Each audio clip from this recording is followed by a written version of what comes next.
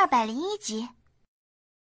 在吃这方面，尤其是煲这种汤，易峰可从来不会忘记将自己与神比肩的药物技能融合进去。当然，这个技能说白了是疗伤技能，而疗伤技能包含了制药，除此之外还有针灸啊、正骨啊，杂七杂八的一大堆，反正都是与治病疗伤有关的。所以，这看似是一个疗伤技能，实则是包罗万象。妙啊！就是不知道能够给我的厨艺加多少经验呢？易峰掀开了盖子，扇了扇，闻着香味露出了满意的笑容，同时也想起了系统发布的一些任务。前一个琴棋书画的任务，他的棋艺还未完全到与神比肩，而后面一个厨艺、酒艺、茶艺、雕刻什么的，就更差得远了，还没有一个达到与神比肩呢。一步一步来吧。不过有机会，还是先把棋艺精通了再说。毕竟琴棋书画就掉了这么一个，总觉得不舒服。易峰轻声呢喃。不久之后，蛇汤已是煲好。所有人看着蛇汤，眼睛都发着亮光了，就连李一涵都咽起了口水。只不过，朱肉荣等人没有易峰的吩咐，都只敢看着，他更是不敢有什么动作呀。甚至是识趣的移到了一边，不敢奢望能够喝到这种汤啊！易峰喊着：“愣着干什么呀？别客气，喝呀！难道还要我亲自喂你们呢？”多谢先生，多谢先生啊！多谢先生！而众人一人拿着一个碗，开始排队打汤。看着碗里冒着各种灵气，甚至还有各种武艺蕴含的汤水众人眼中一时冒着金光啊！吴永红悄咪咪的说了一声，和鲁达生、孙诸葛、楚狂师对视了一眼。这一碗下来，我们怕是要破胜了。其实说回来，这一碗以二命妖帝为食材，又加上一封与神比肩的天药，让他们直接破地也不是不可。只不过也由于修为的缘故，他们吸收的也只有这么多。可朱肉荣和老王头端着手中的碗，却久久不敢喝呀。他们也能判断出，干了这碗蛇汤，恐怕能直接到二命五帝了。可是突破二命五帝的时候，是会经历天劫的呀。天劫这东西可不是闹着玩的，一不小心就会魂飞魄散。所以，其他五帝渡劫一般都是要做好万全的准备才会渡劫。而他们毫无准备，也毫无把握呀。而且天劫来临的时候，恐怕也会影响到先生感受平凡生活的初衷吧。两人朝易峰问道：“先生，要不我们不喝了吧？”可易峰却白了他们两个一眼，没好气说：“你们两个矫情个什么劲儿啊？这么一大锅，叫你喝你就喝。”好吧。见状，两人这才点头。既然先生都这么说了，想必也不用他们操心了。毕竟他们能够想到的，先生又怎么会想不到呢？一峰抓起一旁的蛇胆丢了过去，来，狗子，蛇胆你吃了。狗子见状，眼冒金光啊，高高掠起，一口就吞掉了蛇胆，随后也嗦哈了两碗汤，躲进了马车里。一峰自己也干了几碗汤之后，却发现李一涵一个人坐在角落里。并没有要喝汤的意思。易峰亲自打了一碗，给他端了过去。易峰笑道：“李姑娘，你也喝一碗吧。”李一涵顿时露出了受宠若惊之色，连忙站了起来，看了一眼蛇汤，咽了一下口水，嘴中却说：“先生，这我我何德何能啊？要不还是你们喝吧。”这妹子，看样子明明是很想喝呀。居然还不好意思，而且他似乎对自己客气了很多呀。看来这男人还是得有技能加身的，尤其是做饭，肯定是自己的厨艺让这个妹子刮目相看了吧。易峰强硬的将蛇汤推了过去，接过蛇汤，李一涵双手捧着，身躯在颤颤发抖。这可是逆天的机缘呢，他何德何能呢？没有想到，这一位不但不计前嫌，还给他这样的福泽。看着易峰的背影，他深深的鞠了一躬，小尝了一口，他便感觉到丹田之内能量动荡，几乎是瞬间，武王还在前期的他，瞬间就已经达到了突破武皇的临界点。哎，先生，我们先去方便一下。这时，吴永红四人急急忙忙的说，然后就往远处的树林跑去。我我也去方便下。李一涵端着手里的蛇汤，也紧接着掠出。这咋回事啊？看着这群人，易峰满脸懵逼呀。自己也干了两碗呢，咋就没事呢？老家伙就是老家伙，还经不起补。其实李一涵一个修炼者也这样，就让人颇为纳闷了。这时，坐在地上玩石头的楼本伟袖子中钻出了一条蜈蚣，满脸急迫的说：“哎哎，大哥大哥，给我也弄一碗呗。”楼本伟皱眉道：“你，你也不怕撑死你？”叶枫蜈蚣笑嘻嘻的说：“那那一滴也行。”楼本伟说：“也行，你这家伙也太弱了，是得给你提升一下。”随后捡起一封喝过的碗，给蜈蚣喂了一滴残羹，一滴下嘴，蜈蚣顿时传出兴奋的声音，跑了出去。我我要飞了，我要人生巅峰了，哥，我我也去去就来。朱肉荣和王老头看着这些人都可以方便，着实是有些羡慕啊。可是他们五帝突破不一样，突破时身上并不会有什么威能。而真正的威能就在天劫上，以他们现在的准备，实在没什么把握应对接下来的天劫呀，所以他们只能够待在易峰的旁边，希望易峰能够帮他们应付接下来的天劫。只是他们也不知道先生会怎么应对，而且从古至今，他们就从来没有听说过可以帮别人度过天劫的。天空云层转动。凝聚出两个庞大的漩涡，显然两人的天劫就要来临。第二百零二集，一时间乌云压空，威压密布，方圆千里天色骤然变得阴沉沉的，给整片地面带来一股沉重的威压。许多生灵在这威压之下匍匐颤抖。哎呀！这天气还真是说变就变呢。易峰摇了摇头，他倒不是怕，这次出来肯定是有所准备的，早就准备好了两把超级大的太阳伞。只是可怜了这些个拉屎的，野外拉屎碰上暴雨，这酸爽。哎，坐下来等等吧。你们也坐吧。易峰轻声说。闻言，两人点点头。只是看着高空的威压，他们的神色丝毫不敢放松下来。渐渐的，天上结云越来越密了。随后，在两人紧张的目光下，两道宛如水桶粗的雷电缓缓的凝聚了出来。好恐怖啊！两人只感觉头皮发麻呀。可没有准备的他们，一时间根本不知道该怎么应对，心中只能期盼着一峰动手。终于，那雷电越来越近了，两人的心卡到了嗓子眼儿。先生怎么还不动手啊？就在千钧一发之际，易峰忽然从太阳伞下走了出来，心想着快下雨了，将之前包蛇汤的家伙事儿给收拾一下。可然而，在易峰走出太阳伞的那一刻，两道倾斜而下的雷电猛然打了个抖，下降的速度骤降。这一刻，两道雷电就像是有灵智似的，露出了恐惧的模样，好似这道人影与生俱来，让他们感到惧怕。随后，在朱若荣两人震撼的目光下，两道雷电在半空中一个翻滚，瞬间跑没影了。什么？这一幕可惊呆了朱若荣两人呢。他们本以为易峰应对这种天道降下来的东西，即便能够帮他们化解，也多少会费一番手脚。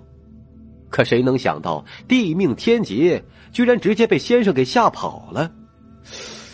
这是什么神仙手段呢？这天劫代表的可是天道啊！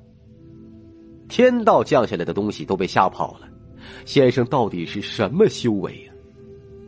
两人感觉自己认知中的最高修为也比不上先生的万分之一呀。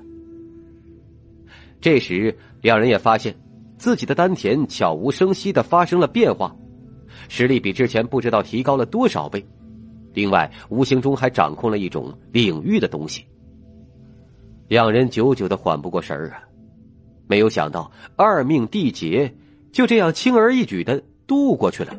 先生当真是恐怖如斯啊！不一会儿，出去方便的那几位也回来了。本来他们的突破也不止这一时半会儿，但是跟易峰出来，他们也早就准备好了可以短暂控制时间流速的阵法。在阵法里面突破完毕，外面也不过半个时辰。不过半个时辰也不短了。易峰黑着脸说：“你们这时也拉的太久了吧？”就不怕得痔疮啊！众人脸色尴尬呀。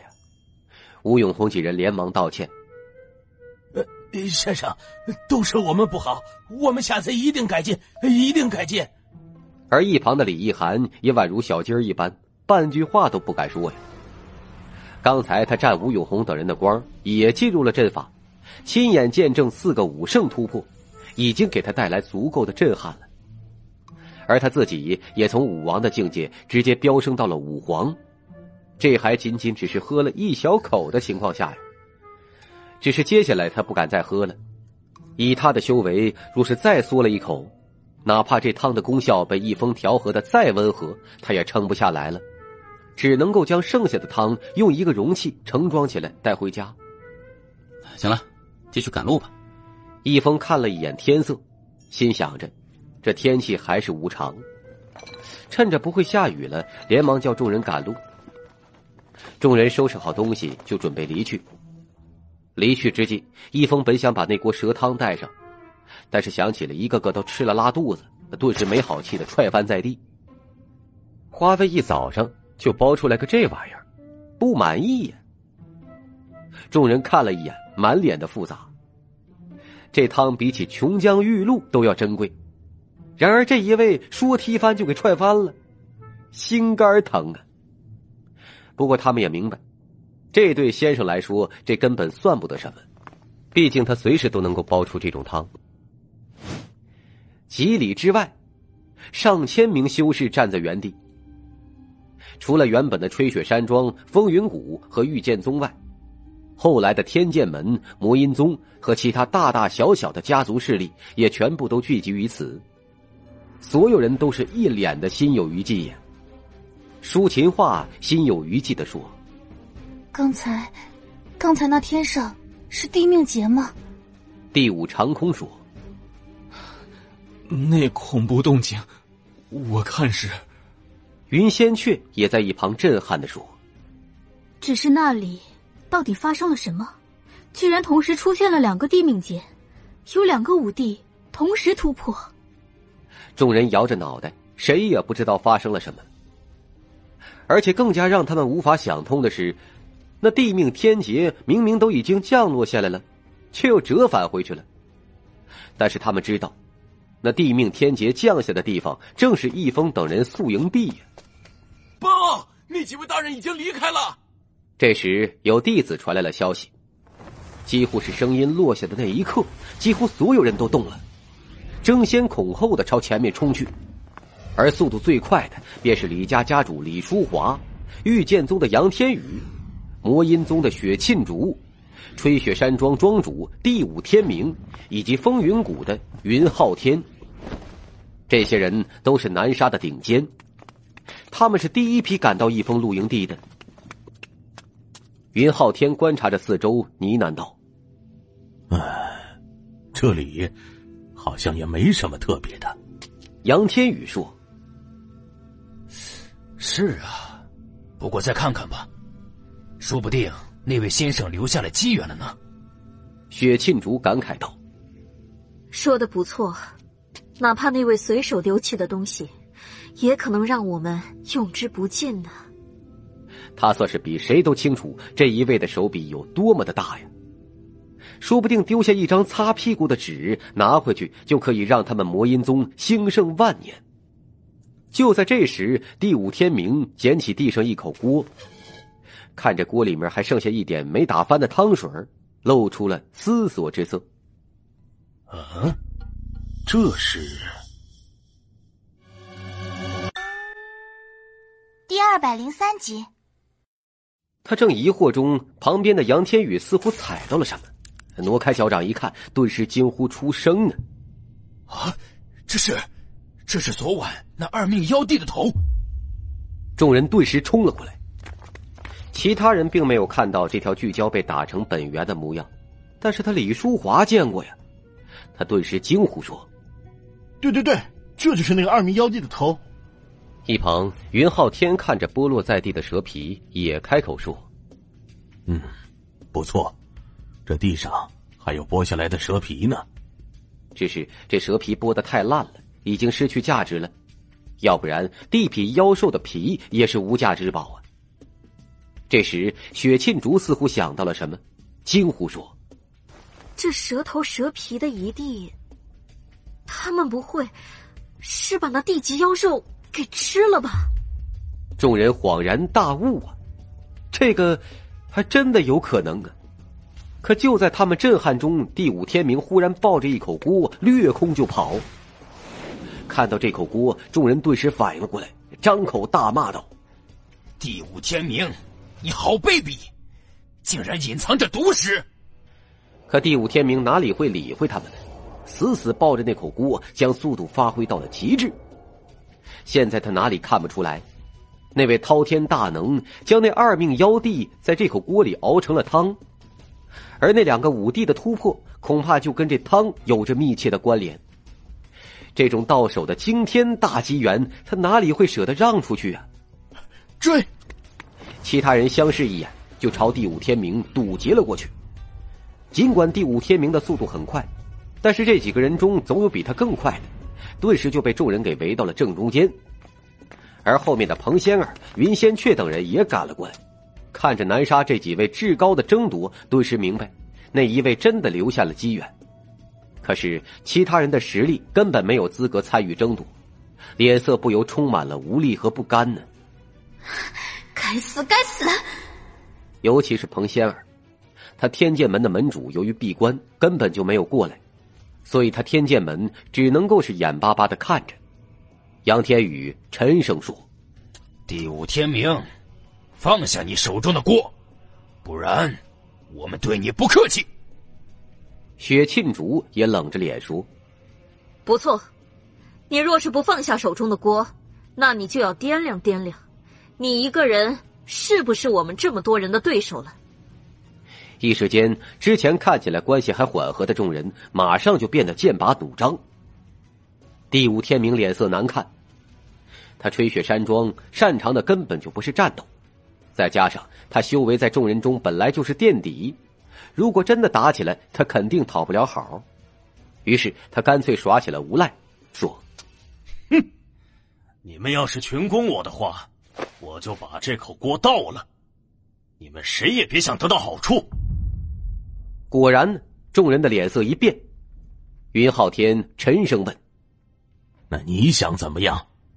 第五天明说：“很简单，这锅里大概还有一碗汤。”我一个人喝三分之一，其他的你们自己去分。如若不然的话，我就把锅倒掉。众人对视一眼，也心知肚明，这是最好的法子了，便默认了第五天明的提议。见状，第五天明双手捧起大锅，仰头就开始喝呀。见状，李淑华一剑刺去，哎，已经喝够了，赶紧给我。第五天明压根还没喝掉三分之一的，但此刻只能够甩锅躲避这一剑。啊！你们卑鄙！李淑华接过大锅也抱起来就喝呀，可他刚喝，后面的攻击就接踵而来。在这样你来我往的争夺下，几大势力领头人算是雨露均沾，都尝到了一小口。这时，云浩天第一个传出声音。我要突破了，我也要突破了。我也是，神药啊！天上仙药也不为过呀！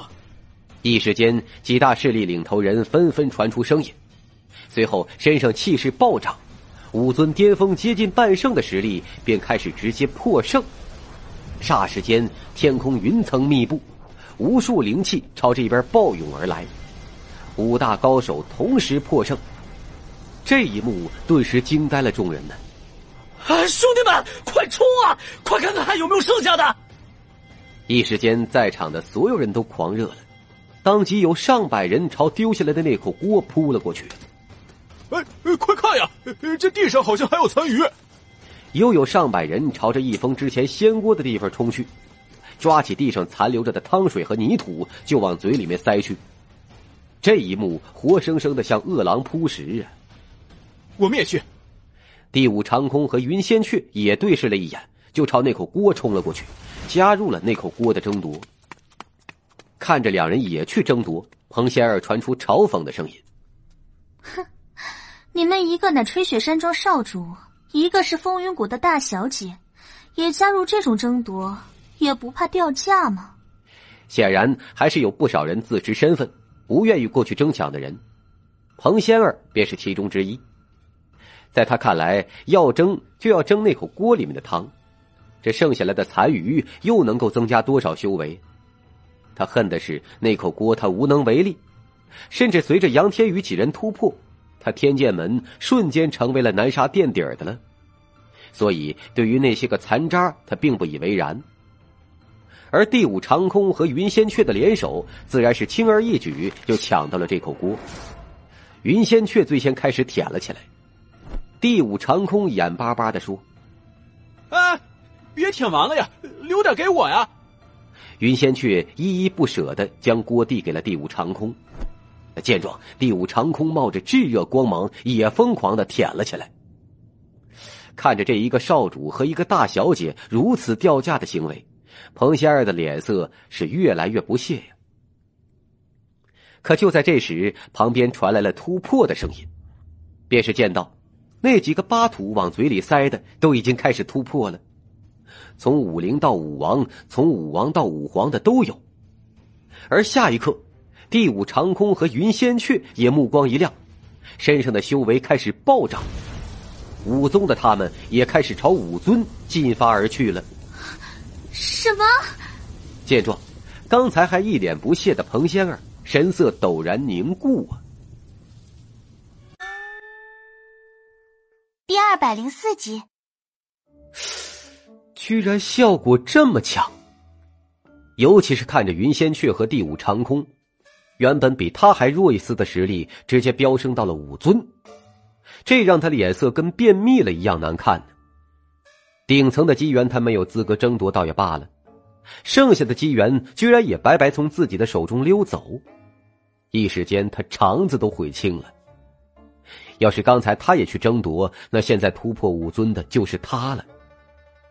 五尊呐，武尊呐，这可是在南沙横着走的境界了呀！若是他如今突破了武尊，天剑门未来的门主之位都有可能直接传给他呀。想到此，他越来越不甘了，目光投去，看向了其中争夺的一个点。你们给我滚开！彭仙儿武宗气势爆出，手中长剑寒气逼人。正有几名争夺的修炼者见状，露出了满脸的不甘之色。可是看着彭仙儿满脸的威胁神色。他们也只能够强忍着怒意退后。看着地上的泥土，彭仙儿深吸了一口气。这种行为在他以前想来，这辈子都不可能发生的。但是在突破五尊的契机面前，哪怕再掉价，他也忍了。面纱之下的他一咬牙，抓起一块湿漉漉的泥土就往嘴里塞。可下一刻，他脸色骤变。该死他猛地甩掉了手中的泥土，掠空就朝远处的河边飞去。第五长空和云仙雀对视一眼，连忙走近观察。忽然，第五长空忍不住大笑了起来。云仙却满脸纳闷的问：“怎么回事？”第五长空抱着肚子大笑着：“这这这这根本……”就不是先生倒下的汤，而是尿。云仙却脸色微微抽搐，随后也忍不住的掩嘴笑了起来。该叫他刚开始装。接下来的时间里，在场的修士几乎是将这块地掀了个底儿朝天，这才作罢。而突破过后的李淑华等人更是满脸喜悦，刚才的矛盾似乎也抛在脑后了。云浩天感慨说：“诸位，拥有这等手笔，这位先生绝对是武仙者。哎，就是不知道，这位先生来我南沙，到底所为何事啊？”闻言，众人沉默了下来，这也是他们心中所猜测的。一个这么强的高手忽然来到南沙，若是没有目的，是不可能的。而且他这一来就爆出了聚焦这种地品妖兽不说，而且还隐隐改变了南沙势力格局。例如，原本强力的天剑门，在他们这次突破之后，就肯定是垫底了。这时，云仙却走过来说：“诸位前辈，我曾经听平江的青山门陆青山说过。”这位先生很可能在下一场大棋，而南沙很可能是他棋盘中重要的一环，所以他此番来南沙，势必在布局着什么。杨天宇惊呼说：“那按你这么说的话，那我们岂不是个棋子？”云仙却点头说：“嗯，应该是，但是那又如何？”这一问，直接让杨天宇咂舌。也让众人纷纷点头啊！是啊，就算是他的棋子又如何？难道不是一种荣幸吗？想到此，众儿反而是有些激动，因为不见得成为棋子就是坏事，或许一不小心就可能形神俱灭，但同时也伴随着天大机缘呢。看着易峰等人离去的方向，一行人心照不宣的跟上。除了可以跟在屁股后面捡机缘之外，或许能够在易峰接下来的行动中揣测出一些什么。若是抓到了一点先机，那就是鱼跃龙门的时刻。两日后，易峰等人经过跋山涉水，终于是从边缘真正进入了南沙。李一涵紧张的问：“几位先生，前方家一城便是我李家所在，要不去我家族休息几日？”易峰笑着问：“这样会不会不太方便呢？”“怎么会不方便？先生太客气了。”李一涵连忙说：“相反是生怕易峰不去呀。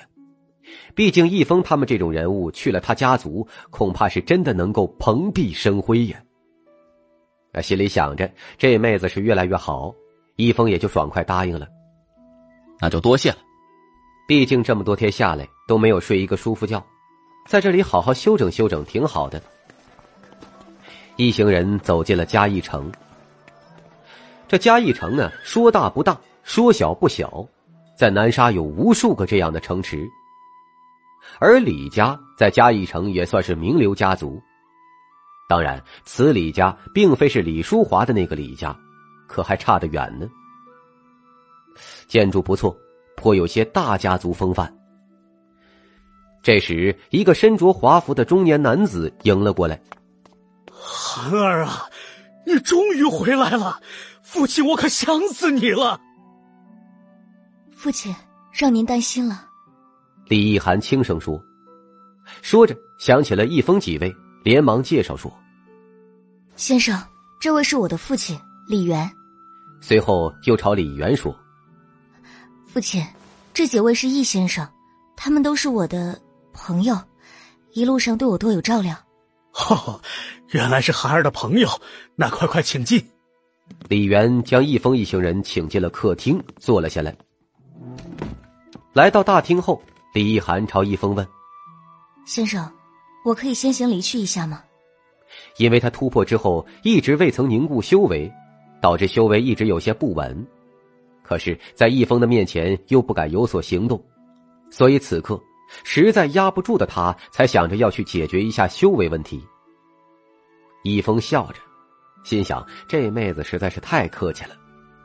当然可以。看着易峰的笑容，李一涵低下了脑袋。自从知道易峰的真实身份后，他便一直不敢和易峰对视。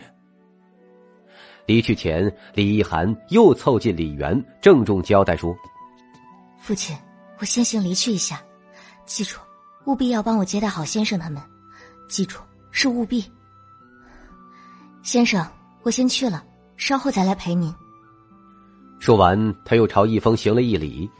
这才急急忙忙的退出去，看着女儿颇像小女人做态的李元，略微皱眉，随后又打量了易峰几人一眼，眉头皱得更深了。啊，除了易峰之外，看起来就没一个正经人。更何况的是，他居然感受不到这些人身上有修为。但想起女儿的提醒，他还是没有表露出什么，而是问：“几位，不知道你们哪门哪派？”又是何修为啊？易峰笑着说：“哈哈，李家主客气了，我们无门无派，只是凡人。”凡人。李元眼神微微一眯呀，他本以为这几人修炼了什么特殊功法，没想到真的是凡人。不过家主的城府也并没有让他表露出什么，而是转动着眼睛，忽然笑道：“哈哈哈。”易公子，我是个直爽人，趁着孩儿不在，有句话我需要跟你说一说。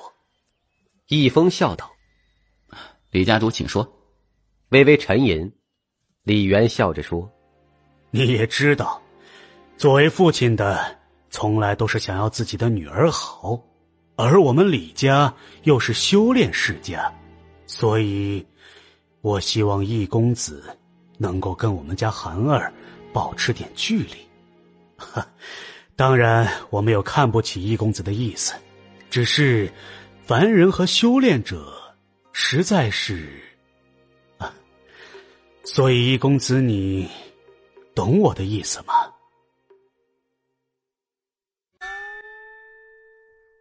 第二百零五集，这句话一录。王老头、朱肉荣、吴永红、鲁达生几人几乎是同一时间站立起来，眼中闪烁着逼人的寒气。虽然先生低调，对于这种嘲讽他或许不会放在心上，但是不见得他们能够忍受啊。若非害怕先生生气而不敢轻举妄动，眼前这个小小的家族瞬间就被他们夷为平地了。犯不着。易峰也站起来，朝吴永红等人提醒了一声。随后，将目光看向李元，说：“李家主，我想你真是想多了。既然如此，那我们就不逗留了。”说罢，易峰吩咐众人收拾好东西，直接离去。因为这明显是看不起人呢。你家大业大，怎么了？难道自己还得舔着你不成？哼！真希望你不会后悔呀。而王老头等人离去之前，盯着李元怒哼了一声，也随之离去。后悔？一群凡人，装的倒是挺像。看着易峰等人离去的身影，李元端坐首座，摇了摇头。几个凡人离去而已，他会后悔？真是笑话。这种借机攀附他李家的人，他见得多了。他女儿李意涵心思单纯，看不出来倒也罢了。他堂堂李家家主，又怎么会看不出来？倒是女儿这次离开许久，这么久没见到他，撑着他回来，父女俩得好好团聚团聚呀。想着，他起身朝李意涵的闺房走去。女儿啊，怎么样了？房门外，李元敲了敲门，笑眯眯的问。正将修为稍微调整了一番的李一涵，听到李元的声音，俏眉顿时一皱，急忙问：“父亲，我没事，但是你怎么跑这里来了？你不是在接待先生他们吗？他们人呢？”“哎呀，我这不是想要多陪陪你吗？”嗯。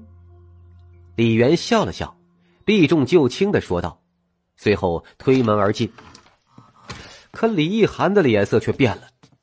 盘坐的他连忙起身，言语责怪的说：“父亲，先生他们还在厅中呢，你怎么把他们丢在那里，自己跑我这里来了？”说着，他不顾李元的劝解，连忙朝客厅跑去。可是到客厅一看，顿时空无一人呢。李一涵看着跟上来的李元，神色焦急的问：“父亲，这到底是怎么回事？先生他们人呢？”李元安慰着：“哎呀，女儿，你别急，别急。”慢条斯理的安抚李一涵坐下，随后轻声教导说：“女儿啊，你虽然天赋不错，但是心思终究还是太单纯了一点呢。”那些人只是凡人，跟你根本就不是同路人。你什么意思？李一涵听到李元的话，几乎是唰的一下就站立了起来，死死的盯着李元，问道：“父亲，你告诉我，他们人到底去了哪里？”说到此，一向不服软的李一涵在这一刻急得快要哭了。女儿啊，我说了，他们只是一些凡人。凡人吗？能够让他们进来我们李家坐一坐就可以了。李元语重心长的说：“难道几个凡人，我们堂堂李家还真把他们当成座上宾不成？更何况人心难测，谁也无法预料他们接近你是不是为了攀附上我李家。所以坐一坐，让他们喝了杯茶，便也就打发走了。”打发走了。这句话落在李一涵的脑海中，宛如响起了一道炸雷呀！脸色唰的一下变得惨白，脚掌也无力的后退了几步，瘫坐在了凳子上。脑海中回荡着李元的这句话，久久不散。李元连忙担忧的问：“女儿，女儿，你这是怎么了？女儿，你不会，不会是真的看上那个凡人了吧？”别碰我！可李一涵却猛地甩开了李元的手掌，通红的眸子死死盯着李元，咬牙切齿的说：“一口一个凡人，你也说得出口？还我看上他，你也不看看我们李家有没有这个资格？我不知道你当了这么多年的家主，为什么这么糊涂？刚才我千叮咛万嘱咐，要你千万要接待好他们，可你偏偏不听。”还将他们打发走了，你 居然将他们打发走了！说到此，脸色惨白的李一涵怒火攻心，一口鲜血喷了出来。啊，女儿，你！李元见状，连忙上前，可却被李一涵再一次推开。女儿，你这未免也太过了吧！见状。李元脸色同样不好看的说：“只是几个凡人而已，走了也就走了，但我可是你父亲呐！”住口！李一涵嘶吼道：“到现在你还一口一个凡人，完全不当回事，完全意会不到事情的严重性。我既然千叮咛万嘱咐要你郑重接待，难道你看不出来，他们仅仅是凡人吗？他们就真是表面看的那么简单吗？”李元脸色一沉，问道。你这话什么意思？李一涵红着眼睛，摇着脑袋说：“哼，前两天南沙边境的事情，你应该知道了吧？”李元不解的问：“这事情已经传遍南沙了，我自然知道。可是那南沙边境的事情，又和他们有什么关系？”好，那我就跟你说一说，他们和南沙边境到底有什么关系。李一涵抹着嘴角的血迹，盯着李元，一字一句的传出声音：“因为他们就是当事人，而那位先生，便是让南沙所有势力不惜聚集在南沙边境接待的绝世高人。”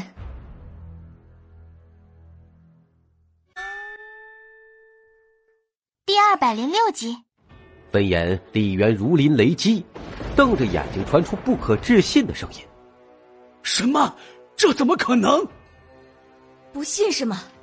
那我就让你信。李一涵痛心疾首的指着易峰等人刚才落座的方位，一字一句的说：“这里坐的是两位二命武帝，这里是四个武圣，而这里的黑袍是超越武帝的存在。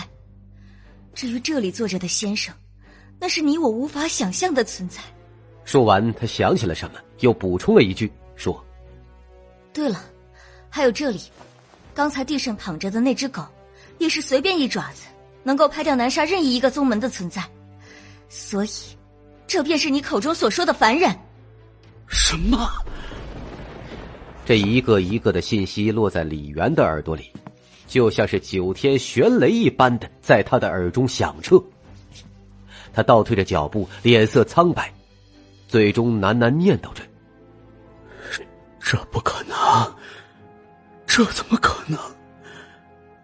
显然，李元一时间无法接受这个事实，强行安慰着自己。可是他深知自己女儿的性格，也完全没有跟他撒谎的必要。也就是说，南沙无数大势力舔都舔不到的大人物来到了他家，他却将之赶走了。一想到此，他脸上变得毫无血色。不过，他还是强露着笑脸，朝李一涵安慰道：“涵儿啊，这确实是为父的过错，因为我实在是不知道他们的身份呢。再说了，我也就是将他们请走了，也并没有得罪他们呢，也可能就是断送了一份大机缘而已。这或许……”就是我们李家没这个命，人要看开点，所以也没什么大不了的，你就别生气了。可他声音刚刚落下，李家的管家就满脸难看的跑进来喊道：“老爷，不好了，不好了，出大事了！哎呀，怎么回事？刚刚传来消息，我们依附的御剑宗将我们移出了下属家族，而且……”御剑宗赐予我们的三百家商铺也一并全部收回。什么？李元脸色一变，可还未来得及说话，又有人急忙来报：“鲍老爷，刚收到传送预简，我们李家和风云谷下宗万宝堂的合作已经被万宝堂单方面取消了。”报，小公子加入的吹雪山庄已经将他逐出宗门了，同时我们李家其他加入了宗门的弟子。也全部被逐出宗门了。而在这几人之后，又有人不时的传来一个个噩耗。这一个个噩耗落在李元的耳中，终于是让李元的脸上失去了血色，一屁股瘫坐在了地面上。从刚才的消息来报，他李家所有的关系、生意、靠山，以及这么多年积累下来的人脉资源，在这一刻全部都付之东流。为什么会这样？李元瘫坐在地面，老眼中流着泪水。你说为什么会这样？李一涵没有丝毫意外的说：“因为，你得罪了那位先生，而对于我来说，你不知道他们的身份，将之打发了还可以原谅，但是你可知，他们还是我的救命恩人。我们忘恩负义的李家，落得这个下场。”不为过。说罢，李一涵冷着脸离开了李家。临走之前，留下一句话：“我去找先生赎罪，暂时不会再回来了。”看着李一涵离去的背影，李元瘫坐在地，头发瞬间变白。浓浓的悔意充斥心间，最终再也说不出刚才那种轻描淡写的话了。嘉义城外。南沙一众大势力聚集在此。李淑华等人问：“事情办的怎么样了？”这名属下回应道：“启禀诸位大人，我们从一个李家的属下口中打听到，那位先生确实去了李家，但是李家家主似乎将他们赶走了。”啊！什么？杨天宇、李淑华等一群大人物脸色皆是大变，他们时刻揣摩着这一位来南沙的目的。所以，易峰经历过的地方和任何风吹草动都会打探。当易峰进入李家开始起，他们原本以为一个大势力将会崛起了，可李家却将先生赶走了。这他妈哪里来的大电报？电报？电报逼呀！那名属下回应着：“不过诸位大人放心，我们已经预检传音回宗，几大宗门已经联合断绝了一切和李家的来往。本来想直接灭了李家的。”但是那位先生都没有动手，我们动手，名义上不对。嗯，的确如此。在场的大佬点着脑袋，纷纷认定这个决定做得不错，既不会惹麻烦上身，又不至于过线，算是恰到好处了。可众人刚准备继续一路远跟着易峰等人时，又发生了大事件，而这件事是东胜州的一位大人物。东胜州是更为繁华的地方，整个南沙在东胜州也不过是其中的一小块。一月前，这位东胜州的大人物便传来消息，要来南沙游历一段日子，顺便考察一下南沙的宗门。本来，对于这位即将到来的大人物，南沙众宗门大佬已经是商量好了，在他来的那天聚集起来，集体接待的。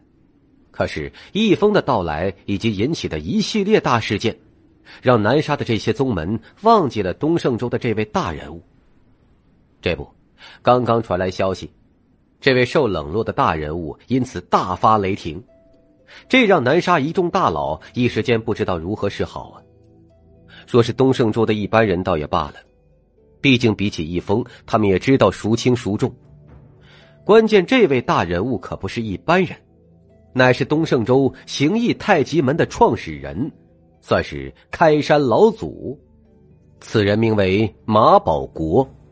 一招闪电五连鞭，留下赫赫威名，大陆上到处都是他的传说呀。最为关键的是，此人年岁不过六十九，在整个修炼界来说，六十九不过是一个年轻人罢了。可此番年岁便成为开山老祖，这足以说明此人天赋之恐怖。说起来，这位大人物和易峰还很像，多年前就已退居幕后。这些年来几乎从不出手，也无人能够看清他的修为。表面上看起来跟个凡人似的，但正因为看不清他的深浅，使得东胜州那几个超级宗门的高手也因此而忌惮三分。有人猜测他至少是十命五帝，也有人猜测他早已成仙。但不论如何，这件事情都让南沙的这一众人犯了难呢。易峰和马保国这两个都是看不穿修为的绝世高手，究竟该怎么选择呀？第二百零七集，南沙的众多大佬一番衡量之后，也并没有选择回去，而是继续跟随着易峰。马保国身份虽高，但是不见得能够给他们好处，给他们机缘。但是跟在易峰的屁股后面。但凡能够捡到一些东西，就像之前的蛇汤一样，就让他们得到巨大好处。该死！见到这群人不走，彭仙儿面纱下的面孔变得极度阴沉。他虽然实力不错，但有李淑华、杨天宇他们这些老一辈的人在这里，什么机缘都不可能轮到他的手上。甚至现在的他，连第五长空和云千雀也打不过呀。可是他这些天无数道传音预检给天剑门门主，可是后者依旧没有回信，这说明后者还在闭关之中，这让他急得不得了啊！万一那位绝世高人再丢下点机缘，被李淑华等人得到了，那其他宗门整体实力提高，那他天剑门就成为真正的吊车尾了。犹豫了好久。他做出了一个重大的决定，打算铤而走险，赌一把。他悄无声息的脱离了大部队，朝前方的梅仙城而去。而易峰他们现在就住在梅仙城的客栈之中。显然，他不想被动的等待了，而是准备主动接近那位大人物。月有客栈，今天我们就在这梅仙城休息一天吧。房间里，一峰将众人喊到一起，同时手中拿着一个钱袋，说：“当然，你们也可以到附近的集市逛逛，买点土特产什么的。”说着，他给每人数了十枚金币，递了过去。但是看着手中变轻的钱袋子，肉疼的他又手一收，笑嘻嘻的说：“要不八枚吧，八枚也差不多够了。”啊，说着。厚着脸皮从众人的手中挨个抽回了两枚。多谢先生，多谢先生。众人不该有意见呢，接过钱币，连忙道谢，随后退了出去。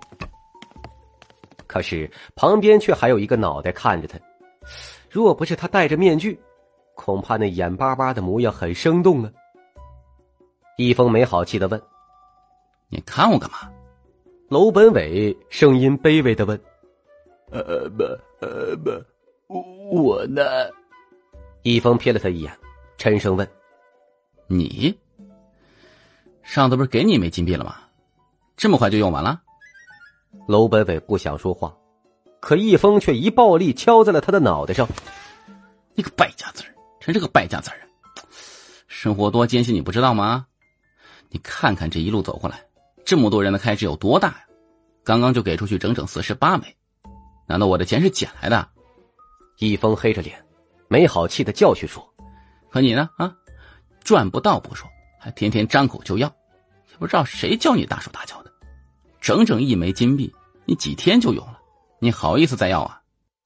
楼本伟委屈巴巴的小声嘀咕说：“可是，可是。”我不是有钱存在你那里吗？存在我这里，你还好意思说？易峰板着脸说：“那我就跟你算笔账啊！这一路走过来，你坐的马车要钱买吧？还有你脸上那面具，也是我给你买的吧？除此之外，还有很多杂七杂八的。可是也用不完这么多吧？”楼本伟悄咪咪的说，说完脑袋连忙一缩。行啊，你还学会顶嘴了是吧？一峰气愤的站起来说道：“是那些钱确实没有用完，但是你以后不用啊，我不得留着以后给你买衣服啊，给你买鞋子、买面具啊，还有以后的开支啊。”楼本伟委屈巴巴的低下脑袋。行了行了，给你一枚。看着楼本伟这副模样。易峰没好气的拿出一枚金币给他，同时交代道：“我警告你啊，最好给我省了点用，下次再来找我要，我可不会给你了。”接过一个金币，楼本伟栽着脑袋，情绪低落的离开了房间。估计都出门了吧？那我自己也去逛逛吧。易峰收拾了一圈，换上一身衣裳，离开了客栈。阳台上，一股一狗一蜈蚣。情绪低落的趴在这里，看着楼下街道过路的人群。狗子轻声安慰说：“哥，你也别伤心，这不慢慢存，慢慢存，你也存够三个金币了吗？你再存个十年八年，总能够你潇洒一次的。”楼本伟情绪低落的摇着脑袋：“哎，青啊，你别安慰我了，我现在生无可恋。”感觉对啥都提不起兴趣了。敖庆心里不是滋味啊，正不知如何是好的时候，忽然看到楼下人群中有一红衣女子走过，连忙大喊道：“哥，快看快看，那里有条大长腿！”哎，哪呢？哪呢？闻言，刚刚一副死相的楼本伟满血复活，急忙出声探出头往外看去。哎，快看呐，哥，那个身材也不错。这时，旁边的小蜈蚣也传出了兴奋的声音。楼本伟又将脑袋朝另一边张望了过去，可看了一会儿，又颓废的瘫坐在地上，忧愁的说：“唉，只能看不能动，真难受啊！”越说是越难受啊！猛地一下站立起来：“不行，我忍不了了，大不了就是被拆。”说着。他一把抓起蜈蚣和狗子，悄咪咪的来到了易峰的房间门口。敖庆震惊的说道：“哥，你胆子真大呀！”嘘，别说话，你们两个到街上去看看，主人回来了，及时回来告诉我。”楼本伟吩咐道。看着大哥那副迫切的模样，敖庆两兄弟也是豁出去了，当即跑下了楼。嘿嘿嘿嘿嘿！搓着双手，楼本伟闯进了易峰的房间。而在这时，客栈楼下来了一名白衣女子。她经过一番打探，大概确认了房间，又换上了一身相对暴露的衣裳，掀开面纱，露出了那张精致的面孔。深吸了一口气，朝易峰的房间走去。以我姿色，还是有把握的。再说，英雄难过美人关，不铤而走险，又如何能做得人上人？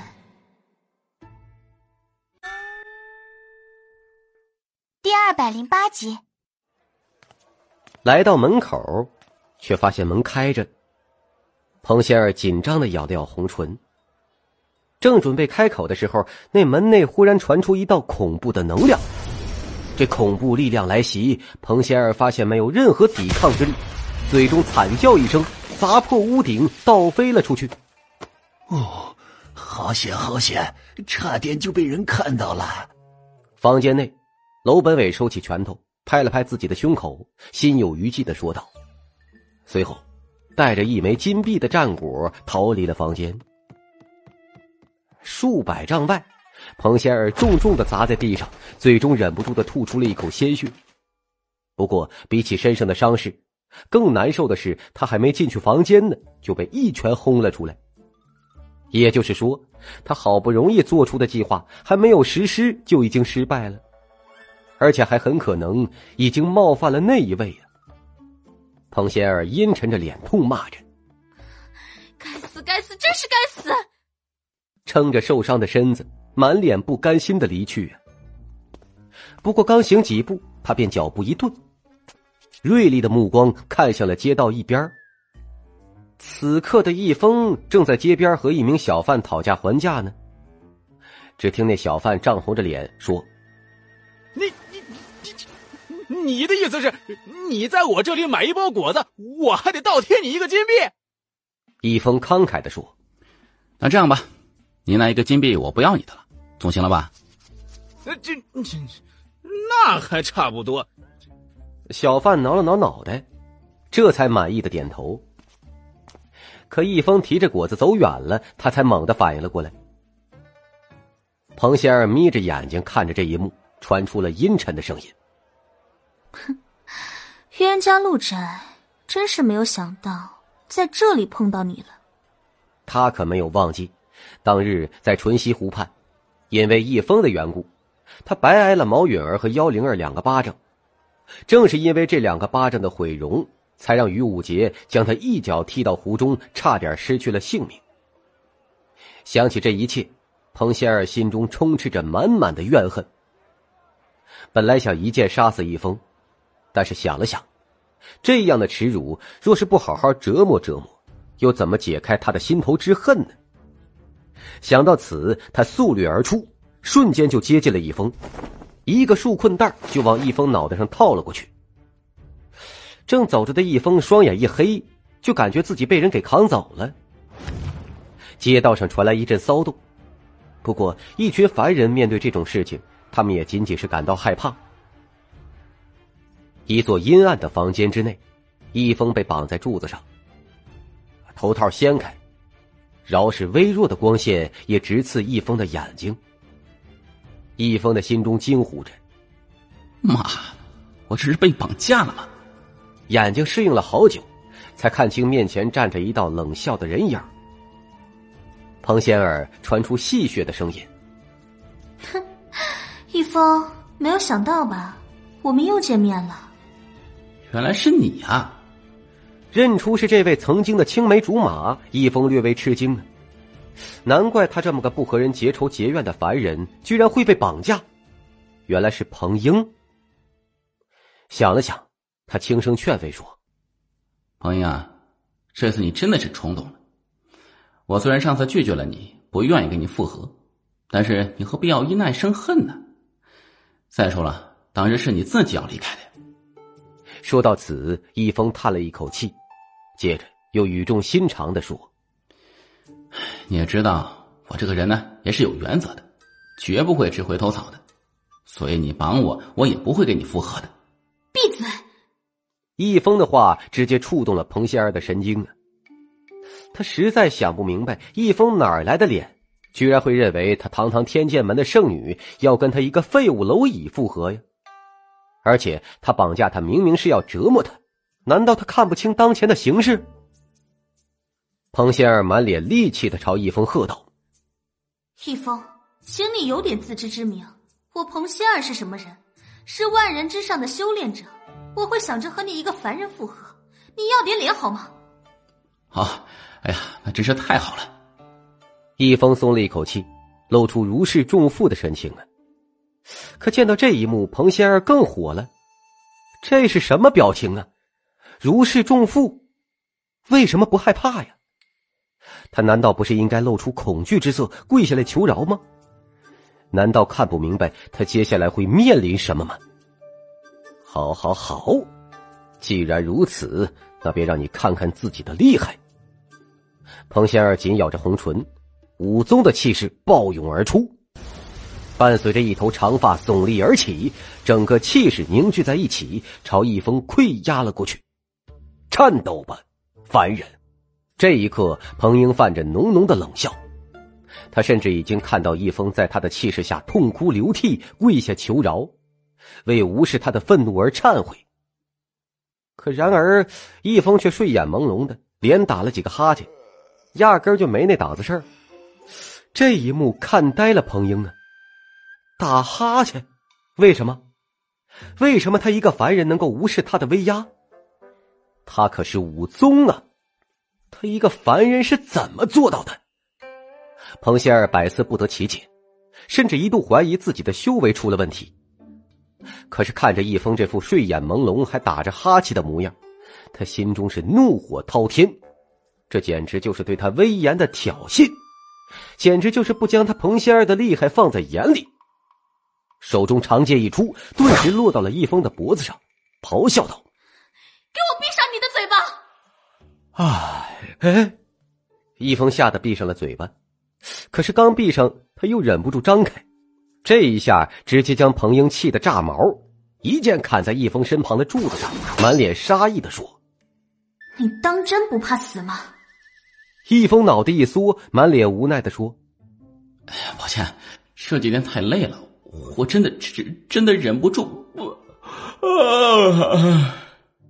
说着。在彭英的眼皮子底下又打了一个哈欠。暴走的彭仙儿嘴中传出狂躁的声音，手中长剑晃动，整个房间内传出一道道爆破声。接着，长剑又落到了易峰的脖子上。你很聪明，我对你刮目相看，故意挑衅我，想要给你个痛快。但是我偏偏不杀你，而是要带你回天剑门，好好的折磨你。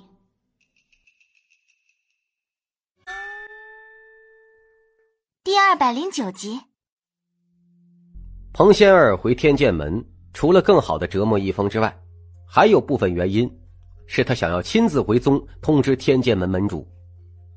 现在这种情况若是再闹下去，那位高人的机缘，天剑门可是毛都捞不着了。他终于通知到了天剑门门主段庆峰，可后者听闻消息虽然出关了，但由于修为某方面的缘故。他必须再稳固两日才能出宗，毕竟机缘虽然诱人，但总不能让自己走火入魔吧。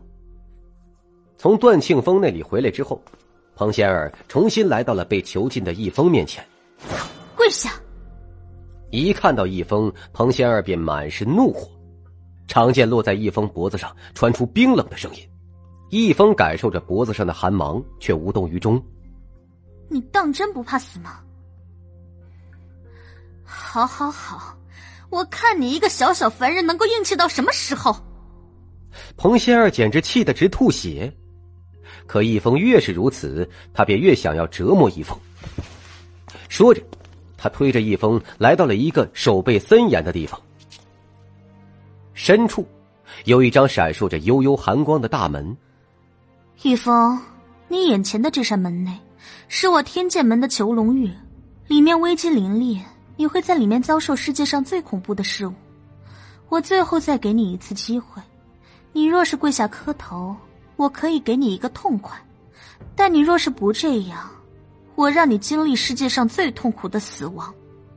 彭仙儿目光冰冷的盯着易峰，沉声威胁。可让他没有想到的是，易峰居然看都没有看他一眼，唰的一下走进了寒门之内。彭仙儿气得浑身直颤呢，可易峰却已经消失不见了。好，好，好！一个小小的凡人，居然敢自己走进去。当你经历了里面的恐怖，我相信你会后悔乖乖跪下的。说着，他直接在门前盘坐而下。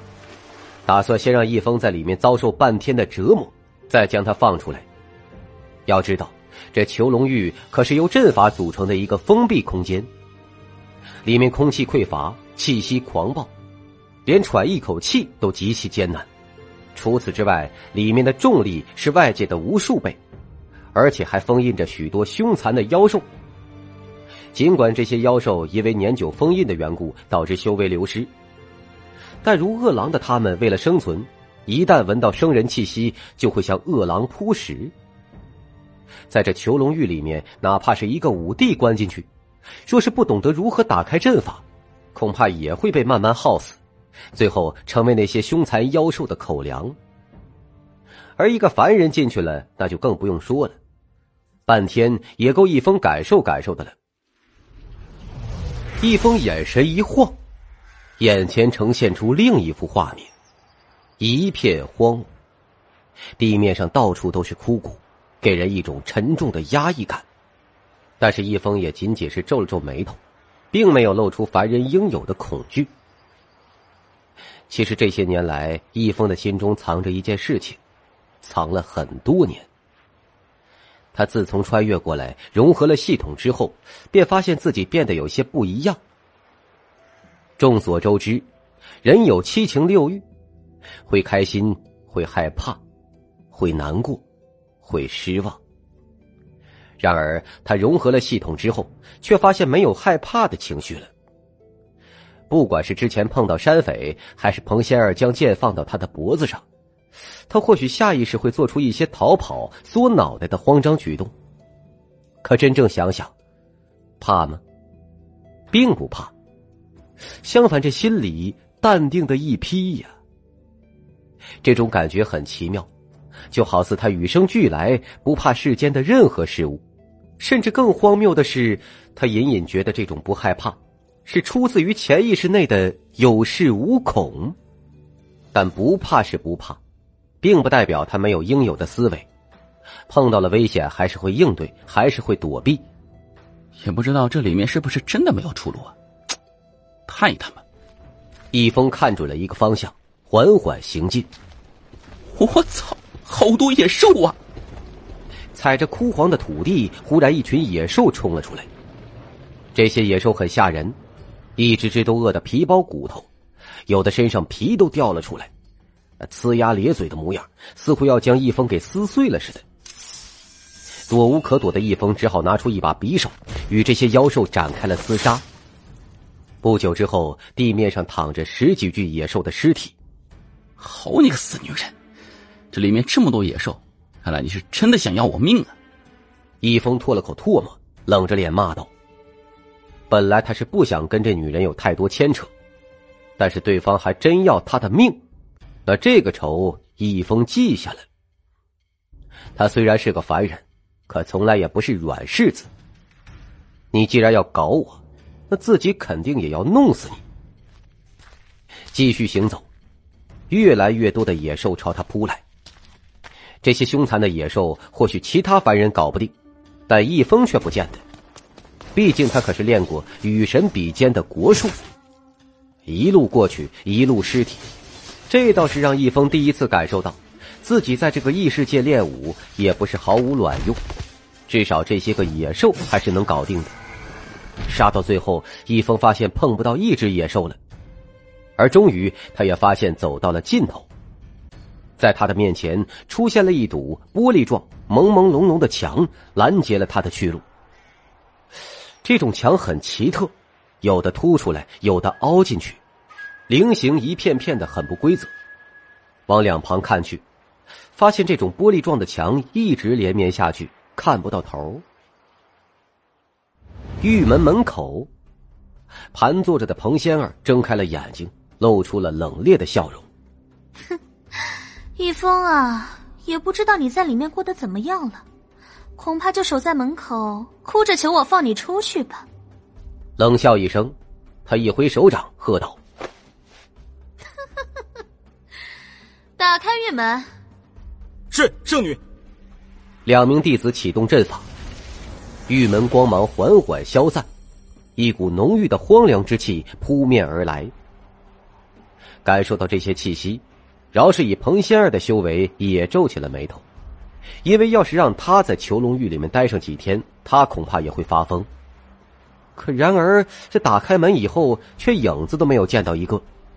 他脸色一变，惊呼道：“人呢？”他稳住心境，施展出修为，踏进了囚笼狱。一走进范围，他便感觉脚掌一沉，武宗修为施展出来，连抬起脚步都很困难。而荒芜的气息顿时让他的修为也受到了影响，开始变得紊乱。可走进去环视一圈，依旧没有发现易峰的踪影。这到底是怎么回事？彭仙儿张着嘴巴，满脸的不可置信。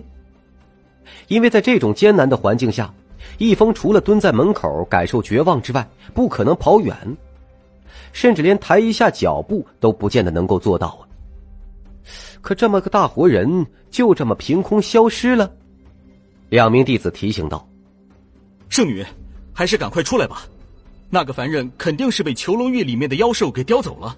你要是再不出来的话，万一出现变故就不好收拾了。”再三确定易峰不见踪影之后，彭仙儿这才连忙退出了囚笼狱，重新将狱门关上。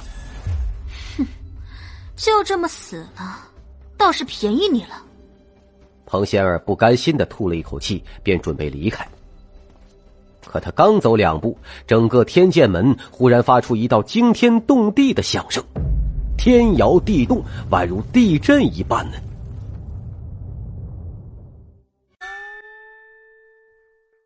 第二百一十集，甚至修为比较弱的人在这一刻都站不稳了。也在同一时间，整个天剑门山门之内，无数高手飞出来，踩在半空中，看着下方的天剑门。怎么回事？怎么会这样？发生了什么变故？一时间，众人传出凝重的声音。易峰看着前方被踹了一脚之后，墙体露出的洞口，忍不住吐槽道。这什么墙啊，还挺硬的，而且还挺玄乎。不过这洞口看着有点小，还不足以让易峰进去。毕竟踹开之后，易峰或许就能够离开这里了。说着，他又是几脚踹了上去。也在同一时间，刚刚消停下来的天剑门再一次发出震耳欲聋的声音，不少建筑摇摇欲坠，似乎快要倒塌似的。这到底是怎么回事？天剑门的一众高层盘旋在天空，脸色是越来越凝重了。段庆峰猜测说：“应该是我们天剑门的根基出了问题。”一名长老不可置信的说：“可是这怎么可能呢？我们天剑门的根基是由阵法组成，而且还是当初开山老祖亲手布置的，又怎么会出现问题呢？”段庆峰闪烁着锐利的目光，下令道：“可眼下天剑门出现这种动荡，除了根基之外，我实在想不到是怎么回事。但是不管是什么问题，查一查就清楚了。众人听令，彻查原因。”是。众多长老掠空而出，紧急的去查原因。嘉义城，什么？先生被绑架了？这个天剑门的彭仙儿，胆子也未免太大了吧！居然把先生给绑走了。杨天宇等一众大佬接到消息的时候，顿时被惊呆了。杨天宇不可置信的问：“可是先生怎么会被抓？以他的修为，一个小小的彭香儿怎么能够抓走他？”雪沁竹猜测说：“高人做事，我们怎么猜得出来？不过，我觉得。”应该有深意吧，而且先生的这个信号已经很明显了，明显他下一步的布局和天剑门有关。但也不知道这对天剑门来说是福还是祸。那事不宜迟，我们立即赶往天剑门查明情况吧。啊！众人纷纷说道。随后，无数势力朝天剑门汇集而去。客栈，朱肉荣朝王老头问道：“我们咋办啊？”王老头撇了撇头，意有所指的说：“那看那三位。”闻言，众人将目光看了过去，发现楼本伟、狗子还有一条蜈蚣趴在窗口，时不时的传来一阵惊呼。时不时的传来一阵感叹。朱肉荣不解呀，这是。不过吴有红却反应过来了，笑着说：“这意思很明显了，那位渣男都不急，我们更不需要着急了。我想先生这一次应该是玩心大发，想玩一场小游戏吧。”朱肉荣恍然大悟，又问道：“哦，原来如此。”那我们，吴永红将一副扑克牌拍在桌上，笑道：“斗斗地主，打发打发时间吧。等先生玩够了，自然也就会回来了。”见状，朱肉荣和王老头眼眸一亮：“好好好，不过老吴，你可得让着我们啊！我们刚学不久。”哎，好说好说。来来来来来，赶紧洗牌洗牌，一对小三。一对小四，压死！嗨，朱肉荣，你快点啊！我等的花都谢了。这什么破地方啊！易峰终于走出了那荒芜之地，可是踹开了那奇异的玻璃之后，当即发现眼前出现了很多很多的玻璃。这种感觉让易峰有一种走进了前世那种星空屋的感觉，昏昏暗暗，就像迷宫，一片混沌。妈的！我看你有多少玻璃，全他妈踹开！一峰知道退回去是不可能的，就开始踹玻璃，找一条出路。接下来的时间里，整个天剑门是地动山摇啊，时不时的就传出来震耳欲聋的声音，无数建筑成片成片的倒塌，甚至天剑门的禁地后峰也出现了裂缝。门主，门主！你的行宫倒塌了，门主不好了！议事大殿裂成两半了，四处都是乱窜的人影，宛如置身一片末日的世界。而除了表面的动荡之外，原本处处散发灵气的山门气息也变得紊乱，大批的灵气开始流失。师尊，这到底是怎么回事啊？彭仙儿跟在段庆峰的身后，脸色惨白的问。段庆峰焦头烂额，也说不出个所以然来。就在这时，有长老飞来，急忙说：“宗主，查到原因了，的确是宗门根基阵法出现问题了，而源头似乎就在囚龙狱中。”段庆峰面色一变，大声喝道：“囚龙狱！所有人随我到囚龙狱门口！”众人纷纷朝囚龙狱飞去。来到门口，段庆峰忍不住问：“最近宗门有新关进去什么东西吗？”众人纷纷摇头啊。这囚龙狱一般只会将宗门的叛徒以及天剑门抓获的敌人关进去，而这些年随着天剑门在南沙的威名，已经很少有人敢和他们作对，所以已经很久没有开启囚龙狱了。彭仙儿在一旁准备说什么，可是想了想，还是打消了。毕竟他就关了个凡人进去，不可能引起这么大的动荡，所以也就没说了。有人问：“宗主，现在怎么办？”段庆峰犹豫了好久，沉声说：“随我一起进囚龙狱，查探清楚。”什么？宗主，这太危险了吧？众人纷纷色变。毕竟囚龙狱里面这断绝一切灵气的狂暴之地，即便以他们的修为进去。实力也十不存一，要是待得久了，恐怕还会影响到修为境界。更何况的是，里面还有自天剑门创建以来关进去的无数大妖。这些大妖或许已经没有什么妖力了，甚至大部分都只能保持本源体型生存在里面。可是能够生存下来，也足以证明他们的不凡。他们这些人进去碰到这些个妖兽，一时或许能够自保，可若是被整个囚龙域的妖兽群而攻之，恐怕也只有逃命的份儿了。段清风咬牙说：“再危险也要进去了，不查清楚到底发生了什么，根本无法解决我天剑门的动荡。万一虎山大阵都被破坏，那就不堪设想了。”众人闻言也知道轻重，这才一咬牙点头同意。在段庆峰的带领下，天剑门的一众高手这才警惕的踏入了囚龙域之中。随着踏入，所有人修为都被压制的十不存一，体内元气紊乱，就连御空飞行也做不到了。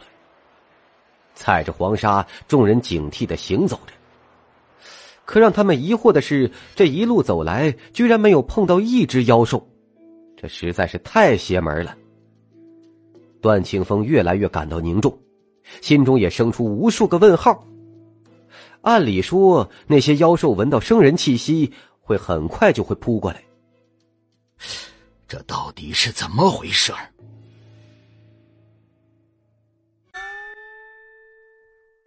第二百一十一集。又走出一段距离，眼前的场景震撼众人的眼球啊，让众人不禁倒抽凉气。因为在他们的前方出现了大片妖兽的尸体，而这些尸体中不乏有很高级的妖兽存在。这些妖兽都是天剑门最辉煌的时候所关进去的一些大妖啊，妖尊、妖圣，甚至是妖帝都有。尽管他们关在里面无数岁月。早就没有了妖力修为了，但也不见得能够小瞧他们的实力。至少段庆峰等人自问，在这个地方或许能够自保，但是想要杀死他们，绝对是千难万难呢。这到底是出现什么变故了？众人倒抽着凉气，一路走去，发现前面还有大片大片的尸体，实在是震撼众人的眼球。看着这些尸体，再比对一下数量。也就是说，这个不知名的威胁将其内所有妖兽都杀光了。在这样的环境下，到底什么恐怖的东西能干出这种事儿啊？可是，更加让他们震撼的还在后头，因为他们发现，囚龙玉的屏障也被打破了。这样的手段，直叫人看得头皮发麻。当年天剑门开山祖师以滔天修为，以阵法为根基，创建了天剑门，而这些阵法全部都是贯通在一起的，其中关联着护山大阵、聚灵阵、囚龙玉等等一些核心的东西。从天剑门的灵气来看，聚灵阵显然已经遭受了破坏，也就是说，那个神秘物种从囚龙域为起点，贯穿到了聚灵阵。众人倒抽着凉气呀，到底是什么东西，居然无视阵法，在阵法中通行？看着眼前的屏障洞口，众人阵阵呆滞啊。他们知道，那个神秘物种就在这洞口深处，可是却无人敢进去，因为这里面牵连着天剑门的各种大阵，就如一张密密麻麻的巨网，稍不留神就会形神俱灭呀。我去通知老祖宗，你们镇守这个洞口。段庆峰阴沉着脸吩咐道：“因为眼下的情况已经完全超出了他所能掌控的局面。”可一旁彭仙儿却紧咬着红唇，脸色一片惨白。因为妖兽的死亡时间还有天剑门动荡的时间，完全能够呼应得上来。不可能，这绝对不可能，这怎么可能呢？他这个废物，我一清二楚，怎么可能干出这样的事情？对，对，肯定不是的。他忙甩着脑袋，只感觉这种事情太不可思议了，心里连忙这样安慰着自己。一片小空间内，一名青衣老者盘坐在地，不经意看去，他犹如一把巨剑立在地面。老祖，段庆峰跪在地上，刚要开口。盘坐在地的天剑门老祖叶天胜，便摆手打断了段庆峰的话。他说：“事情我都已经知道了。段庆峰凝重的问：“那老祖你打算怎么办？”放心吧，我自会解决的。你先退下吧。”叶天胜说。见状，段庆峰神色微微一喜。既然老祖这么说了，那他也就不必再多问了。那晚辈静候老祖好消息，我先去外面主持大局了。说完，段庆峰恭敬告退。唉，可段庆峰走后，叶天胜却重重的叹了一口气，一脸的哀愁之色呀。走到一旁，看向了古石上的一盘棋。这盘棋是第一任老祖留下的。他作画前传言，天剑门万年之内将会遭受灭门危机，而想要破解，唯有破开这盘棋。可是万年来传承了无数辈，都没有人能够破开这盘棋，也包括他自己。因为无论如何研究，这就是一盘死棋，哪怕是神仙来了，也不可能扭转过来。我们天剑门的危机。终于要来了吗？这一刻，叶天胜整个人苍老了很多。虽然跟段庆峰说他会解决，但是他哪里有什么办法呀？唯一的办法就是他坐在这里等，因为这片小空间是天剑门所有大阵的核心，所以那神秘物种必定会来到这里。可是，能够直接以力量破除他天剑门大阵的神秘所在，是他叶天胜能够解决的吗？与其说是解决问题，倒不如说是在这里等死，亦或者是祈求对方能否给天剑门留一丝余地，这是他最后能做的了。忽然，他目光一动，看向了旁边虚无的屏障，他感受到了。近了，越来越近了。他猛然站立了起来，屏住了呼吸，目光死死盯着那处虚无处。终于，一道音爆声响起，便是见到那虚无处泛起一圈涟漪，随后一个黑色的洞口出现。终于到了要面对的这一刻，叶天胜浑身都颤动起来，邓元的眸子里布满了血丝啊。终于，在他忐忑的等待下，那洞口有了动静。随后，一道人影缓缓的走了出来。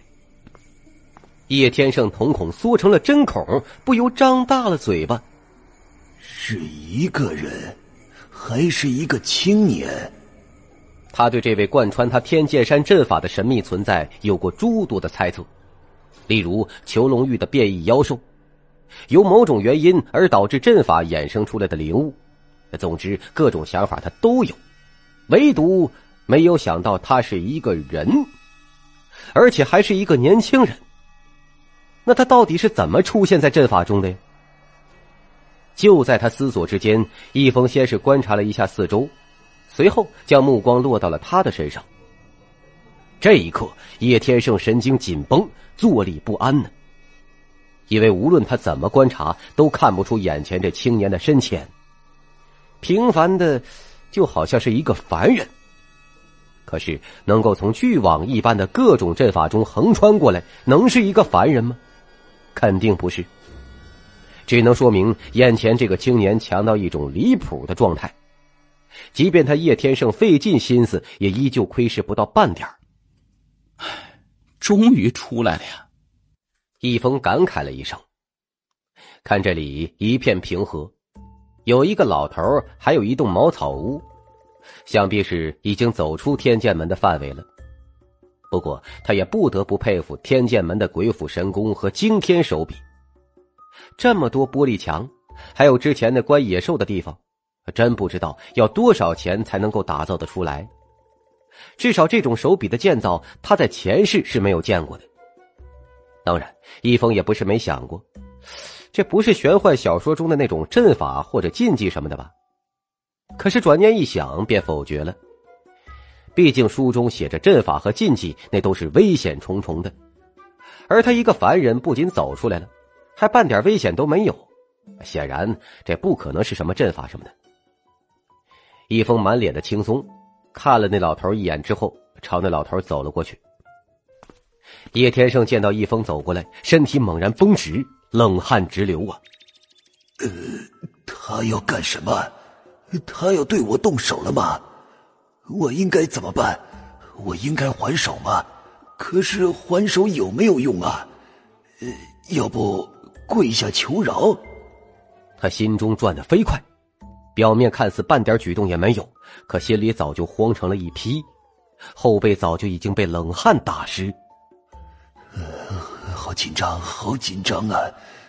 不过要淡定，淡定，不能够让他看出我怕他，因为我是天剑门最后的防线。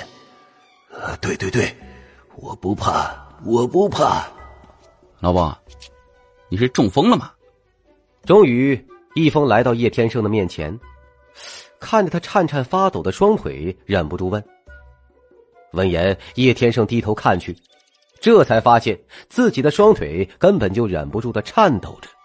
呃，完了，他看出我的慌张了，可是我真的忍不住啊。实在没有见过这么强大的存在呀！哎，呃，不对。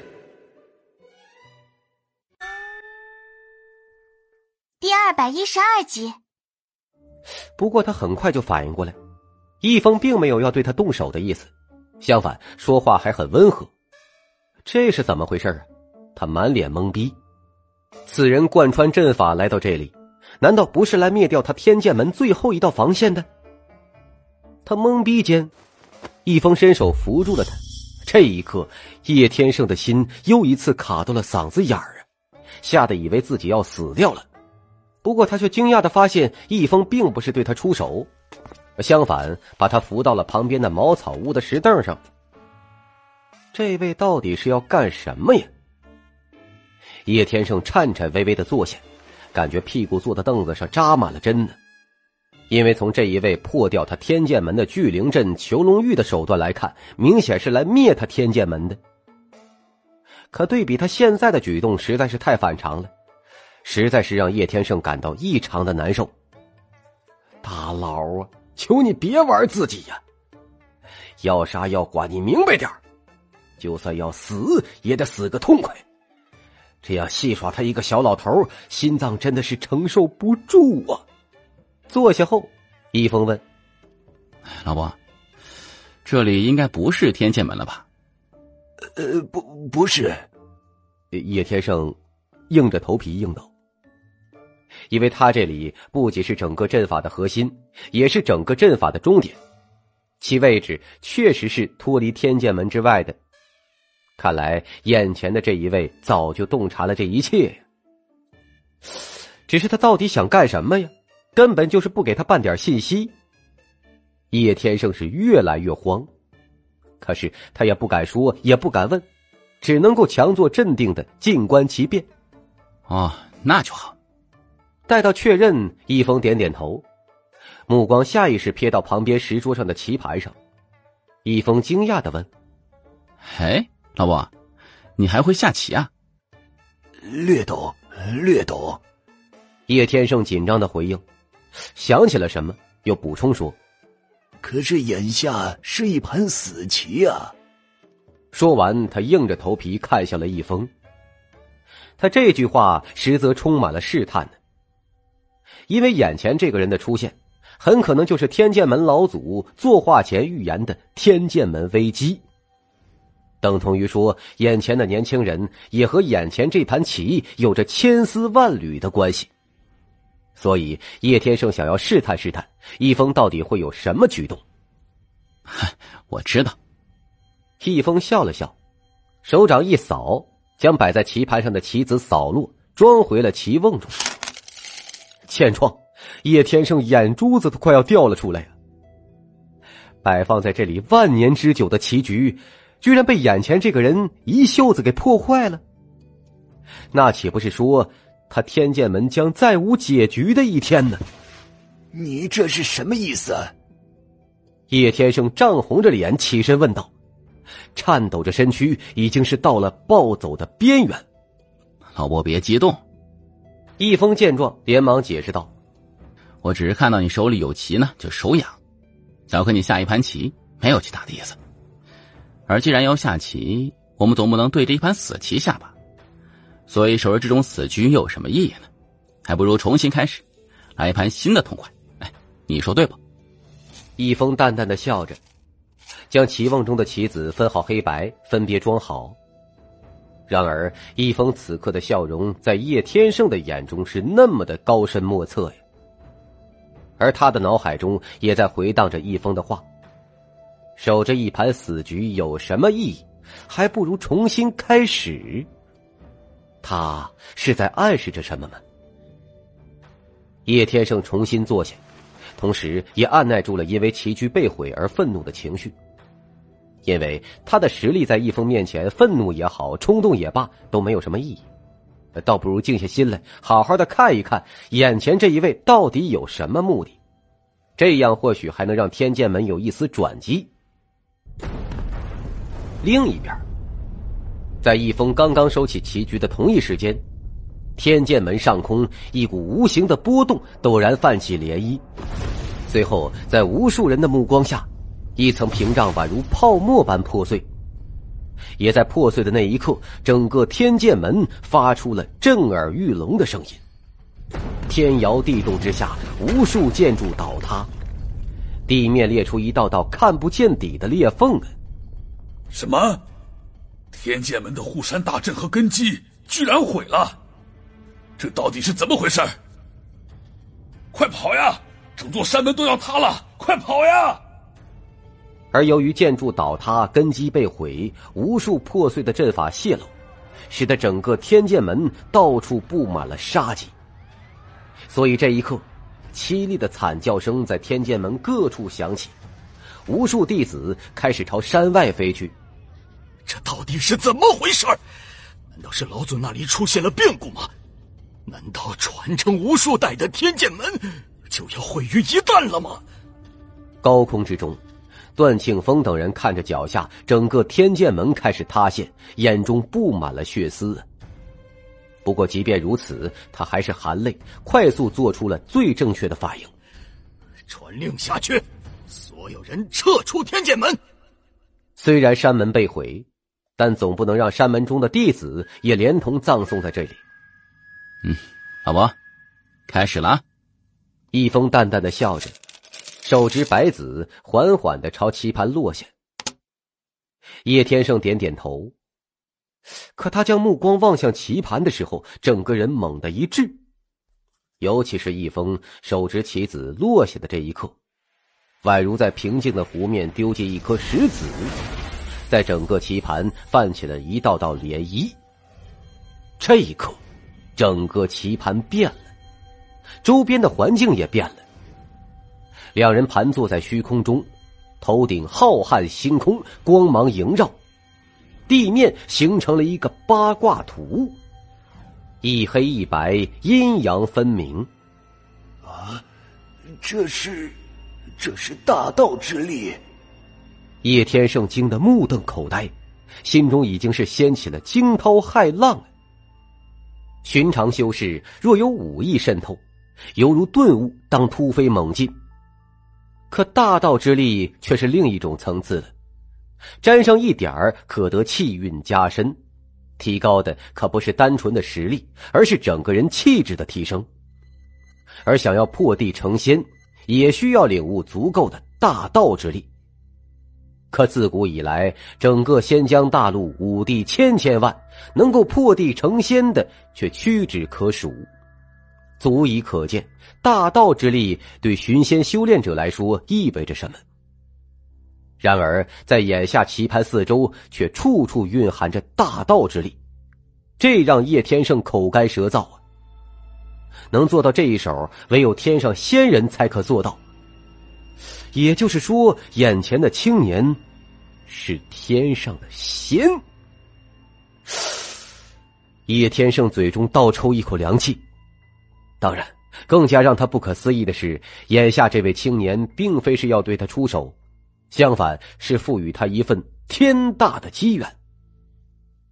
这到底是怎么回事？一边破了他天剑门的根基，一边又给他大机缘。叶天胜是百思不得其解。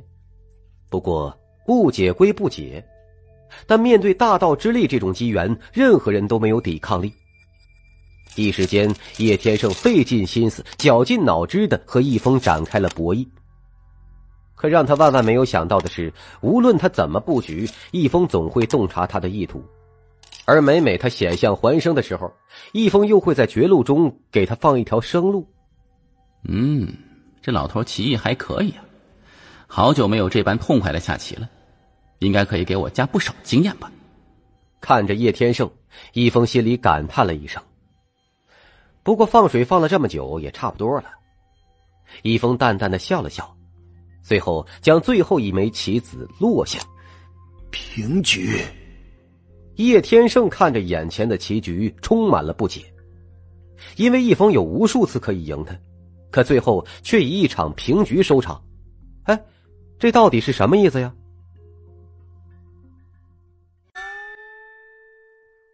第二百一十三集。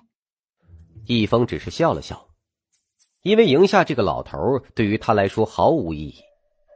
再说，毕竟是个老人家，给点面子还是有必要的。可看着易峰这神秘莫测的笑，叶天胜是更加不解呀。不过，在这一场博弈当中，他感悟良多，甚至不是武帝的他，还借此真正领悟到了一丝大道之力。这机缘。简直逆天呢！他未来修炼的生涯将会变得一帆风顺，没有半点瓶颈。好了，老婆，我该离开了。易峰起身朝叶天胜笑了笑。什么？离开？叶天胜是真的懵逼了，一边毁掉了他天剑门的根基，一边又给了他一场大机缘。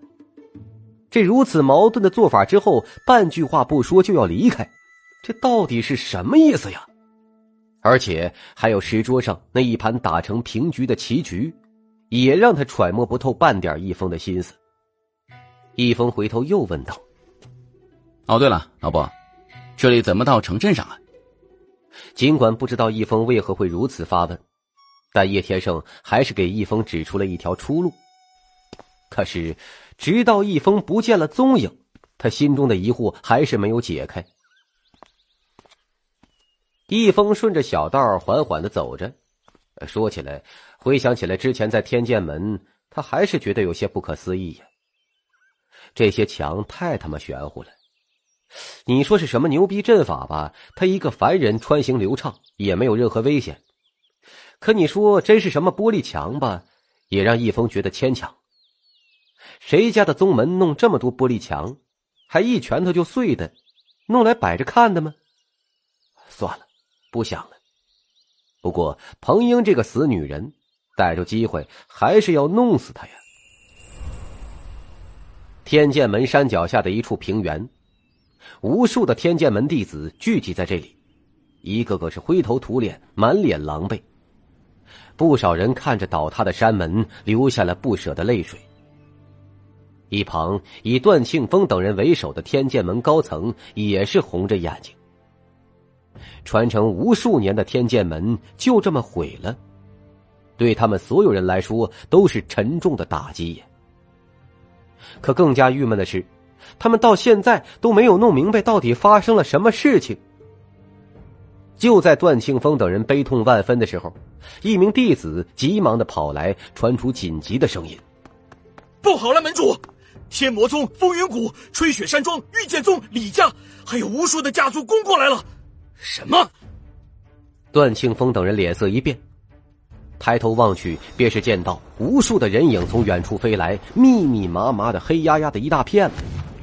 而为首的正是御剑宗宗主杨天宇、风云谷谷主云浩天、李家家主李淑华、吹雪山庄庄主第五天明、魔音宗宗主雪沁竹。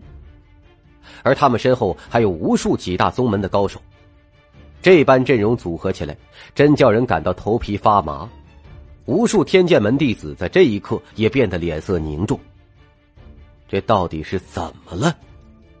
他天剑门到底是做了什么天怒人怨的事情呢？先是山门被毁，如今又被南沙的其他顶尖势力包围。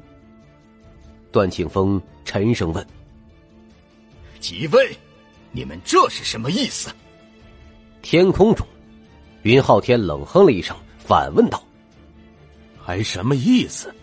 哼，你们天剑门做出了怎样大逆不道的事情？你们自己心里不清楚吗？”段庆峰含着脸说：“什么大逆不道的事情？你们别血口喷人！哼，莫不是乘人之危，想要吞下我天剑门不成？当真我天剑门好欺负吗？”随着段庆峰的声音一落，整个平原上，天剑门数十万弟子齐齐拔剑，剑鸣声喧天，使得天空都震耳欲聋呢。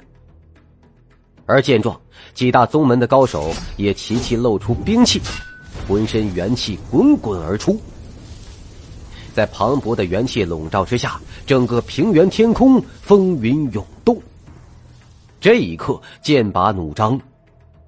薛庆竹冷笑一声，冰冷说：“哼，你们天剑门真是不知好歹呀，死到临头还不悔改。”一旁杨天宇也走出来说：“不错，你天剑山山门都被毁了，现在还狡辩有用吗？”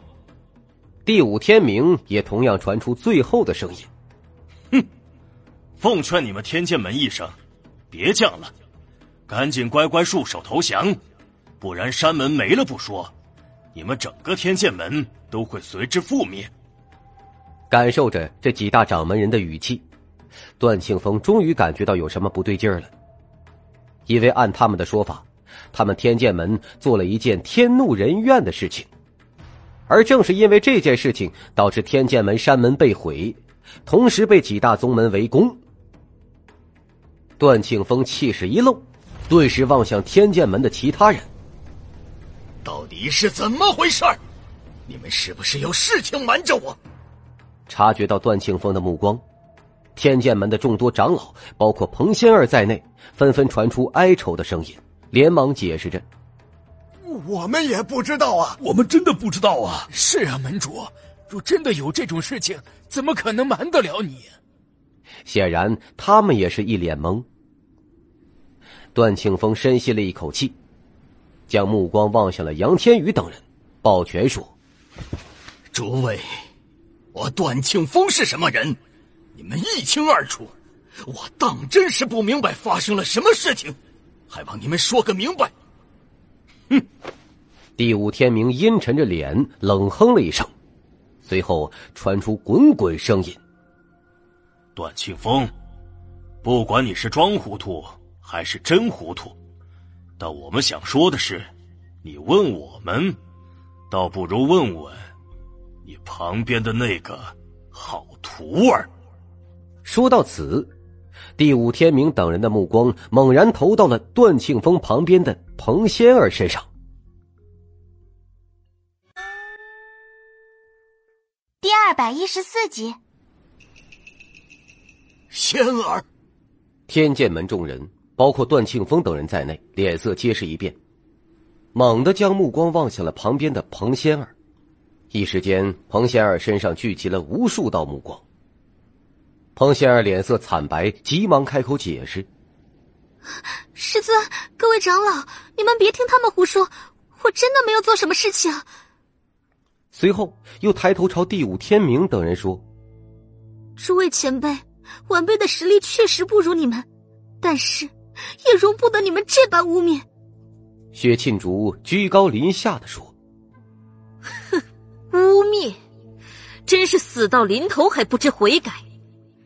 不开眼的你，居然把先生抓到了天剑门，真以为你不承认就能够含糊过去吗？”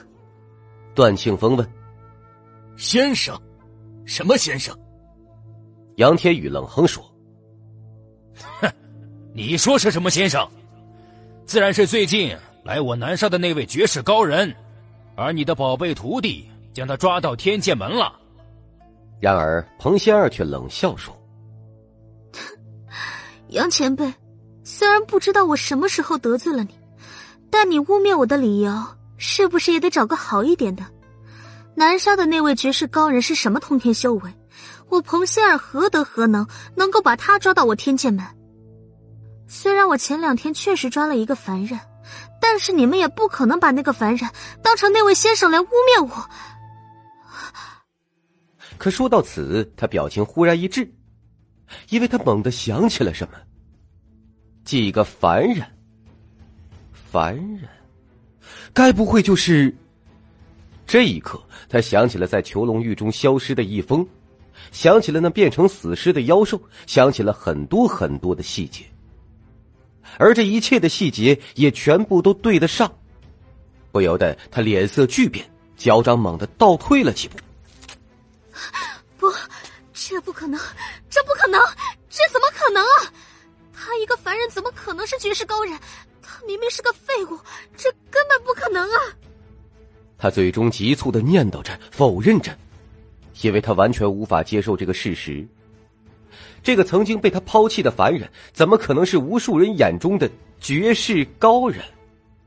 他急促的声音朝杨天宇等人嘶吼道：“一定是你们弄错了，这根本不可能！”哼，弄错？第五天明冷笑一声，武圣威压轰然而出，沉声说：“我便问问你，你是否私下去梅仙城抓了一个人？”实话告诉你，你在梅仙城抓去的那位凡人正是先生。先生感悟凡心，感悟平凡生活，而你倒好，却将先生抓起来了，还将他带到了你们天剑门。我问你，你该当何罪？梅仙城这个字眼一入耳，就像一道炸雷轰击在彭仙儿的脑海中。这个信息打破了彭仙儿心里的最后一丝防线。因为当时他的确是在梅仙城抓的一封。不不不，这不会的，不可能的。可即便所有信息都对上了，彭仙儿还是不愿意承认这个事实，惨白着脸色，脚掌一边仓皇后退的同时，一边拼命否认着这个事实。因为他无论如何也想不明白，这个与他从小长大，就连吃饭都成问题的凡人，又怎么可能是那绝世高人？这种事情实在是太荒谬了。而这时，段庆峰显然也明白了过来，那位游历在南沙，让南沙无数高手都极力讨好的绝世高手，被彭仙儿给抓了。虽然他也觉得难以置信，可此刻他得到了一个重大消息，那就是两日前彭仙儿打开过囚笼狱，将一个凡人关了进去。而时间就在天剑门山门动荡前，所以即便他不敢相信这件事，但前后一对照，稍微联想便能想明白。那位被彭仙儿关进去的凡人，正是那位绝世高人。难怪呀，难怪他天剑门好端端的，怎么连山门根基都被毁了？原来是他这个徒儿做出来的好事情。是好大的胆子，害我天剑门好惨呐！一想到此，段庆峰指着彭仙儿，气得直吐血呀。很明显，正是因为他这个徒弟的原因，从而导致了整个天剑门山门被毁，还被几大宗门包围，兴师问罪。见状，彭仙儿流着眼泪，连忙冲向段庆峰，焦急的解释说。别信他们！我抓的真的只是一个凡人，而且这个凡人真的只是个废物。你信我，真的只是个废物。混账！你居然还敢狡辩！给我跪下！极度悲痛的段庆峰手掌一动，无数道手印落到了彭仙儿的身上，当即就封掉了他的修为，使他重重的跪到了地上。而此刻，天剑门的弟子也顿时红了眼呢。天剑门对于他们来说就是他们的家，可就在刚才，他们生活了无数年的家却变成了一片废墟。在之前，他们根本不知道什么原因，可现在，他们才终于明白，是彭仙儿害得他们天剑门数十万弟子失去了山门。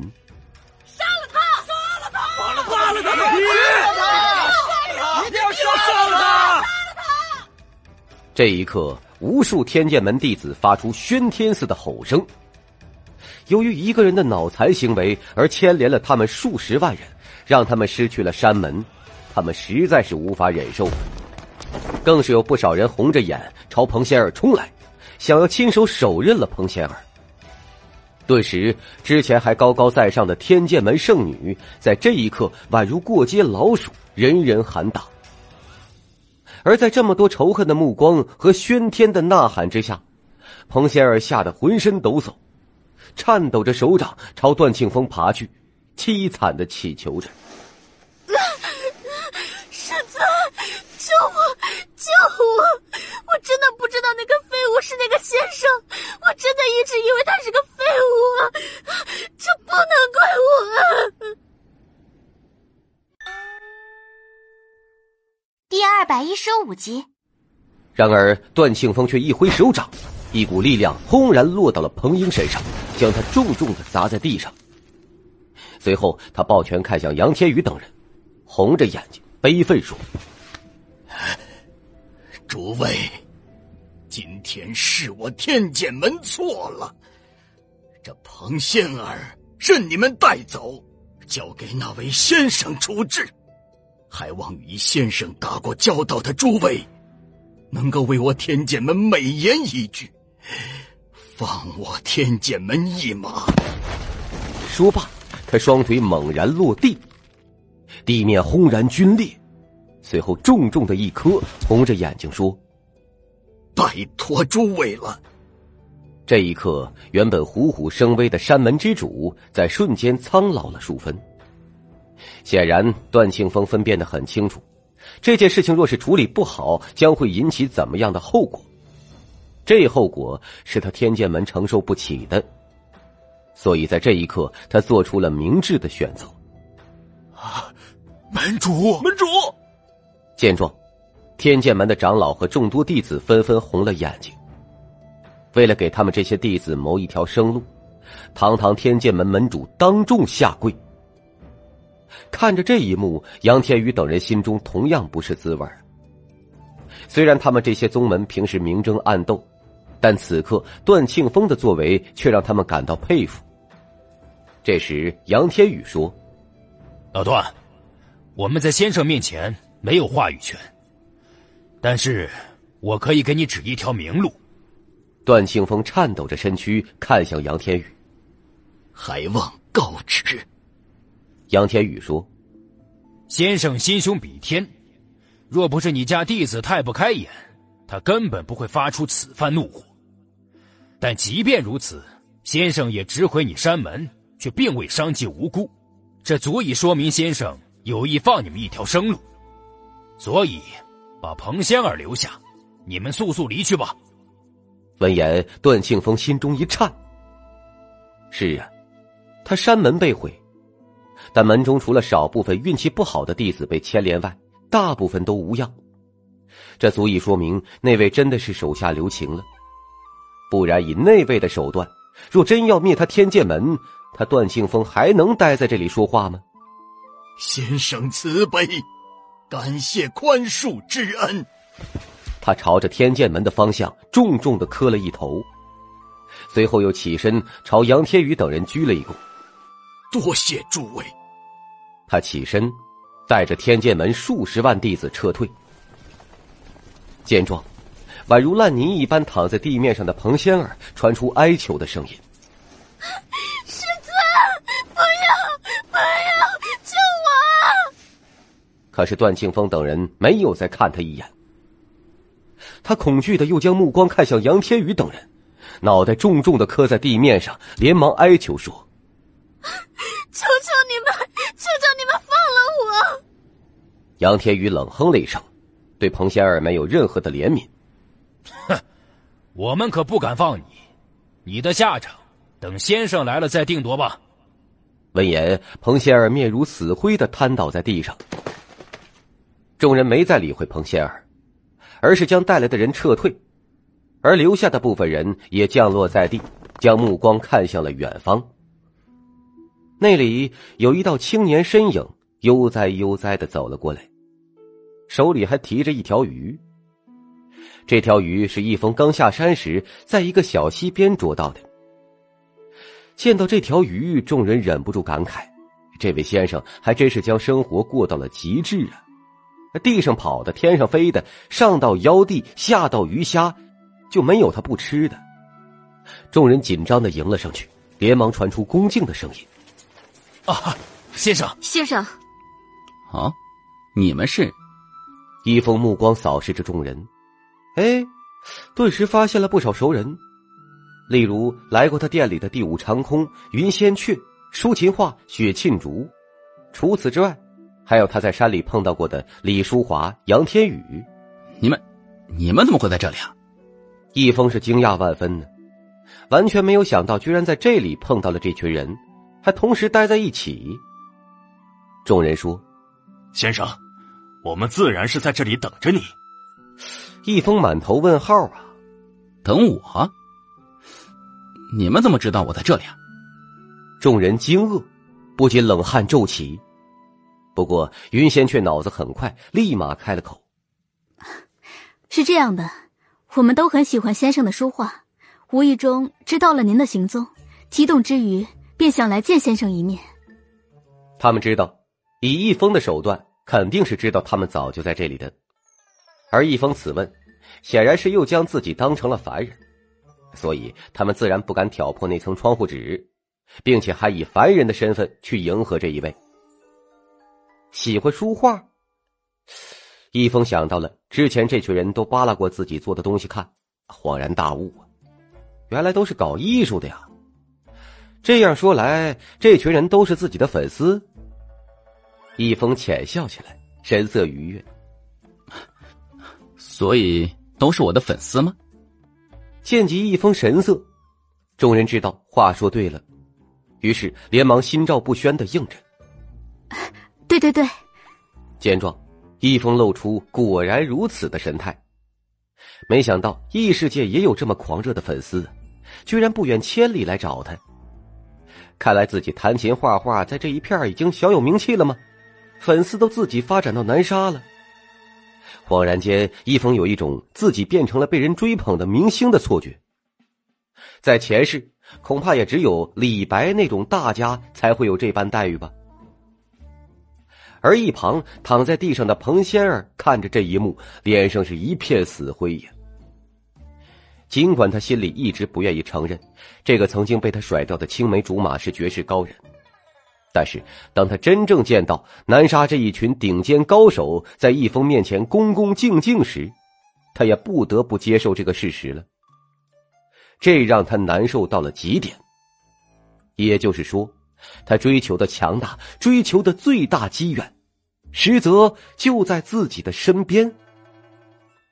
尤其是想当初，他为了进青山门和于武杰在一起而甩掉易峰。岂不是说他丢掉了一颗仙药，却捡起了一颗杂草？一想到此，他朝易峰爬了过去，哀求着：“易峰，易峰，我错了，求求你，我错了。”正和众人聊天的易峰看到彭英爬来的这副凄惨模样，惊呆了。第二百一十六集。易峰看向杨天宇等人，他怎么会在这里啊？还这么惨？是你们？众人连忙说：“啊，先生不必客气，这女人屡次得罪先生，我们自然是要拿下她，任由先生处置。”闻言，易峰心中一惊，感动啊，真他娘的感动啊！这些粉丝未免也太到位了吧？居然连彭英都给他搞定了。而且这些人还有点本事啊！不仅知道他和彭英之间的恩怨，还把彭英这个修炼者给搞定了。但回头想想也是，能够搞艺术了，家里情况肯定不差。尤其他们又是南沙的本地人，有点势力也是人之常情。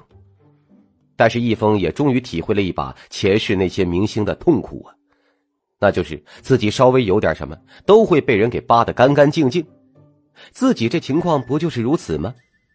叶枫，我求求你，求求你给我一个机会！我知道错了，求求你，让我重新跟你在一起好不好？我服侍你，我好好服侍你。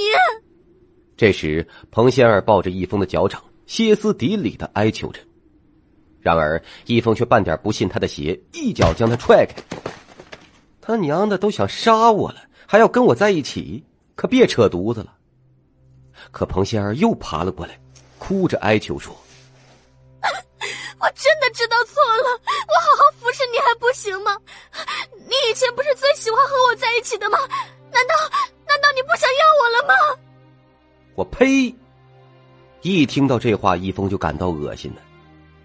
本来人各有志，你有你的选择，易峰能够理解，大不了各走各路就是了。可这个死女人一路找了自己多少麻烦呢？以前还不觉得，现在看来就是个绿茶，心机还贼深。这种女人留不得。一狠心，一峰一刀子捅在她的胸口。你，彭仙儿瞪着眼睛看着一峰，带着强烈的不甘倒在了地上。而干掉了彭仙儿，一峰心中多少也有些感慨。本是青梅竹马，走到这番地步，也真是世事难料啊！回头看向众人，易峰拱手说：“诸位多谢了，以后有需要帮忙的，尽管开口。”先生客气了，为您效劳都是应该的。众人心中激动至极，抓到一个小小的彭仙儿，能够得到一封这么一句话，实在是太值得了。在一行人的簇拥之下，一峰这才往城镇赶去。天剑山此刻已经成为了一片废墟。段庆峰正跪在叶天胜的面前，汇报着一切的来龙去脉。我懂了，我终于懂了。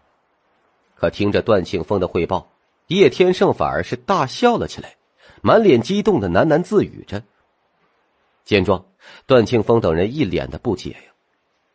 明明天剑门山门被毁，却还笑得如此高兴，到底是发生什么了？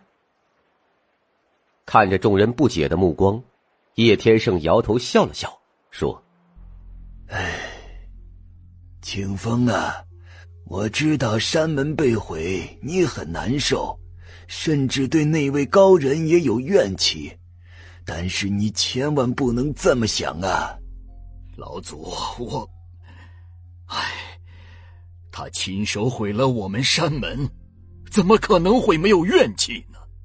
段庆峰脸色憋得难受，碍于那位高人的实力，他表面虽然不敢说什么，甚至直接将彭仙儿交了出去，但心里要说没有怨恨是根本不可能的。你呀，真是愚昧。叶天胜摇着脑袋教训说：“我们非但不能对那位高人有什么怨气，相反，他还是我们天剑门的恩人呐！恩人。”这一下，段庆峰是更加懵逼了，于是连忙问：“老祖，到底是怎么回事啊？”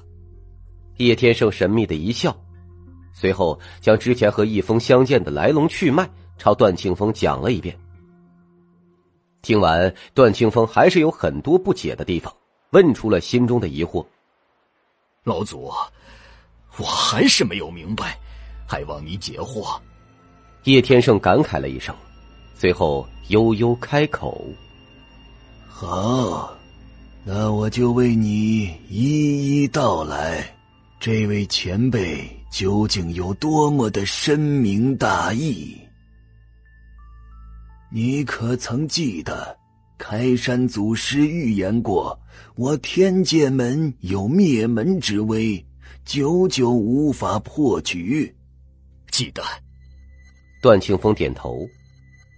叶天胜接着说：“那你觉得现在我们天剑门这个灭门危机破解了没有？”段庆峰眼睛一瞪，惊讶说。您的意思是？不错，我天剑门的死局已破。叶天胜捋了捋胡子，笑着：“而这也是那位先生最为深明大义的地方。其作风当称当世圣人，心胸也比天高。因为彭仙儿那么不开眼的情况下，他并没有赶尽杀绝，仅仅是毁掉我天剑门山门作为轻微的教训。甚至他还利用这教训解了我天剑门的死局，另外还给了我一番机缘。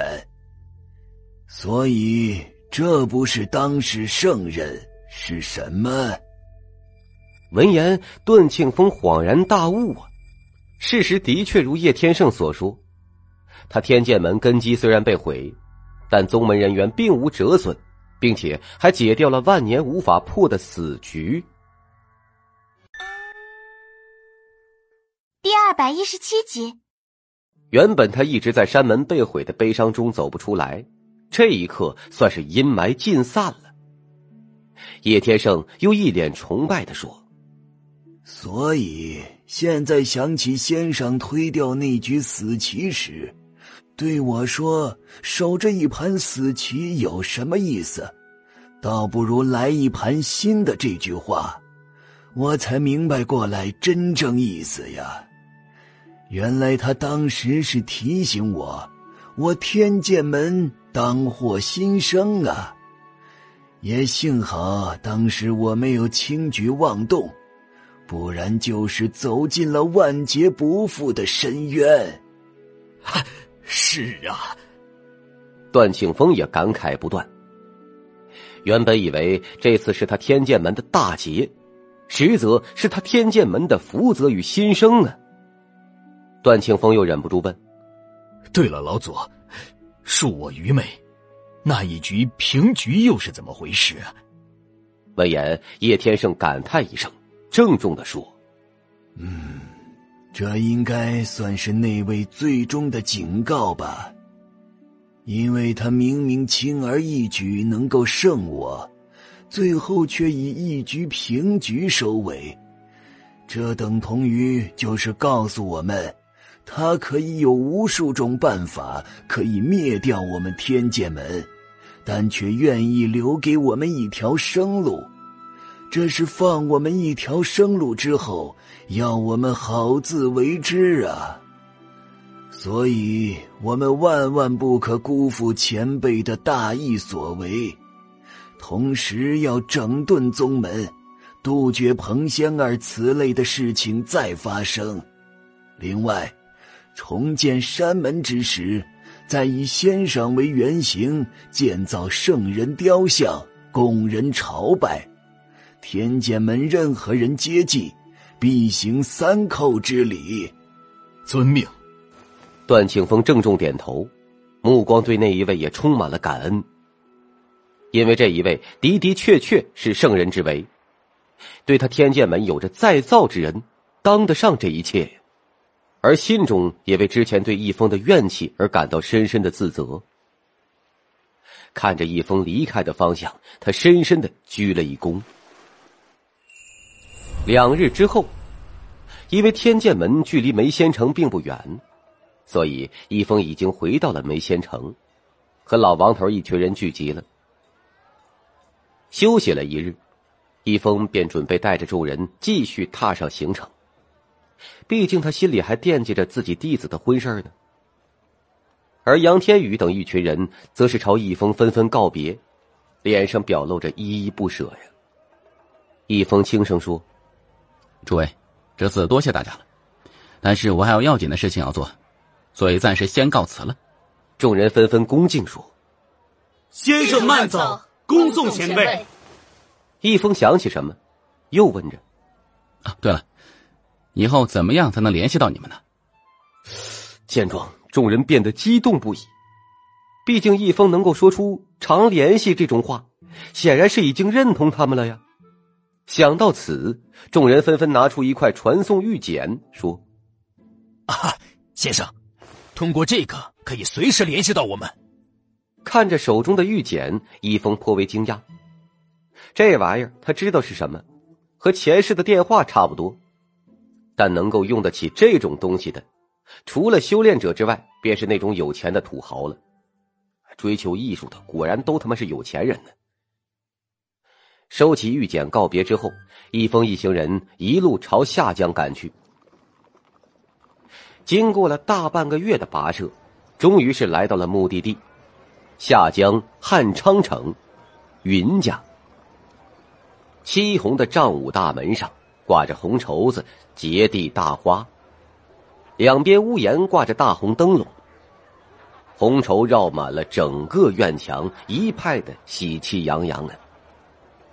易峰拢着袖子站在大门外，想着刚才道听途说的消息，一脸忧愁。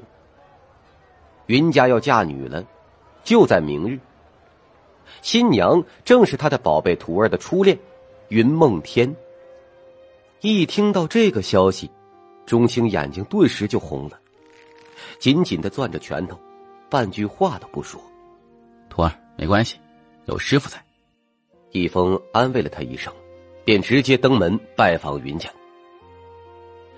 经过一番周折之后，易峰终于是带着钟青来到了云家客厅。上首坐着一名中年男子，正在喝着茶，正是云家的家主云生，同时也是云梦天的父亲。忽然，他放下茶杯，淡淡的看了易峰和钟青一眼，问：“哦，你们是从平江城来的？不错。”易峰笑着点头。云生直接问：“我云家似乎和阁下并无瓜葛，这么远跑来，还请阁下说明来意吧。”易峰摸了摸鼻子，稍微一番寒暄之后，便也直接说明了他的来意。说罢。师徒两人紧盯着云生，尤其是钟青啊，充满了紧张。可云生却大笑了起来，看向易峰问：“阁下莫非是在说笑？难道你看不到小女明日就要嫁人了吗？”易峰解释说：“我知道，所以这也正是我如此迫切的原因。但是我弟子和贵女确实是互相喜欢的。”还望云家主能够遵从后辈的意愿。好一句后辈的意愿！云生嘲讽一笑，将目光下意识的看向旁边的钟青，问：“我问你，你说你弟子要娶我女儿，你能够拿出什么东西？或者说，你弟子有什么资格？”易峰说：“实不相瞒，这次来我也是准备妥当了的。”我这里有五十万金币，算是我给云家主的彩礼。云生笑着：“五十万金币，你真把我云家当什么了？五十万金币就想娶我女儿，你未免也太异想天开了一些。”易峰皱起了眉头啊，难道还不够吗？这真的算他的全部家当了。云生挥了挥手，起身说：“算了。”我也不为难你们了，赶紧走吧。也不怕告诉你，我女儿要嫁的人，乃是叶家少公子叶无尘。或许叶无尘本身并无太多出色的地方，但他叶家可是我汉昌城第一家族。叶无尘的大哥叶天赐，更是吹雪山庄外门的小队长。所以，即便我答应你，叶家也不可能答应的。所以。你们还是死了这条心吧，免得惹祸上身。说罢，他朝旁边两名属下使了个眼色：“走走走。”两名属下见状，连忙将一峰师徒两人朝门外推了出去。第二百一十八集，云生看着离开的师徒两人，目光复杂，微微一叹，随后转身走到了后院。见状，几名丫鬟纷纷行礼。家主，云生问：“小姐呢？”丫鬟应声说：“小姐就在里面。”云生点点头，随后推门走进了房间。房间中正坐着一名十三四岁的少女，尽管她年龄不大，但是发育良好，俏脸长得精精致致，再过几年，恐怕又是一个倾国倾城的大美人。不过她却红着眼眶，半句话都不说。看着自己的女儿，云生吐出一口气，随后说道：“哎，梦天，让我意外的是，你曾跟我说过的那个小男孩和他师傅，真的来了。”闻言，云梦天身躯一颤，猛然看向云生，连忙问：“他怎么会真的来了？我当时不是特意让姑姑想办法阻拦过他吗？怎会真的来了？”说到此，云梦天俏脸变得煞白，慌张的说：“怎么办呀，父亲？他会不会卷入进来呀？”一时间，云梦天是越说越着急，急得眼泪都快掉下来了。我当时真的不应该招惹他的，明明自己已经深陷泥潭，知道自己无法和他在一起，却还要招惹他，我我真的不应该的。见状，云生心中不是滋味，连忙解释说：“哎，都怪父亲不好，无法保护你。不过你放心，他们已经被我赶出门外了。那就好，那就好。”闻言，云梦天这才没有那么激动。云生感慨了一声，说：“不过，我看得出来，那师徒两人是认真的，以凡人之躯，从平江城跨越万里赶来，而且还拿出五十万金币的彩礼，这份心，唉，可终究是有缘无分了。”说着，他低下了脑袋，充满了愧疚。云梦天失魂落魄的说：“父亲，没事的，我已经认命了。不过，他真的已经走了吗？我真的害怕他会做出什么傻事儿。”放心吧，我已经跟他们表明了轻重，也道出了叶家的厉害，他们应该不会做出这种送死的事情的。云梦天松了一口气，那就好。然而，云家不远处的客栈内，一峰却传出愤怒的声音：“抢，抢，必须抢！”一峰的声音格外坚定。虽说他是个凡人，但不代表他没有一颗热血的心。毕竟人这一生为的就是个啥呀？为的就是个舒坦。上辈子因为生活不得不低头，他已经受够了。他可不想这辈子也这样。至于后果，管他大爷的！先把人抢回来再说。当然，虽说要抢亲，但易峰也不是完全一腔热血，肯定是要做到万无一失的。第一时间，易峰派出吴永红出去打听那个什么叶家的消息。啊，不一会儿，吴永红就将消息收集了回来。看来这个叶家确实还可以。看着叶家的信息，易峰皱起了眉头，因为这个家族。除了那个在什么宗门当小队长的叶天赐之外，家里面武师、大武师这种高手也有不少，而最厉害的已经是到了武灵了。尽管易峰对于修炼一窍不通，但是听起来也应该很厉害了吧？这种情况下，恐怕真不是他们几个凡人能够搞定的呀。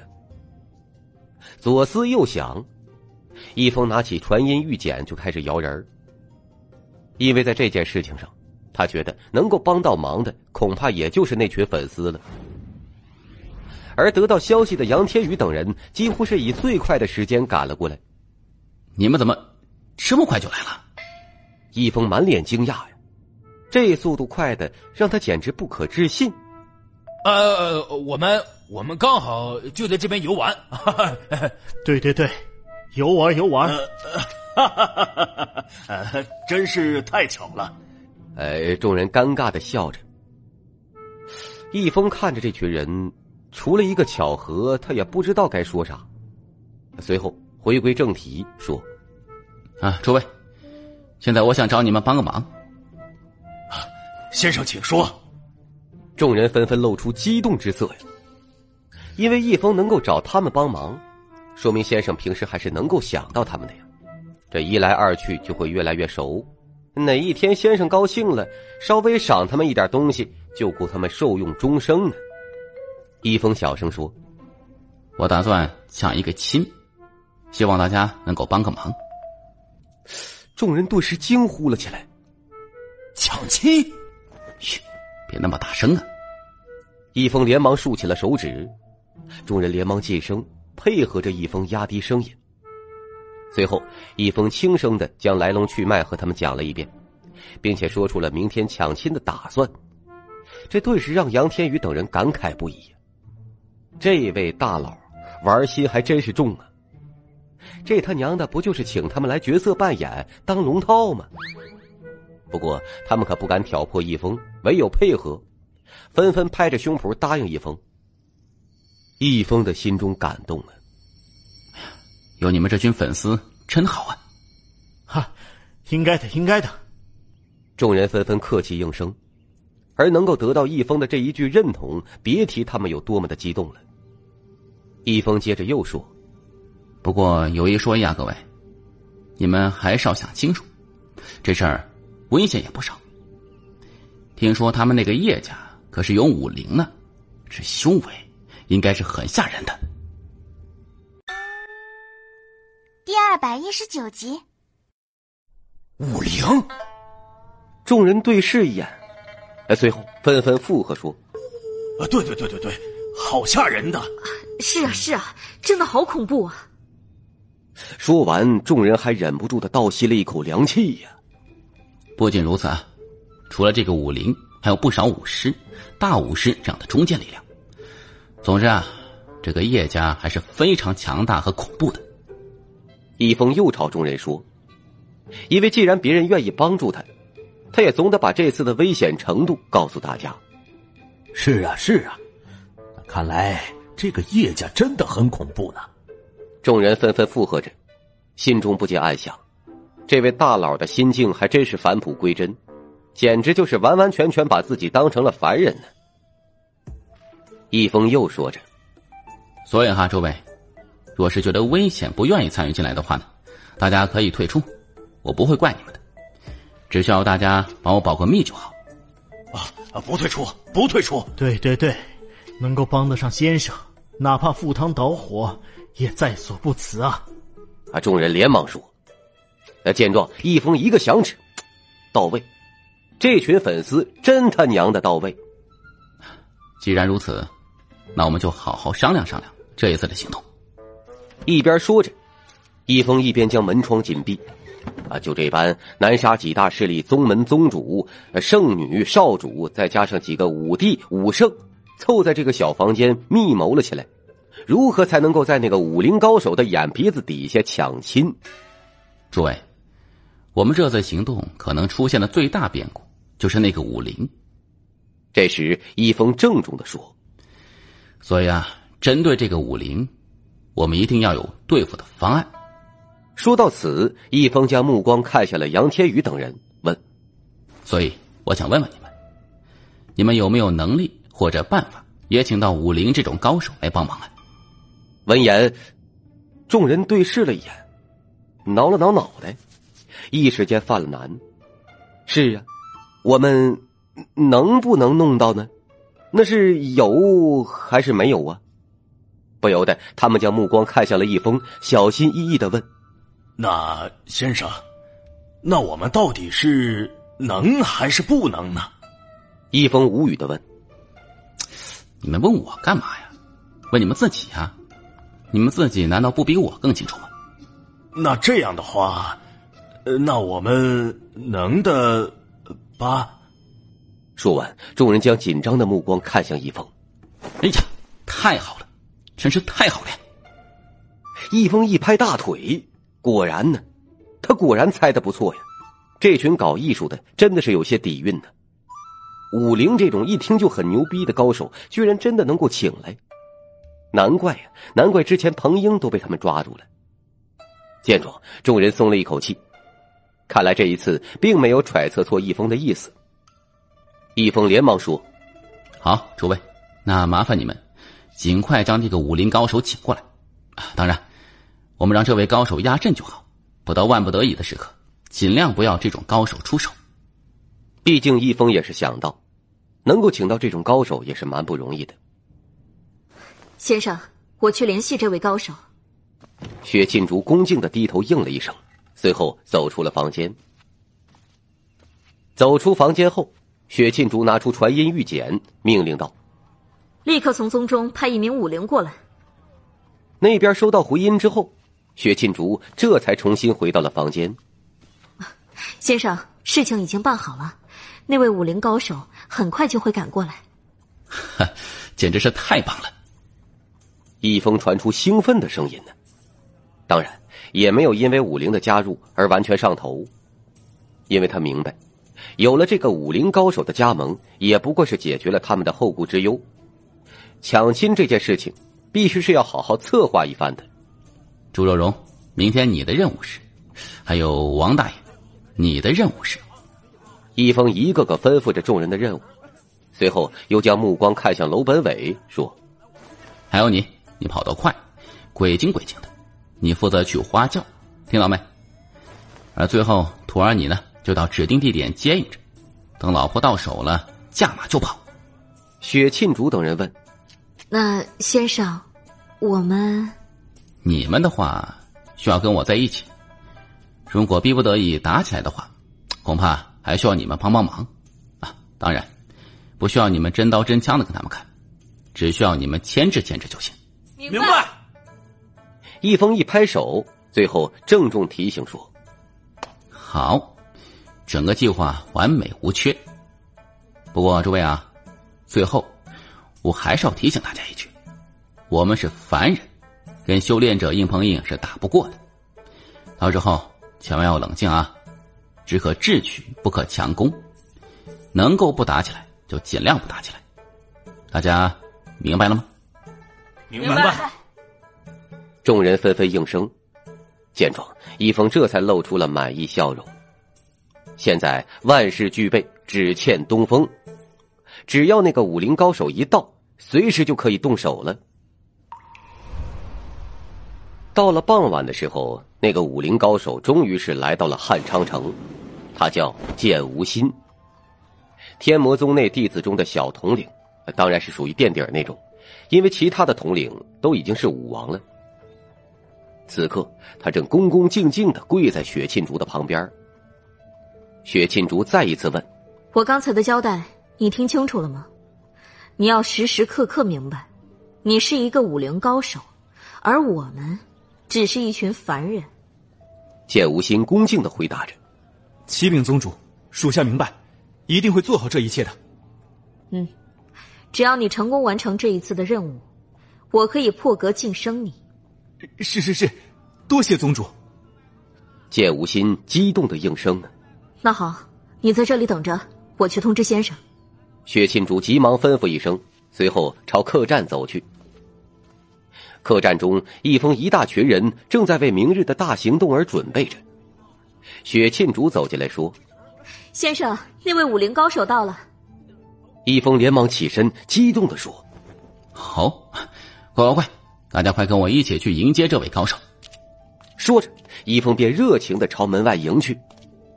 而朱肉荣、王大爷、杨天宇、李淑华、第五天明、第五长空等等一干人也随着一峰朝外面赶去。门外，剑无心手抱长剑。身上萦绕着淡淡的武灵气息，心中想着雪沁竹对他的承诺而感到窃喜，因为只是配合演戏而已嘛，这任务实在是轻松的不得了啊！然而下一刻，他却眼珠子一瞪，差点一头栽在地上。这这这这这，这些是吹雪山庄庄主第五天明和少庄主第五长空，风云谷谷主云浩天和风云谷圣女。云仙雀，御剑宗宗主杨天宇，李家家主李淑华，这他妈都是什么恐怖如斯的大佬啊！居然全部都聚集到了一起，一下子，刚才信誓旦旦的他瞬间淡定不起来了，身子骨不由自主的打着颤抖，因为这些人代表着南沙的巅峰啊！而这时，易峰走来，热情的问：“哈。”你就是那位武林高手吧？而紧接着看到易峰，见无心脑子一下子炸了。这位，这位不是那个绝世高人吗？还有旁边那个老头和大汉，这不是那两个武帝吗？还有那个黑袍，这不是灭掉妖帝那位存在吗？这他娘，这他娘是啥阵容啊！妈妈咪，我要回家。第二百二十集。可正在他懵逼之间，易峰忽然身躯一弓，抱拳说：“见过高手，欢迎高手到来。”而杨天宇、云浩天、王大爷等人也跟着易峰纷纷躬身，朝见无心传出恭敬的声音：“啊，见过高手，欢迎高手到来，高手到来，高手到来。”我干！看着这一大群超级大佬恭敬对他的模样，见无心一下子都快要哭了。他一个武林何德何能啊！天哪，不要这样玩自己好不好啊？这他妈啥任务啊？刚才雪沁竹急急忙忙的跟他说叫他演戏，可是您老人家也没告诉自己是在这群人面前演戏呀。他将求助的目光看向了雪沁竹。雪沁竹脸色一寒，连忙瞪了他一眼。见状，剑无心咽了一口口水，悄悄的藏起颤抖不断的双手，背负在身后，结结巴巴的说：“啊啊，不不不不不用客气。”哎呀，高手太客气了！快快快，快请进！易峰连忙将剑无心请了进去，随后在首座坐了下来。而看着簇拥在两旁的人，剑无心身板坐得笔直，藏在桌子下的双脚忍不住的发抖着，这喉咙里一下一下的咽着口水，额头也时不时的冒着冷汗。易峰又连忙吩咐着：“好快快给高人倒杯茶。”闻言，杨天宇连忙给剑无心倒了一杯茶，恭恭敬敬的推到了剑无心面前。剑无心看着眼前这茶。又咽了一口口水，这是挺口干舌燥的，可是，可是他也不敢喝呀。易峰说：“高人，感谢你百忙之中能够来帮助我们。事成之后，要什么报酬你尽管说，只要我能够做到的。当然，明天高人给我们压阵就好了，大概率不用亲自动手。”这话易峰说的也没错。毕竟对面那个武林高手总不可能亲自跑来接亲，啊，好，好，好，好说，好，好说。剑无心吞吞吐吐的应道，低着脑袋，尽量掩饰着自己的慌张。这是我们的计划。易峰又对着地图，将之前的计划跟剑无心说了一遍。剑无心瞬间懵了，哎，这么一群大佬聚在一起，密谋了这么久，就为了抢亲？而且抢的还是一个连他剑无心都看不上的小家族，大佬都是这么玩的吗？将计划过一遍之后，易峰这才朝众人挥挥手说：“高人恐怕要休息了，我们先退出去吧。”闻言，众人纷纷退了出去。见到易峰等人离去，剑无心一下子瘫在了地上，虚脱了。翌日。汉昌城前所未有的热闹，因为今日乃是汉昌城第一家族叶家和第二家族云家喜结连理的日子。尽管汉昌城在整个南沙来说都只是一个小城，但这件事对于整个汉昌城的人来说，绝对算得上是大事情了。云家张灯结彩，看似一片喜庆，可整个云家心中一片阴霾。叶无尘是什么人呢？云家都一清二楚。将云梦天嫁给他，根本就是往火坑里推。可碍于叶家的逼迫与威胁，云家是没有任何的办法。其实，单纯从家族实力和底蕴来说，云家比叶家差不了多少。可关键是叶无尘的哥哥叶天赐，在吹雪山庄当小队长。吹雪山庄对于云家他们这种家族来说，根本就是庞然大物。而有了这一层关系，叶家是汉昌城绝对的霸主。房间中，云梦天俏脸挂满了泪珠，充满了憔悴。看着云梦天这般模样，云生心中很不是滋味，涨红着脸说：“梦天，要不不嫁了？我去跟叶家说。云梦天连忙拦住他说：“不，父亲，我若是不嫁了，叶家肯定记恨在心，回来汉长城将没有我云家的容身之地。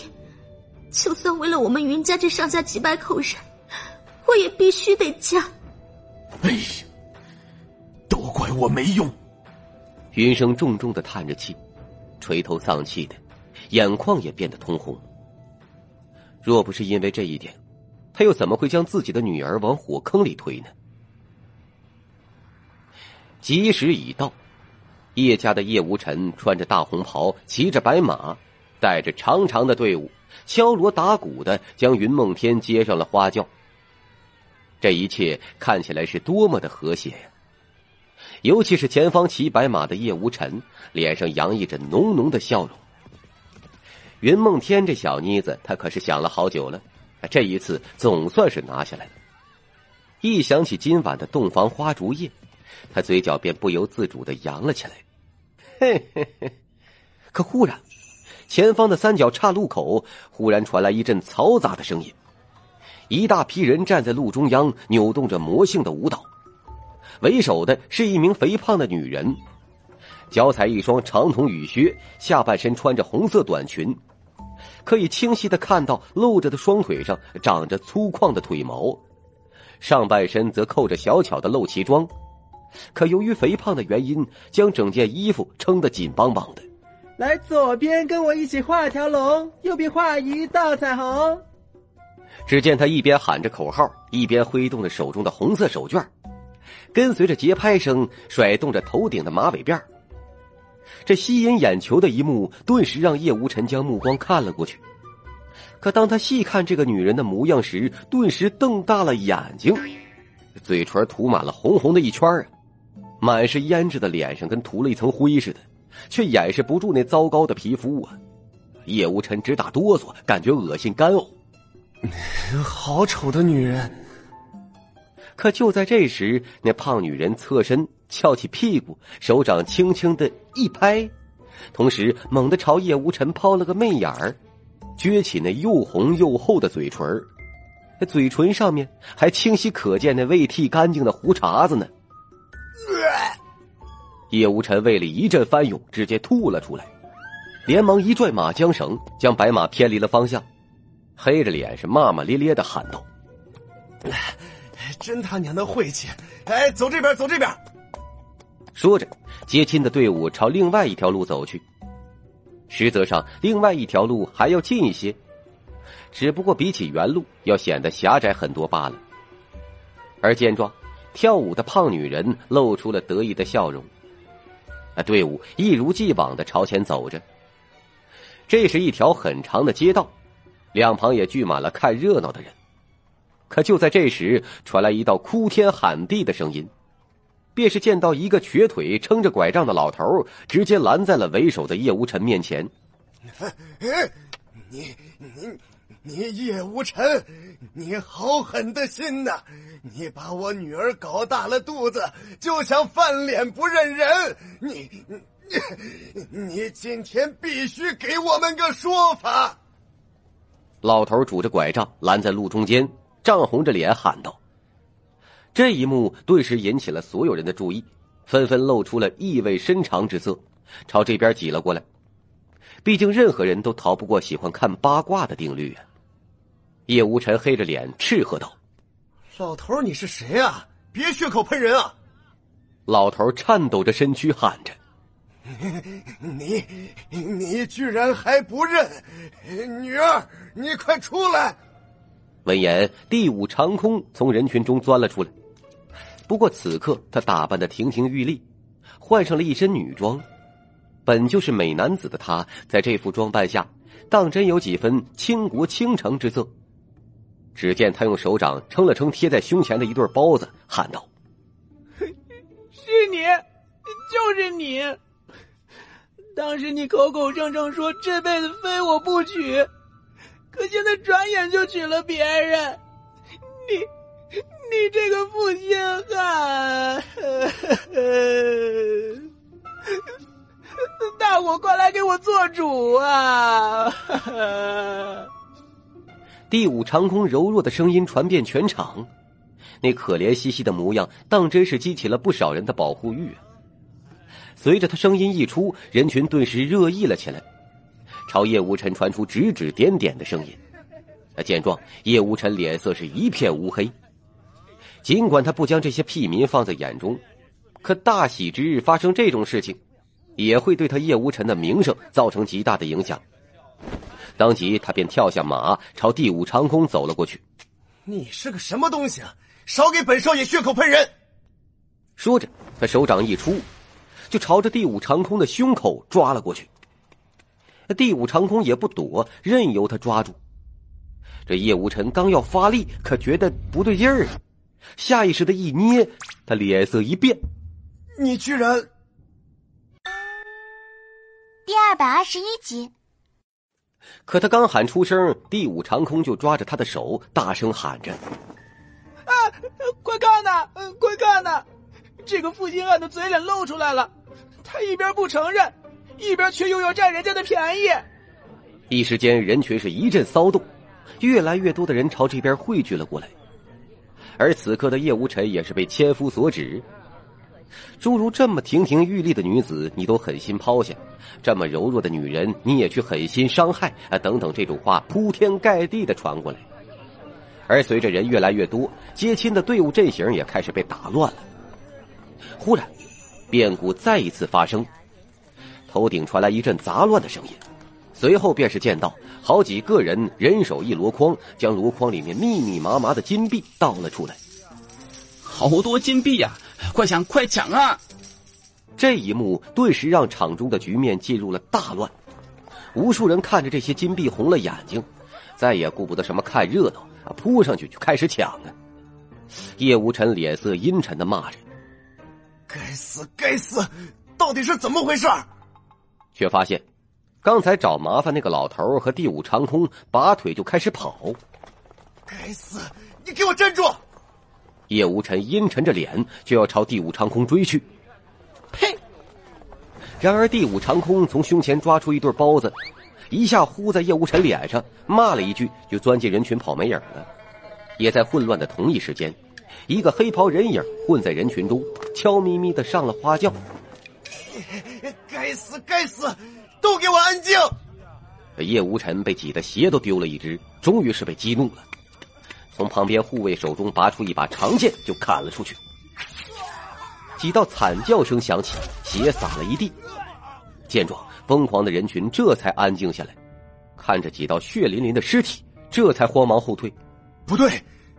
杀掉几人的叶无尘总算想起了不对劲儿，提着剑掠空而起，飞到了花轿前面，随后猛地掀开了帘子。不过，那盖着红盖头的美人儿依旧坐在那里。见状，叶无尘这才松了一口气，随后大声喝道：“派些人将刚才那些人抓回来，其他人继续回叶家。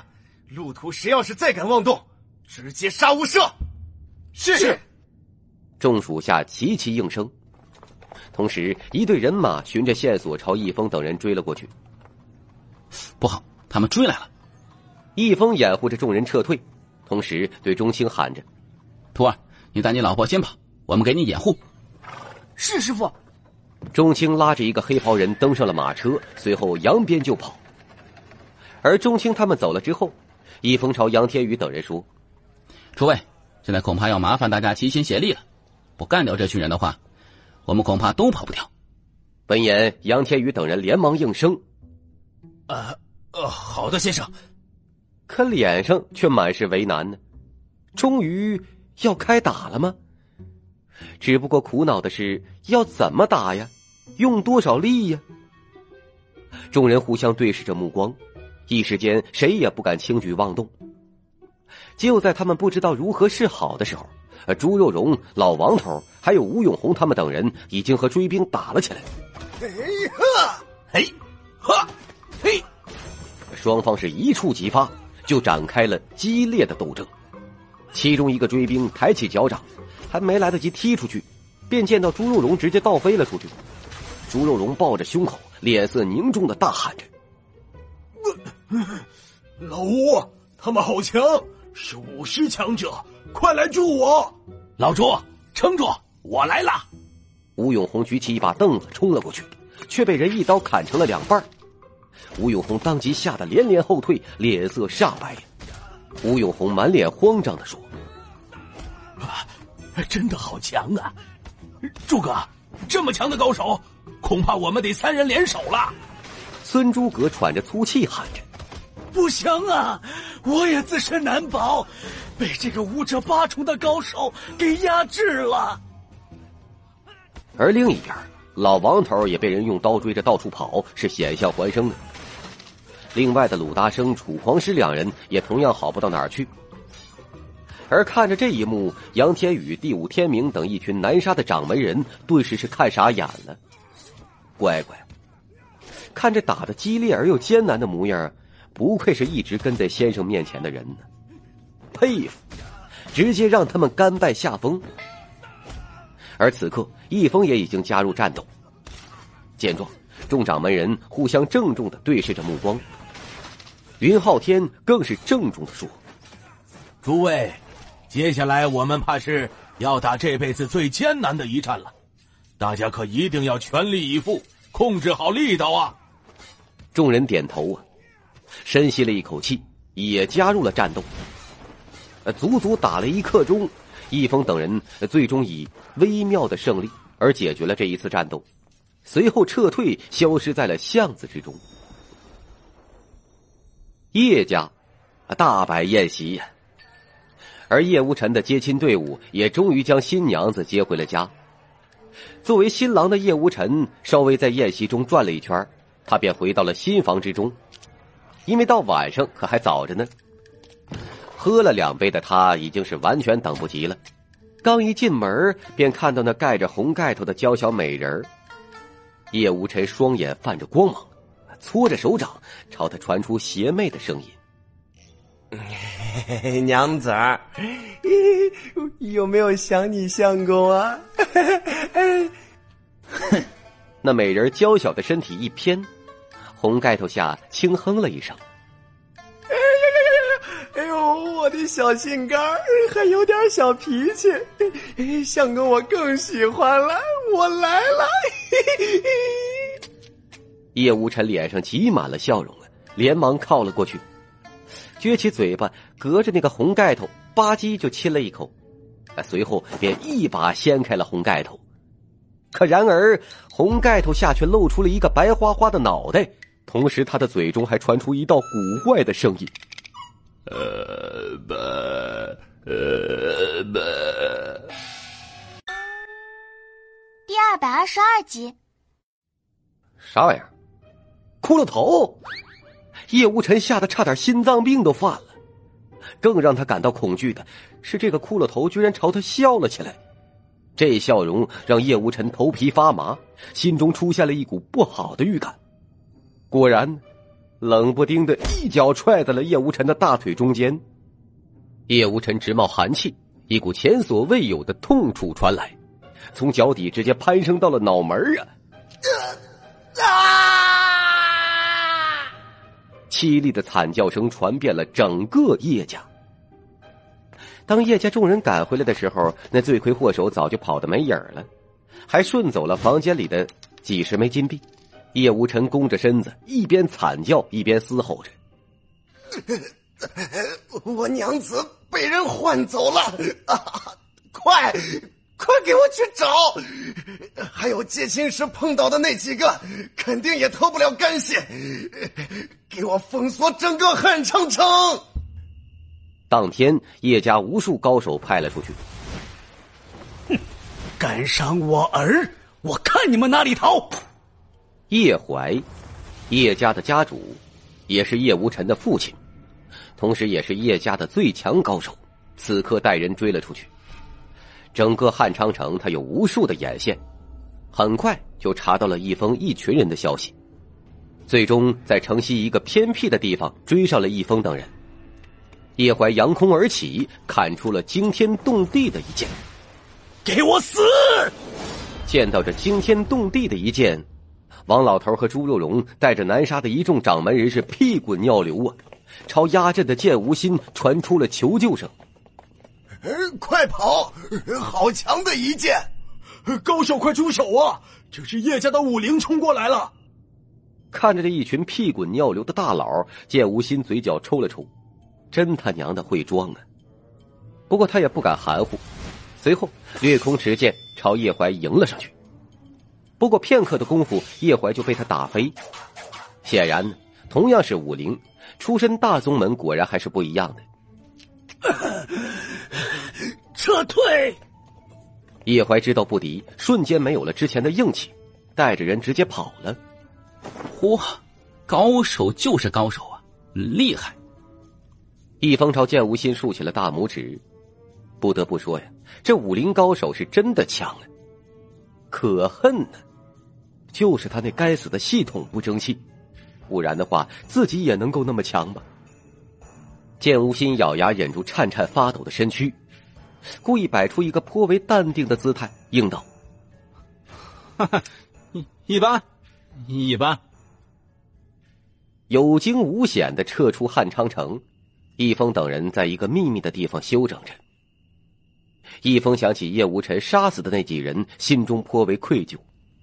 哎，今天这一趟虽然圆满成功，可是害死了好几个无辜的人呢。闻言，众人纷纷朝易峰投去敬佩之色。先生真是有大慈悲之心呢。那等蝼蚁的死亡，他们都不放在眼里，却没有想到先生是如此的耿耿于怀。就在这时，一道人影从暗中掠来。见状，云梦天流着泪花，连忙迎了过去。父亲，显然来者正是云生。本来一峰是想抢了人就跑的。可从云梦天那里得知了事情的来龙去脉之后，易峰才发现自己差点坑了这个亲家。易峰充满汗颜：“云家主，真是不好意思了，都没有和你商量就。”“哎，易兄弟，这说的是哪里话？哎，说起来，我还想谢谢你们。我早就想要策划孟天逃走，可是一直下不定主意，倒是你们直接帮我完成了呀。”云梦天流着泪水问：“父亲，可是，可是我走了，你们怎么办？”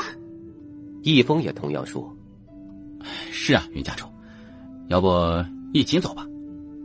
云生摇头，摸了摸云梦天的秀发，轻声说：“哎，我云家世世代代都待在汉昌城，又怎么走得了呢？梦儿啊！”是为父没用，没有足够的实力保护你。不过现在好了，把你交给这个小子，我还是很放心的。说着，他将目光看向了一旁的钟青。钟青神色坚定的说：“您放心，我一定会照顾好梦儿的。”好，我相信你。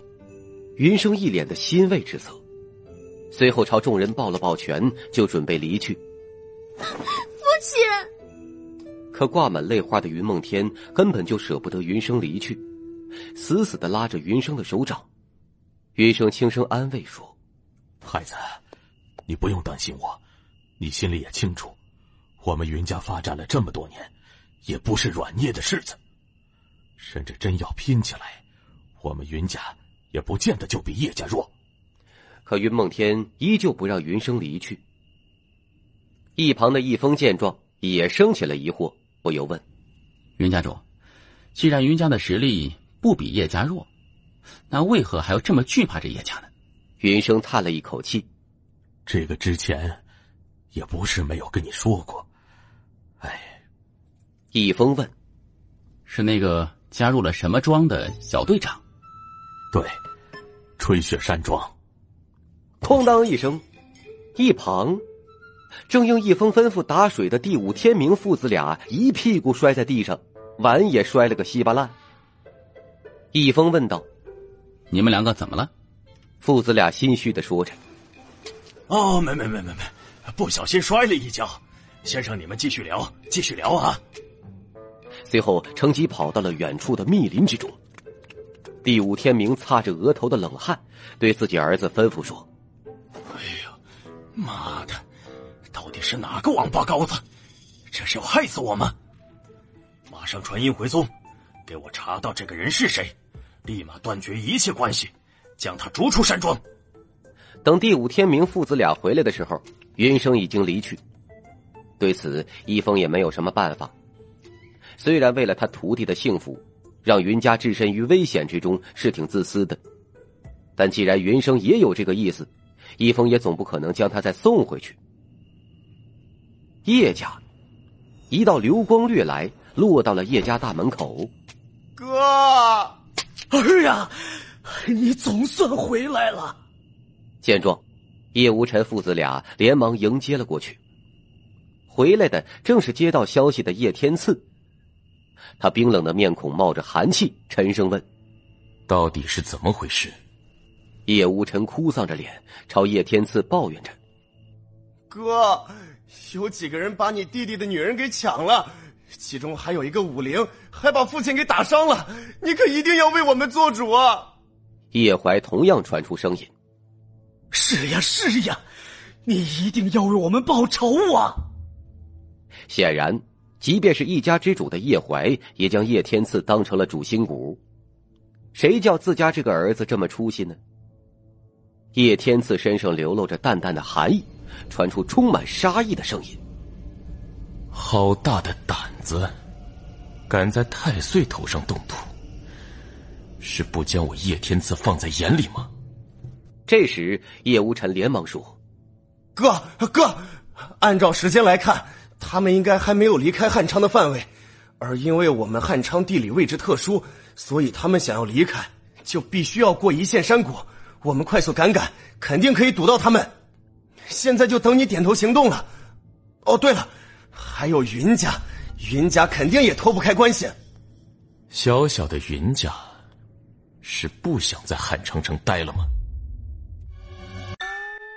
第二百二十三集，叶天赐传出阴厉的声音，吩咐说：“父亲，我这就带吴辰去追击他们。你这边将云家先包围起来，待我将那群人拿回来之后。”再一起灭了云家，好，好，好！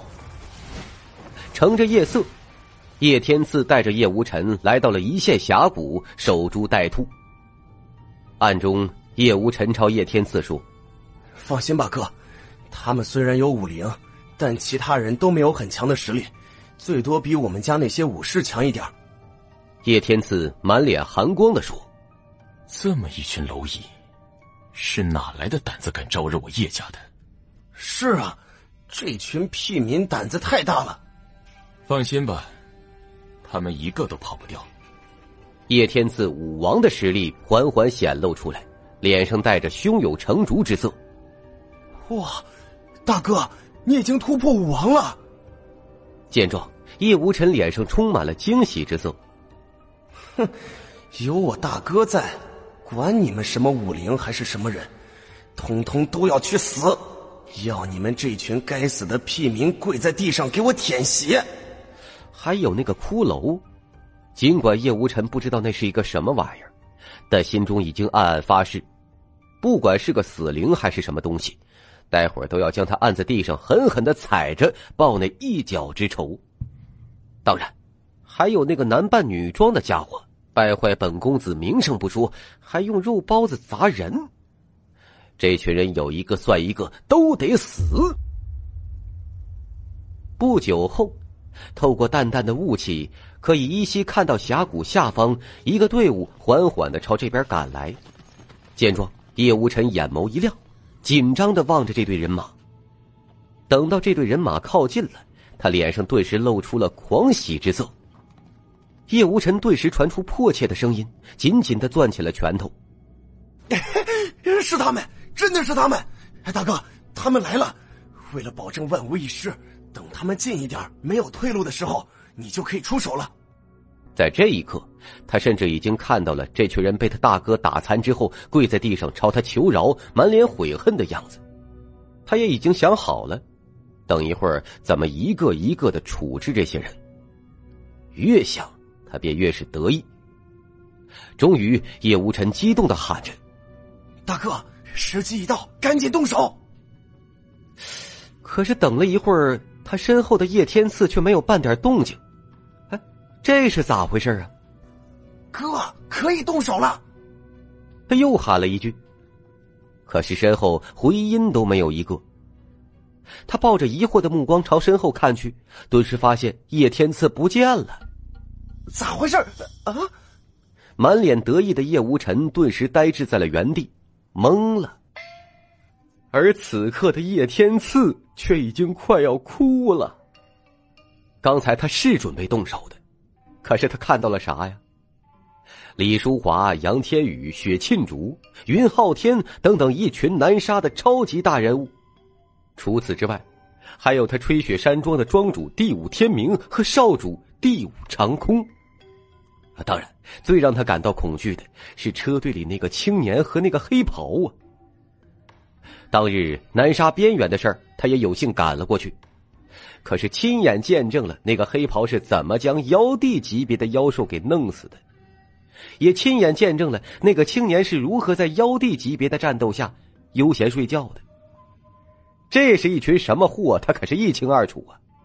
叫他一个小小的武王去伏击他们，这他娘的不是屎壳郎搬大山，自不量力吗？尽管不知道为啥会碰到这群人。但此刻的他只有一个信念：跑。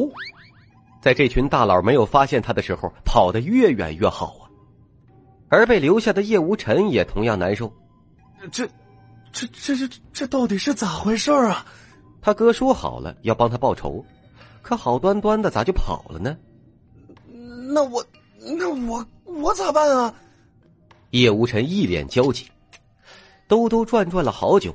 也准备哭丧着脸离开，毕竟这群人里面可是有武林高手啊。可他刚转头，就迎面碰上了一张让他寒气直冒的脸。呃不，呃不，声音传来，叶无尘嘴中顿时发出尖叫声。昨日刚尝过的痛楚再一次经历，那酸爽直冲脑门啊，让他整张脸都变得扭曲。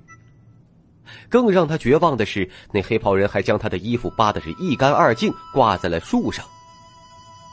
叶无尘哭丧着脸，传出哀嚎的声音：“这到底是咋了嘛？”本以为是他报仇雪恨的时候，却万万没有想到变成了这样。这时，高空的云层中立着两道人影。正透着云层看着下方发生的一幕。为首的是一名女子，她一身黑色长裙，无风自动，面容冰冷，凌空而立的模样散发着独特的气质，给人一种高高在上的模样。另一人则是一名老者，身着道袍，看似苍老，双眼却透着一股洞察天机之色。那女子眼角略带戏谑之色，面无表情的说。南沙的这些人也真是可笑，怎么看也只是一个凡人罢了，却硬将此人脑补成什么绝世高手。也不知道那青年到底用了什么蛊惑的语言，居然让这一群人硬是坚信不疑。其中还有两个二命武帝，真是滑天下之大稽。一群愚昧的人罢了，倒是不必管他们。老者笑了笑。显然并不将这群人放在眼里。不过，那男孩真的是神族血脉吗？女子又问，锐利的目光透过云层，锁定在钟青的身上。老者神色略带激动的说：“依我借用天象所算，神族血脉确实出现在南沙这一片。在经过我们这段时间的观察，这个男孩恐怕有五成是真的。这可是……”两百万年以来出现的第一个神族血脉呀，他的出现对我们，尤其是对你，非同小可呀。女子眉头微微一皱，沉声问：“只有五成，而无法完全确定吗？”老者苦笑的说：“神族血脉能算出五成，已经耗费我毕生所学了。”那。没有其他办法激活我的体质。老者摇头说：“没有。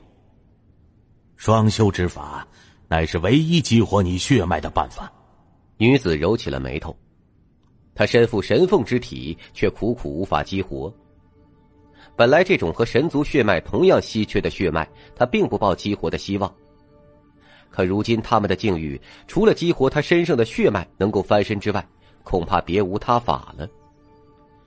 可激活神凤血脉的条件却极其的苛刻，便是要与神族血脉双修才可获得。可好不容易找到了一个神族血脉，却还无法完全确认。若真与之双修后发现对方并非神族血脉，那他岂不是赔了夫人又折兵啊？女子问：“也就是说，我必须完全确认，才可行动？”是的，老者应道。犹豫片刻后，又补充说：“当然，你也可以冒险。”女子摇了摇头：“这种险，她可不敢冒。”那如何才能确认？只有一个办法，接近他。你们同为上古血脉，待在一起的时候，或许能够引起一些血脉反应。那好办，我就将他抓来便可。女子冷声说：“便欲动手。”老者连忙阻拦说：“等等，我说的双修，可不单纯是身体上的。若对方意愿不够强烈。”你是无法激活神凤血脉的，只有双方极度意愿引起共鸣才可。所以，你若是让那男孩对你产生厌恶之感，并且抗拒你，即便确认他是神族血脉，你强行与之双修了，也不见得能够激活你的血脉。女子收手，眉头再一次皱起。也就是说，他不仅要接近对方，他还要尽可能的讨好对方。老者又说：“所以，可能要委屈你，找一个身份接近他们，尽可能不引起那男孩厌恶感的同时，确认那男孩到底是不是神族血脉。”闻言，女子脸上顿时露出厌恶之色。也就是说，她也需要跟南沙那些愚昧的掌门人一样，配合着演戏去当一个脑残。第二百二十四集，好久好久之后，叶无尘总算是逃脱了楼本伟的毒手，朝叶天赐追了上去。没想到叶天赐在半路上等着他。见到叶天赐，叶无尘苦涩着脸，连忙出声问：“哥哥，你你为什么忽然走了呀？你不是说好了要帮我干掉那群杂碎吗？”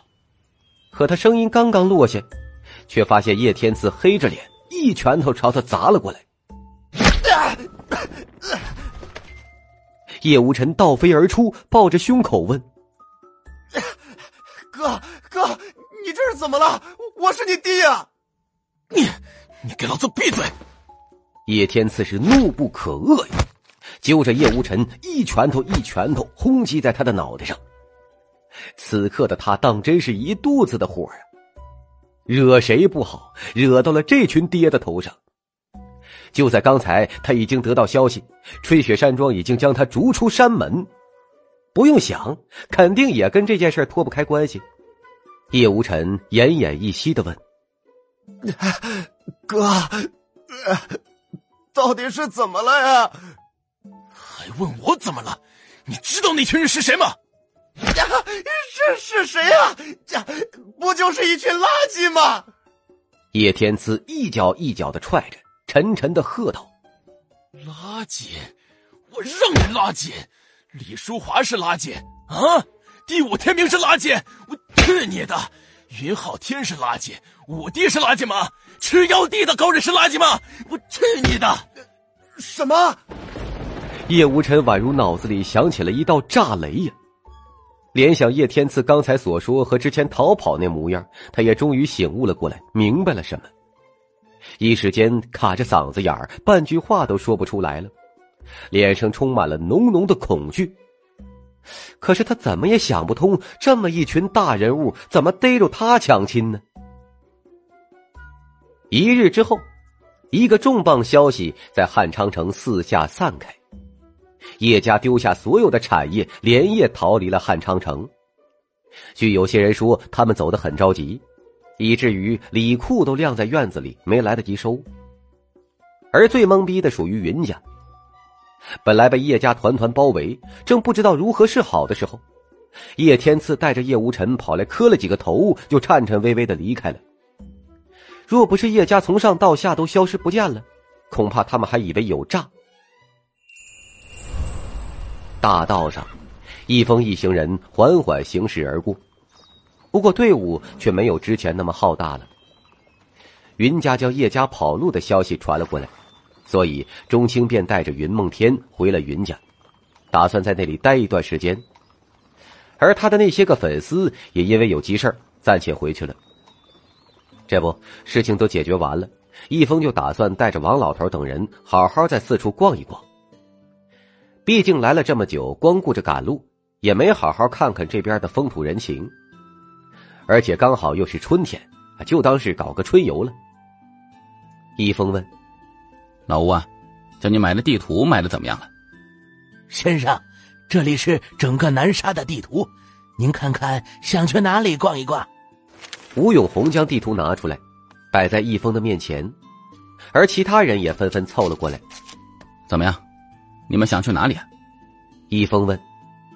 众人纷纷摇头说：“ 先生决定就好，先生决定就好。”嗯，行吧。易峰无奈的摇了摇头啊，随后将目光看向了地图。说实话，南沙是真的大。他们这一路走来，看到的不过是南沙的冰山一角。易峰仔细看着地图，一番观察之后，一个独特的标记吸引到了易峰的注意力。易峰指着地图问：“这是什么地方啊？”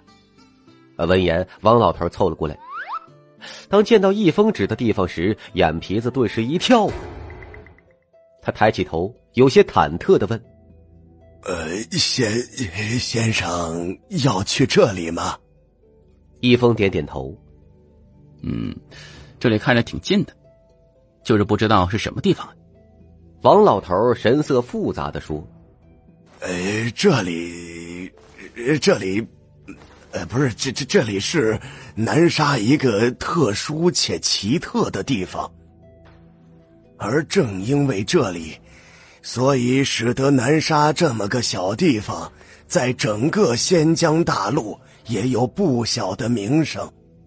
哦，原来如此。易峰恍然大悟的点头。旅游景点肯定没错了，毕竟能够让一个地方在全大陆都富有盛名，恐怕也就那种大点的旅游景点才能做到。易峰是当即拍板道：“得，就去这里。”闻言，王老头等人身躯下意识的抖了一下，神色变得极其紧张。可是看着易峰坚定的模样，他们也不敢发表什么其他意见。或许这个地方对先生来说，恐怕也没那么特殊吧。一行人小歇一圈之后，便踏上了行程。南沙很大，繁华之地很繁华，偏僻之地也很偏僻。而由于地域广阔，城与城之间几乎都相隔很远。好在这一路风景也是极美的，至少一峰就在沿途看到了不少前世所看不到的风景。这时，吴永红走来，吞吞吐吐的说：“先生，我……呃，刚收到消息，我家中有点麻烦事儿，需要回去解决，而由于比较麻烦的缘故。”所以，我还想借几个人一起去帮忙，还望先生恩准。闻言，王大爷等人听到消息也走了过来。易峰连忙问：“啊，你家里是出什么事情了吗？”心中也知道吴永红确实不是平江城的人。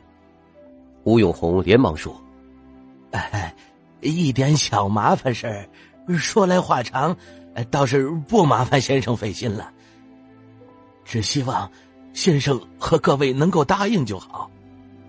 哪有什么恩准不恩准的？有事情就赶紧回去解决吧。至于你说要他们几个也去帮忙，我自然也是不会有什么意见的，只需要他们自己同意就行。说着，易峰将目光看向了王老头等人。王大爷笑着说：“咱们这群人都是老朋友了，朋友有难理应帮忙。只要先生没意见，我自然不会有什么问题。对，都是老朋友了。一时间，其他人也纷纷表态。见状，吴永红顿时露出感激之色，朝众人鞠了一躬：“ 感谢先生，感谢各位。”见状，易峰又说：“老吴，你不用那么客气。若那边真的很麻烦，有用得到我的，也大可以说一声。”闻言，吴永红感激涕零，原本脸上布满的忧虑顿时消散了许多。对他来说，易峰的这一句话是绝对的保障。稍微收拾之后，吴永红便带着朱肉荣，还有鲁达生等人踏上了行程。而众人走了之后，易峰才发现格外的冷清，就剩下他带着楼本伟还有狗子了。不过也好，人少也有人少的好处。略微休整之后，一人一股一狗子重新踏上了春游的行程。当赶到下一个城的时候，易峰已经是饿得饥肠辘辘。雪上加霜的是，这个城市很小，易峰找了大半天才找到了一家酒楼。可是走进去一看，却发现早就人满为患，根本就没有空余的位置了。这可真是愁坏了易峰啊！你说到下一家酒楼的话，有没有还不好说，在这等桌的话，也不知道要等到猴年马月。不过，易峰倒是发现，二楼窗边的那张桌子只有一个人在吃东西。那是一个中年男子，穿着雍容，满面红光，同时他的身后还站着一名黑衣人，好像是护卫。看得出来，这名男子有些身份。微微一犹豫，易峰便向那边走了过去。见到易峰走过去，那黑衣护卫一步跨出，就要拦截易峰。不过，那中年男子却摆手说：“退下。”说完，他将目光看向了易峰，饶有兴趣的打探着。他很好奇，这个年轻人走过来干什么。在他打探的目光下，易峰笑了笑，抱拳问：“这位老兄，在下实在是有点饿了，但苦于没有空的位置，所以方便跟你拼个桌吗？”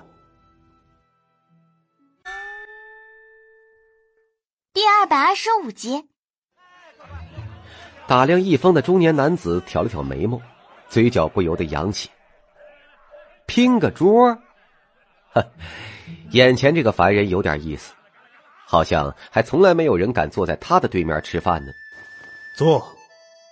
他出人预料的伸了伸手，好人呢。易峰心中一喜，朝中年男子抱了抱拳，就一屁股坐那儿了。见状，那黑衣护卫面色微微一寒，但是中年男子没有说什么，他自然是不敢轻举妄动。很快，桌子上就上了几个菜，易峰二话不说就动筷开吃。几口菜下去，易峰是大感满足。再来一口酒，就更满足了。当即点了一壶酒，可一口喝下去，极其的难喝呀。正当易峰不知如何是好的时候，却发现中年男子的旁边放着一个精致的小瓶子，瓶子里散发着淡淡的清香，这让易峰眼眸顿时一亮。易峰笑着说：“老哥，你这酒我能喝点吗？哎呀，这酒楼的酒实在是太难喝了。”这句话一落，顿时让那黑衣护卫眼中寒光闪烁，此人好大的胆子！而中年男子也是大感诧异，和他拼桌倒也算了，居然还想喝他的酒，有意思啊，真是有意思。这些年，任何人在他面前都是唯唯诺诺的，大气都不敢喘一声，所以他已经不记得上一次和别人同桌吃饭是什么时候了，更别说还有人提出这样的要求，要喝他的酒。他制止了身后的护卫，将饶有兴趣的目光看向了易峰，悠悠说：“小兄弟，你可知道我这酒可不是一般人能够喝的。说着，他眼神微微一眯。他很想知道，这个小凡人面对他的刁难，究竟会如何应对。可让他没有想到的是，易峰脸色轻松的说：“那我还真不是一般人。”好，这倒是让中年男子更加提起了一些兴趣，悠悠问：“那你倒是说一说，你怎么就不是一般人了？记住，想好了回答。若是回答不好，我治你冒失之罪。”易峰夹了一口菜放进嘴里，一边笑着一边说：“你说，若我真是一般人，会和你坐在同一桌吃饭吗？”闻言，中年男子顿时一愣，反应过来之后，他大为赞赏：“ 好，好，好，好一个不一般！”一时间，看向易峰的目光变得耐人寻味了。如果说之前他觉得易峰有意思，但也仅此而已罢了。这种感觉就像是一个人看到了一只有意思的蝼蚁，心血来潮会观察他一番。但观察之后，他也不会再有什么兴趣。毕竟，蝼蚁就是蝼蚁。可是这一刻，他真的是对易峰有些刮目相看了，因为易峰的这句回答实在是太妙了，化解了他的刁难不说，还抬了他一波，偏偏他还不能够反驳，因为若真反驳的话，岂不是就贬低了自己不行？中年男子亲自抬起玉瓶，帮易峰满上了一杯。来，我给你倒一杯，但仅此一杯。易峰小酌了一口，忍不住赞叹说：“好酒啊！要是能天天喝到这种好酒，那人生也太幸福了。”听到易峰的话，中年男子身后的护卫满脸怒意。若不是中年男子阻拦，他肯定早就一巴掌拍死这个凡人了。也不看看你对面坐着的人是谁，态度居然如此不恭敬。而且就那么一小杯酒，不知道有多么的珍贵呀！能够给你倒一杯，那是你上辈子修来的福分，还想天天喝？哼，真是异想天开呀！易峰一边吃菜一边问：“对了，在下易峰，喝了老哥的酒。”还未请教老哥叫什么呢？中年男子说：“荒无境。”易峰点点头，又问：“嗯，名字挺好听的。对了，老哥，你不会是修炼者吧？”荒无境看了易峰一眼，稍微迟疑后摇头说：“不，我并不是，我只是一个……嗯，商人。对。”我只是一个商人。易峰点点头，笑道：“哈哈，原来如此。那看来你应该跟我一样，都没有修炼的灵根了。”大胆！这句话终于是让那黑衣护卫忍无可忍了。居然说尊上没有修炼灵根，简直就是瞎了你的狗眼！若是你这个小小的凡人知道了尊上的修为，恐怕会吓死你。然而，荒无境却重重的斥喝道：“闭嘴！这里哪里有你说话的份？”黑衣护卫吓得冷汗直流，连忙闭嘴退下。荒无境这才笑着对易峰说：“ 小兄弟别介意，手下护卫不懂事而已。”易峰不介意的说：“没事倒是我唐突了。”目光却有意无意的看着荒无境那酒壶。挠了挠脑袋，终于是不好意思的问：“老哥，有没有什么办法可以让你再给我倒一杯啊？” 闻言，荒无境大笑了起来，这么有趣的凡人，他真的是第一次见。不得不说呀，他和这个凡人接触起来非常的舒服，至少他想说就说，想做就做，不会像其他人一般。在他的面前唯唯诺诺，站不敢站，坐不敢坐。正所谓实力越强，便越孤独，正是如此。所以强如他也会来到这种僻壤之地，坐在一个小酒馆，喝喝酒，看看风土人情。而此刻和易峰简单的相处，却让他心中生出一股久违的感觉。荒无境重新上下打量了易峰一眼，：“小兄弟是个读书人吧？”易峰笑道：“哈，是也不是，算半个。那行，那我便考考你。”荒无尽目光闪动，思考着难题，刚好看到了旁边摆放的酒壶，便说：“那小兄弟便在半刻之内以酒做一首诗，若做得出，今日的酒包你畅饮；若做不出，那我就翻脸不认人了。”一刻内就作诗，易峰摇了摇头，问：“嗯，还有什么要求吗？”无要求，只需你在规定时间内能够做出便可。既然如此简单的话，那今天也是该我有酒喝了。易峰扬起了嘴角，在荒无境呆滞的目光下，他自作主张的拿起了玉瓶，开始给自己倒酒，一边笑一边说：“我与君初时，犹似故人归，把酒共话乐，举杯。”只酒醉，声音落下，酒刚好倒满。易峰举起酒杯，朝荒无境伸了过去。荒无境愣愣的看着易峰，反应过来之后，哈哈大笑起来。哈哈哈哈好一个犹似故人归呀！看来我和小兄弟真的是相见如故啊！哈哈哈哈。荒无境连忙抬起酒杯和易峰碰了碰，喝完一杯之后，他又重新帮易峰给满上，再也不吝啬玉瓶的酒了。一时间，两人是越聊越投机。酒过三巡，易峰打了个饱嗝，起身说：“呃，老哥，等我一会儿啊，我还养了一条狗，我去送点东西给它吃一吃。”说着，易峰提起打包好的一份菜。朝楼下走去，看着易峰的背影，荒无境笑眯眯的，充满了赞赏。可那黑衣护卫却忍不住了，连忙问：“尊上，一个凡人而已，您何必？这岂不是浪费你的时间吗？”荒无境沉声斥喝道：“哼，你懂什么？至少我看他比看你舒服多了。”黑衣护卫脸色难看呢。真不知道这凡人走了什么狗屎运，居然能够得到尊上的青睐。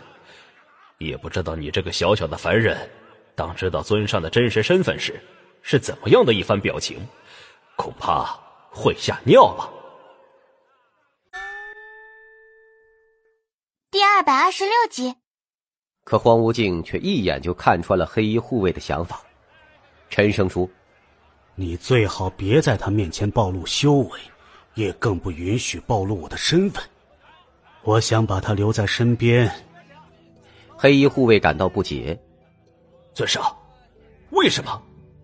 就算您觉得这个凡人有趣，想要他跟在尊上您的身边，但是您完全也不需要隐藏身份呢。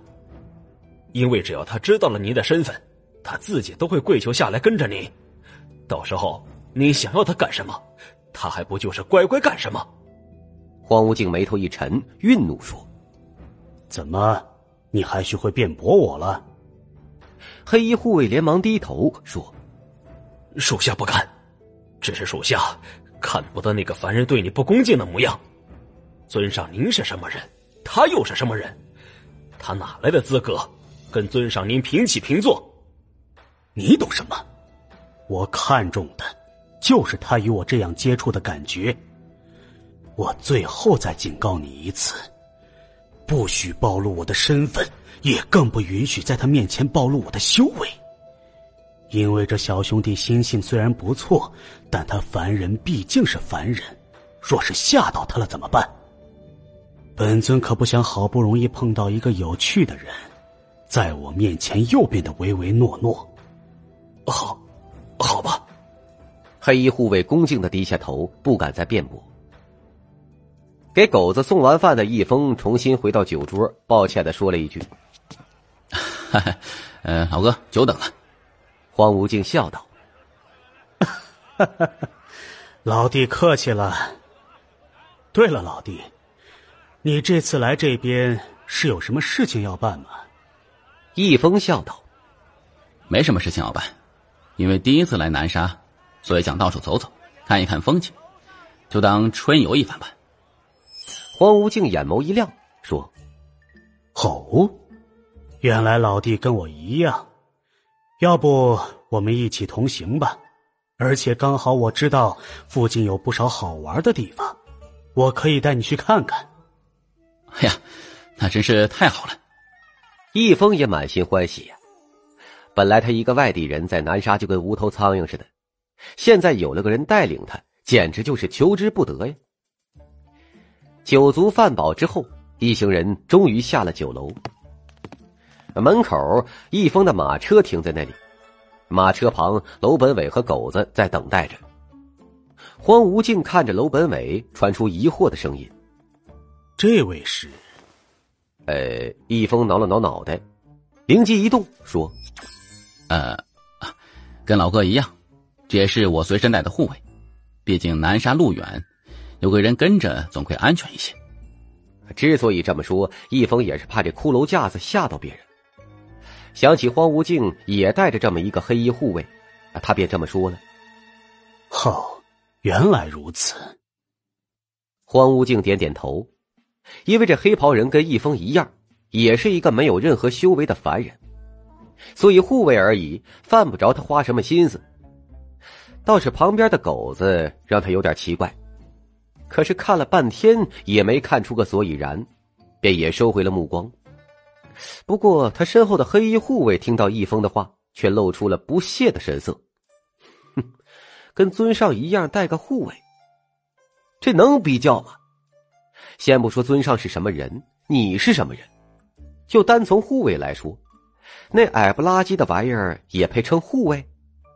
搞得倒是装模作样的，还戴个面具。可是真以为你穿上一身黑就能够和他相提并论了？啊，只不过这些心思他也只敢埋在心里，不敢当着荒无境的面流露出来。跟随着荒无境，一行人直接来到了江边这里风景的确优美，江风拂过，清清凉凉，两岸长满了桃花，铺满石板的道路上，三三两两的小姑娘走过。而江面上还飘荡着大大小小的船只，有佳人才子在作对，有小两口在嬉戏。见到这一幕，一峰顿时心情大好。哎呀，好一个风景优美的地方啊，真漂亮！黄无尽笑着说：“怎么样，老弟满意吗？”“满意，满意，多谢老哥了。”走，我们坐船去江上玩一玩。黄无尽笑了笑，随后带着易峰朝岸边走去。岸边有不少的小船停靠着，这倒是和易峰前世的一些景点差不多，只要给予一定的金币就能够租到。不过这种船都很小，一般只能坐两三人。无奈之下，易峰一行人租了两条船。易峰、荒无境带着狗子坐上了第一条船，而剩下的两名护卫则坐另外一条船。两只小船缓缓朝江中心飘去，从江中看去，景色更加的宜人。可黑衣护卫看着坐在他对面的楼本伟，是满脸的不情愿。他是什么身份？身份崇高的他，凭什么让这个矮不拉几的下等凡人跟他同坐一条船呢？而且还站在那里不说话，装深沉。他很看不惯楼本伟这副模样，致使他很想露出身上的修为气势，将这个矮子吓倒在地。不过迫于荒无境的命令，他不敢如此。不过他目光微微一挑，这并不妨碍他用其他手段捉弄捉弄这个矮子。想到此，他随便从储物戒指中拿出了一枚王品丹药。黑衣护卫扬了扬手中的丹药，喊道：“喂，矮子，知道这是什么吗？”然而让他没有想到的是，他的这枚丹药压根就没有引起这个矮子注意，仅仅只是白了他一眼，甚至那模样好像还充满了鄙夷。天哪！黑衣护卫怒火中烧，差点直接炸了。他居然被这个该死的凡人小矮子给鄙视了。不过他还是强忍住了怒意，毕竟在他看来，这矮子或许压根就看不懂他手中是啥，所以他忍住怒意，直接说：“实话告诉你，这是丹药，而且还是王品丹药。就这一颗丹药，对你们凡人来说，乃是无价之宝。”说完，他将目光望向了楼本伟。他似乎已经看到这个矮子知道他手中是王品丹药后，大吃一惊和垂涎不已的模样啊！因为这颗王品丹药对他来说算不得什么，但绝对能够让凡人感到眼红。可然而，楼本伟的反应却再次出乎了他的预料，看都没看他一眼。哎，对，在他说出这是一颗王品丹药之后，这个该死的凡人看都没看他一眼。这差点直接让黑衣护卫暴走了。这可是王品丹药啊！凭什么你一个凡人不表现出丝毫惊讶，甚至还无视啊？行，你装，我让你装！黑衣护卫牙齿咬得嘎嘣响，手掌一动，又拿出了一枚丹药。这是一颗黄品丹药，哪怕是五皇征服头颅也得不到一颗。现在。我只要你自己跳下船，我就可以把这颗丹药送给你，怎么样？这对你来说可是天大的机缘。说到此，黑衣护卫重新扬起了嘴角，他就不信，在这样的诱惑下，眼前这个凡人小矮子还忍得住。终于，楼本伟看向了他，可出乎他预料的是，并不是垂涎，而是传出鄙夷的声音。你拿一颗破狗粮在那逼逼叨叨半天，还叫我跳船，你是脑子撞坏了吗？第二百二十七集，这一句话差点让黑衣护卫呛出一口老血。他气急败坏的喝道：“狗粮！你竟敢说我的黄品丹药是狗粮，瞎了你的狗眼！”然而，楼本伟又不紧不慢的看了他一眼，淡淡的说：“我骗你做什么？我家那狗子平时磕的就是这玩意儿。”你，楼本伟这完全不将他放在眼里，还如此羞辱他的模样，彻底将黑衣护卫给激怒。浑身颤抖的他，双眼闪烁着浓浓的怒火：“你这个低贱的凡人！我今天哪怕冒着激怒尊上的风险，我也要好好教训教训你！”说着，他手掌一动，化作一道锋利的爪印，朝楼本伟的脖子抓了过来。可让他没有想到的是，眼看着就要抓到楼本伟，后者却将脑袋微微偏了一下。黑衣护卫是脸色大变的，明明他力道控制的很好，可莫名其妙之下，他扑通一声，整个人栽到了河里面。正相聊甚欢的易峰和荒无境两人听到后面的动静，连忙回头看去。这是怎么回事？啊可荒无境却皱起了眉头。他这护卫是什么实力？他一清二楚。可是怎么会忽然栽到河里面去了呢？上岸之后，荒无境直接将询问的目光看向黑衣护卫。尊上，我，我，我，我……黑衣护卫涨红着脸，支支吾吾的半天说不出话来。荒无境沉声问：“到底是怎么回事？”迫于荒无境的威势，黑衣护卫这才将事情原委说了出来。随后，他连忙解释说：“我，我是想要给他一个教训的，可是我也不知道怎么的，就栽到河里面了。”荒无境斥喝了一声：“哼，胡闹！尊上，属下该死，属下再也不敢了。”在荒无境的威势下，黑衣护卫冷汗直流啊。低着脑袋，大气都不敢喘一声。荒无境瞪了他一眼，眼中充满了怒意。最好如此。只不过让他来回想不通的是，抛开这件事情不谈，以他这护卫的实力，怎么可能因为这样就栽到河里面去了呢？不由得他将锐利的目光看向了易峰的护卫。那个穿着黑袍的小矮子，上上下下郑重的打量着。可是终究他也没有看出个所以然来。荒无境暗暗嘀咕：“真是奇了怪了。”因为以他这个护卫云狼的实力，即便隐藏了修为，也不可能存在失足落水一说。他本以为楼本伟是什么低调的高手，才导致如此，但现在看来显然不可能。因为无论他怎么观察，易峰的这个护卫也只是一个平凡到不能再平凡的凡人罢了。当然，也有一个可能，那就是易峰这个护卫的实力强到让他荒无境也看不透。可是这可能吗？荒无境显然不认为如此，因为能够在他面前滴水不漏的人，至少修为也要比他强大很多。然而，这种人荒无境不认为会出现在南沙这种地方。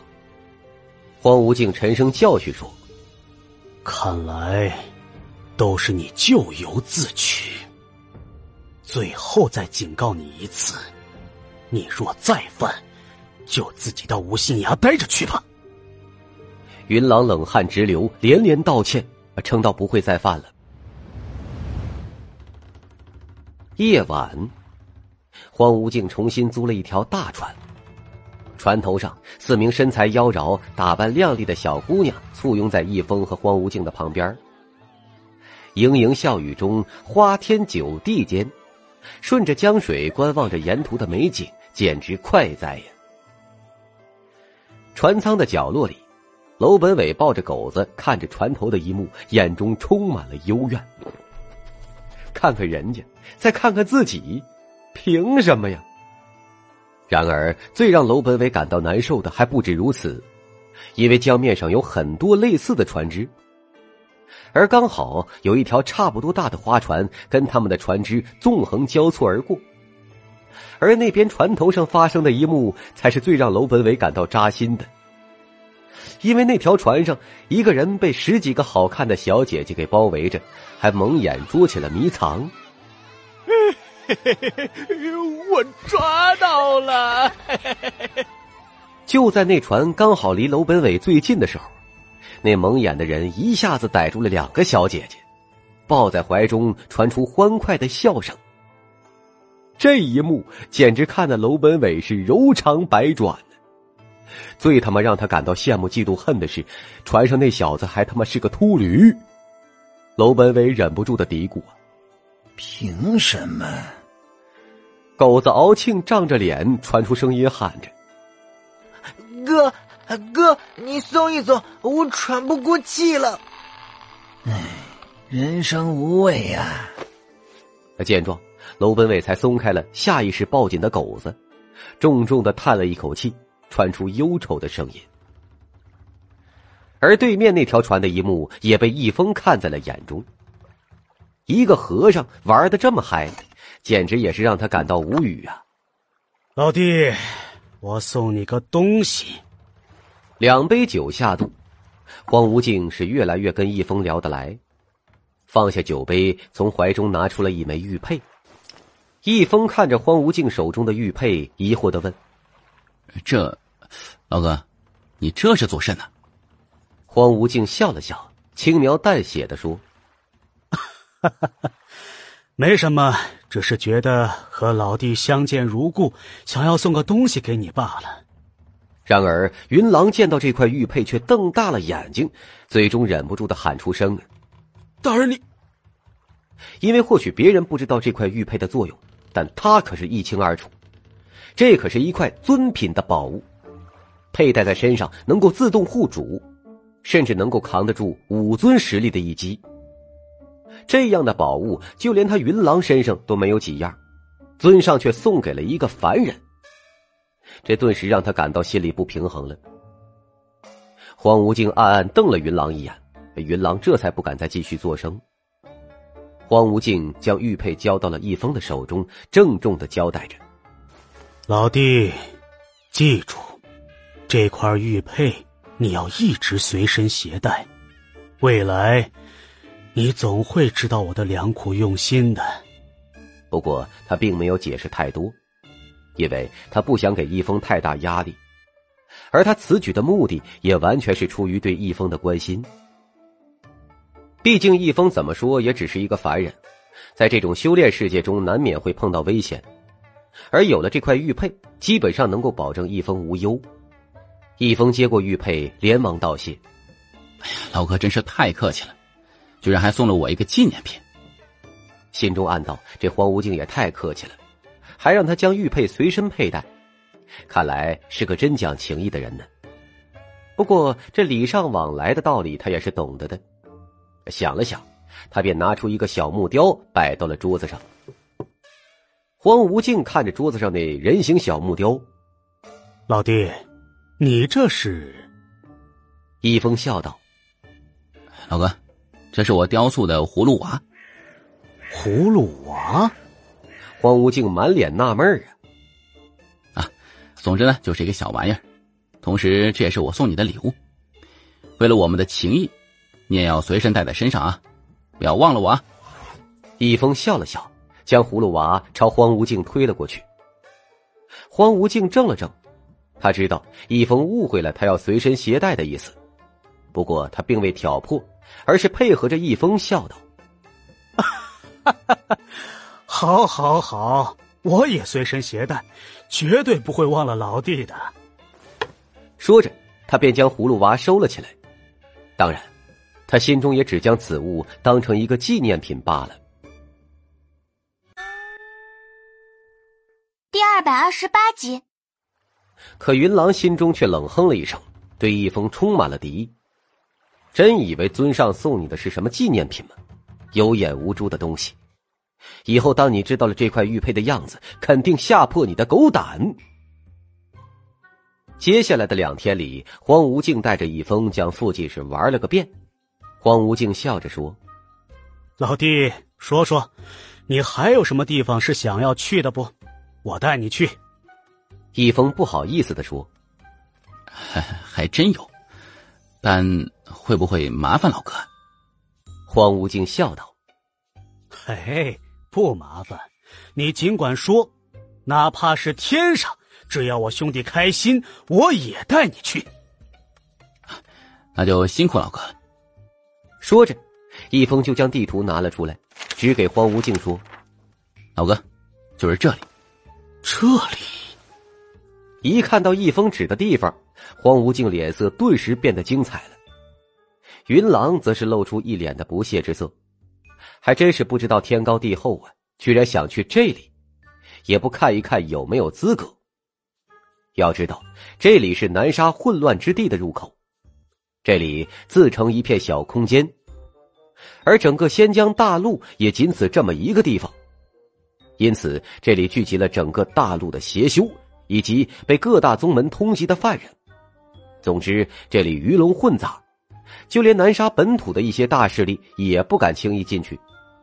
你一个凡人居然想跑进去，究竟是嫌自己活得太久了，还是怎么的？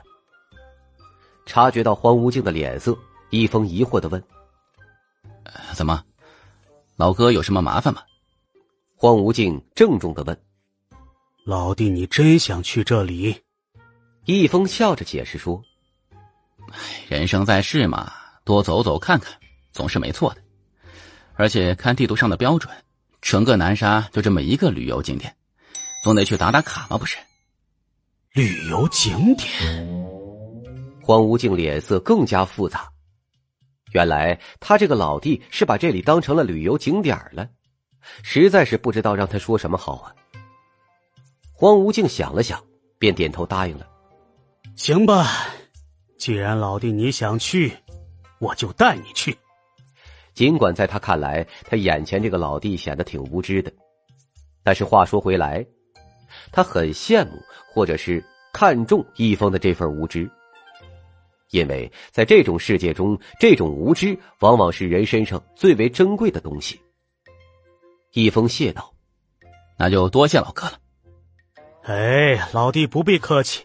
因为我便是那里的人，既然答应了你，我肯定带你游遍这整个旅游景点。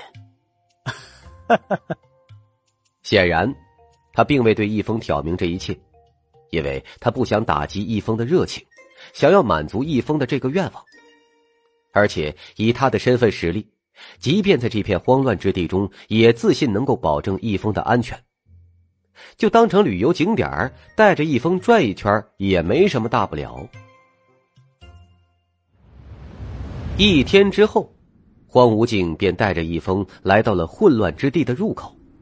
哇，还真是鬼斧神工啊！易峰感叹着一切，因为呈现在他们面前的。是一块笔直的山峰，山峰底下有一个巨大的山洞。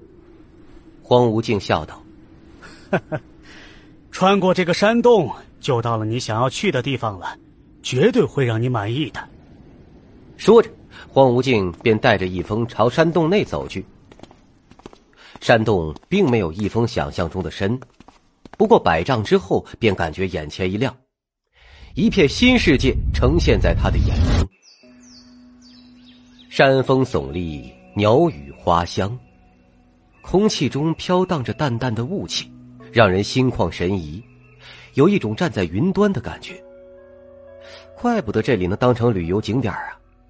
易峰这样感慨。黄无境只是笑了笑。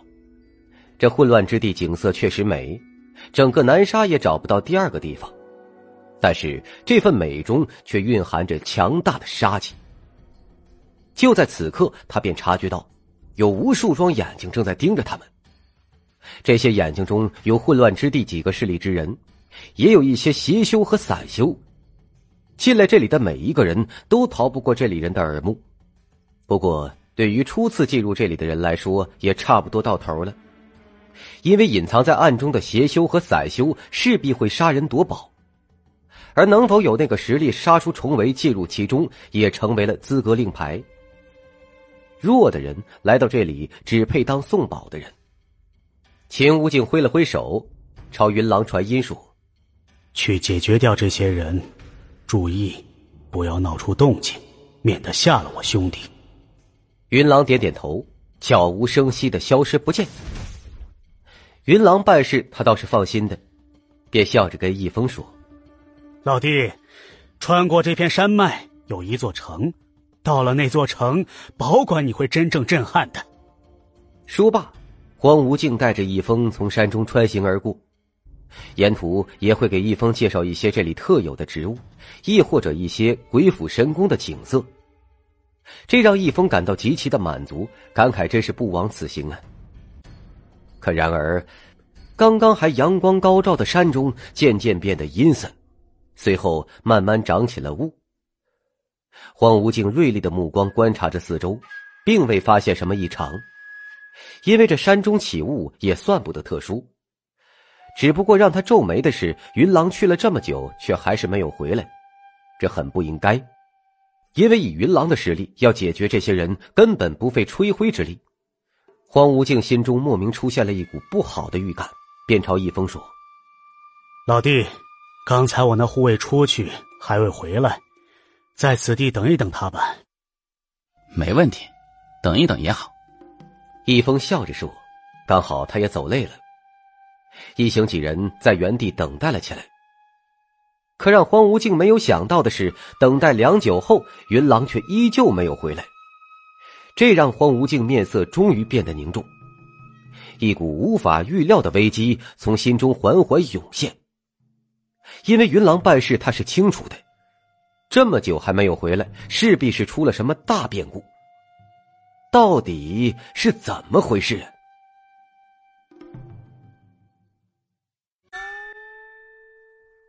第二百二十九集，在那种不好的预感越来越强烈的情况下，荒无境终于坐不住了。荒无境说：“老弟，你们在这里等着我，我去找一找他。”易峰起身说。没问题，老哥注意安全。荒无境再三的吩咐道：“你倒是不用担心我，倒是你，千万千万不可随意乱动，就在这里等着我，听到了吗？”易峰连忙说：“好的，老哥放心吧。”见到易峰点头，荒无境这才松了一口气，走进了迷雾当中。因为在他看来，迷雾虽然阻挡了他的视野。却无法阻挡他的神识。可下一刻，他脸色就变了，因为他预料错误，这迷雾居然真的阻挡了他的神识。显然，这已经不是普通的迷雾了，而是某种阵法或者是禁忌。甚至荒无境隐隐感受到，这就是冲他来的。这让他凝重不已，一时间也无从应对。因为在视线和神识都受影响的情况下，即便是他也变成了瞎子。而应对这种情况，唯一的办法便是以不变应万变。想到此，他果断回头。不一会儿，他便看到了易峰带着楼本伟和狗子在那里等待他。他连忙走上前，可是刚走出两步，一股毁天灭地的感觉朝他扑来。感受到这股危机，荒无尽五帝实力毫无保留的释放而出，手掌一翻，浑厚的一掌朝前方拍了出去。前方空间陡然响起一阵动荡，荒无尽闷哼一声，体内翻涌不已。好在那股危机也总算是消失，可荒无尽却不敢再动了，脸色前所未有的凝重，因为刚才那股攻击明显是某种禁忌阵法发出来的。而能够发出这么强大的攻击，显然是一个杀阵。不用想，他现在置身到了一个杀阵当中。他抬头朝易峰看去，果然，原本起身迎他的易峰已经消失不见了。所以他瞬间判断出来，这并不是他运气不好，无意踩到了杀阵中，而是有人刻意针对，先以迷阵限制视线和神识，又以幻阵吸引。一步步让他走进了一个布置好的杀阵当中。这步步为营的手段，当真是设计的完美无缺呀！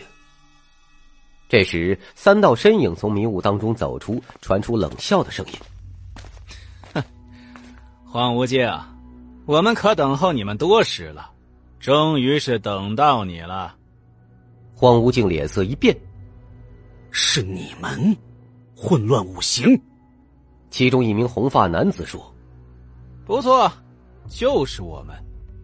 当日你杀我们大哥，今日我们来找你寻仇来了。”荒无境沉声说：“哼，当日金行乱杀无辜，企图以万人性命练就邪功。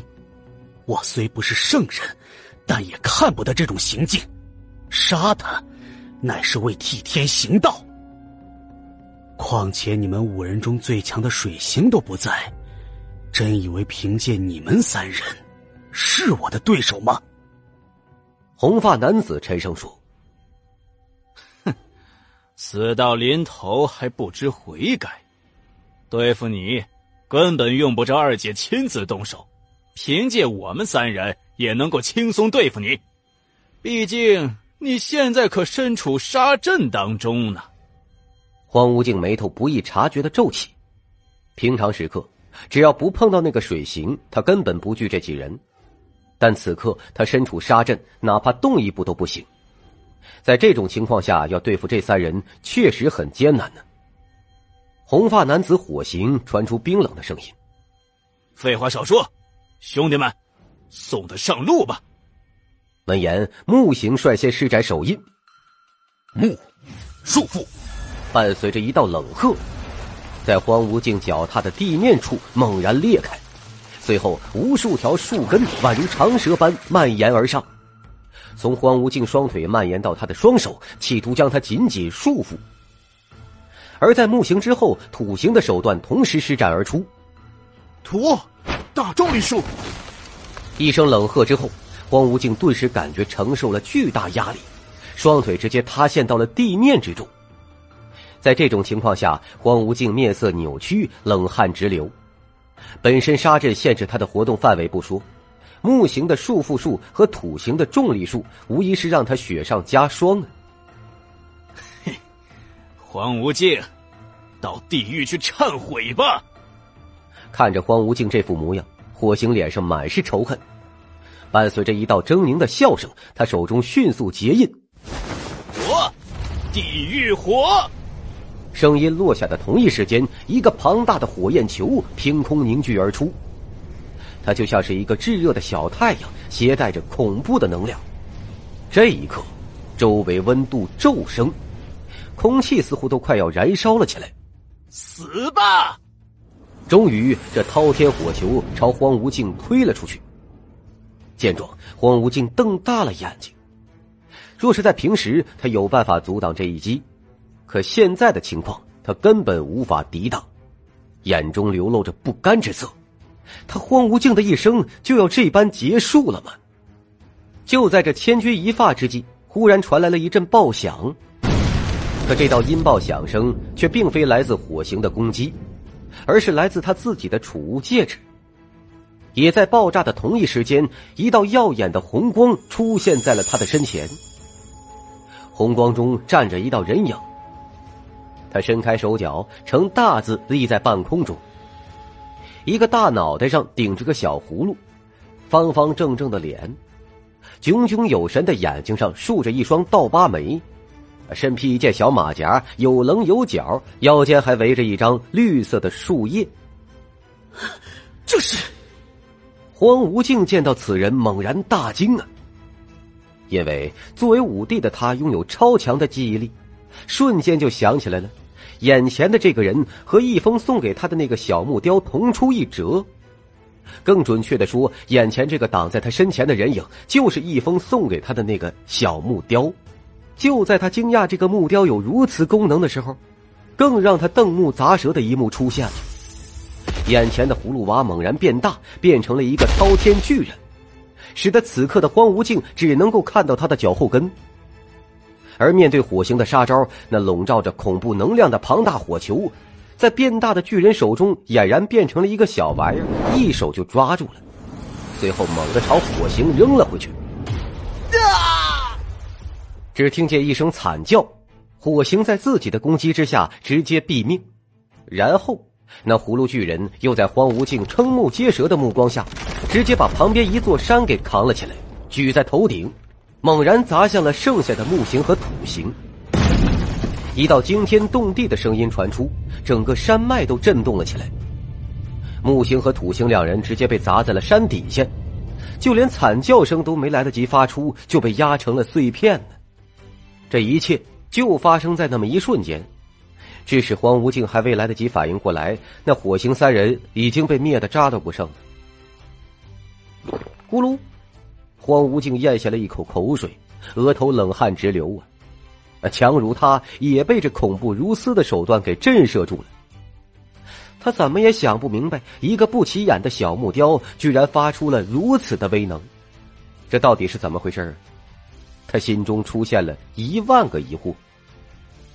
易峰明明只是一个凡人呢，怎么送他的东西却拥有如此滔天的威能呢？莫非说？自己这个老弟是一个隐藏实力的高手，但是也不可能啊。若真是高手，他们朝夕相处这么多天，哪怕是十名武帝，也不可能不让他发现半点端倪。除非他这个老弟是仙人。第二百三十集。可是这猜测更加扯淡了。别人或许不知道。但是踏入武帝行列的人其实都知道，仙江大陆的成仙之路早就被人斩断了。也就是说，如今的仙江大陆不可能出现仙人，同时仙界的高手也同样不可能来到仙江大陆。就在这时，那变大的巨人陡然缩小，随后变回了一个小木雕，落在了荒无境的脚底下。荒无境捡起小木雕，细细观察。却发现这木雕却已经开裂了。原来如此。看着开裂的小木雕，荒无尽心中猜到了一种可能，那就是这个小木雕是成仙之路未斩断前曾经的仙人留下的，然后出于某种不知名的原因流落到了凡间，阴差阳错之下落入了易峰的手中。啊，随后易峰又将纪念品送给了他，啊，这才救了他一命。而这也解释了这木雕为何发挥一次功能之后开裂了。恐怕他在历史长河中威能渐渐的流失，刚才的大显神威彻底用尽了他体内存续的威能。荒无境自嘲的笑了笑：“ 老弟呀，我运气真好。我本想送你东西自保，却没有想到，你送我的东西却救了我一命。不过这姑且也算是好人有好报吧。若不是他送玉佩给易峰，易峰恐怕也不会送他这个小木雕，更不会因此而救他一命。想通这一切，他收起了小木雕，目光重新郑重了起来。因为火星三人的危机是解除了，可他身处杀阵的危机可并未解除呢。时间缓缓过去，无聊的易峰靠在树底下，已经是睡了一觉醒来。可当他醒来的时候，却发现荒无尽和云朗两人还没有回来。看着这么大的雾，易峰心中是担忧不已。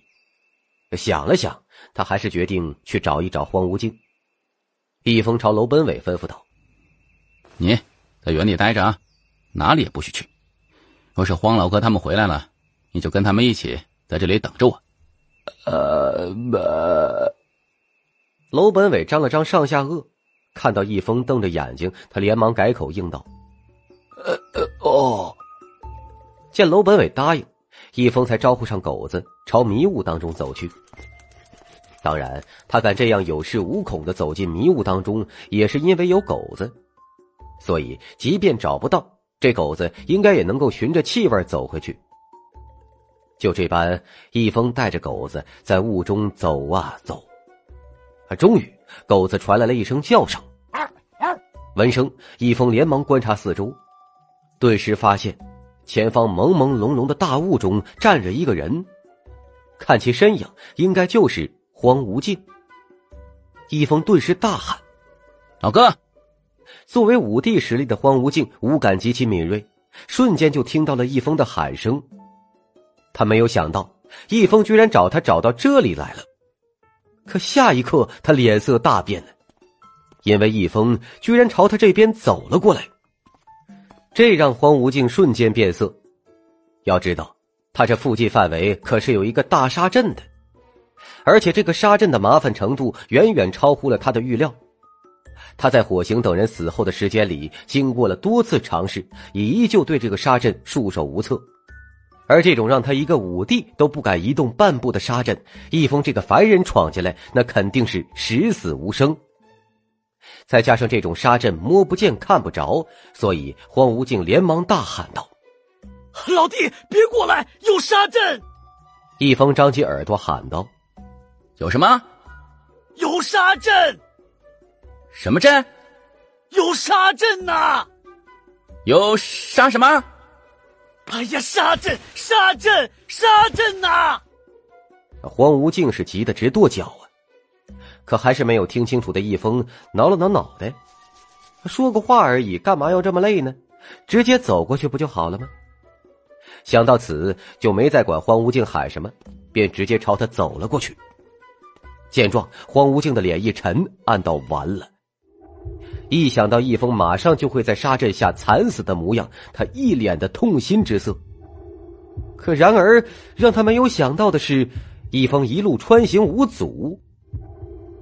这一幕顿时将荒无尽给看懵了。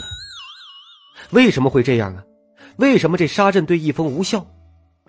难道易峰所在的范围还不在杀阵中，所以还并没有触发？可他刚刚如此想的时候，正出神的他猛然发现一张脸凑到了他的面前。原来他刚才出神中，易峰已经走到了他的面前。只见易峰拍了拍他的肩膀，说。老哥，你愣在这干什么呢？我可找你找的好辛苦啊！不过你还挺聪明的啊，知道雾大乱走会迷路，所以在这里等着。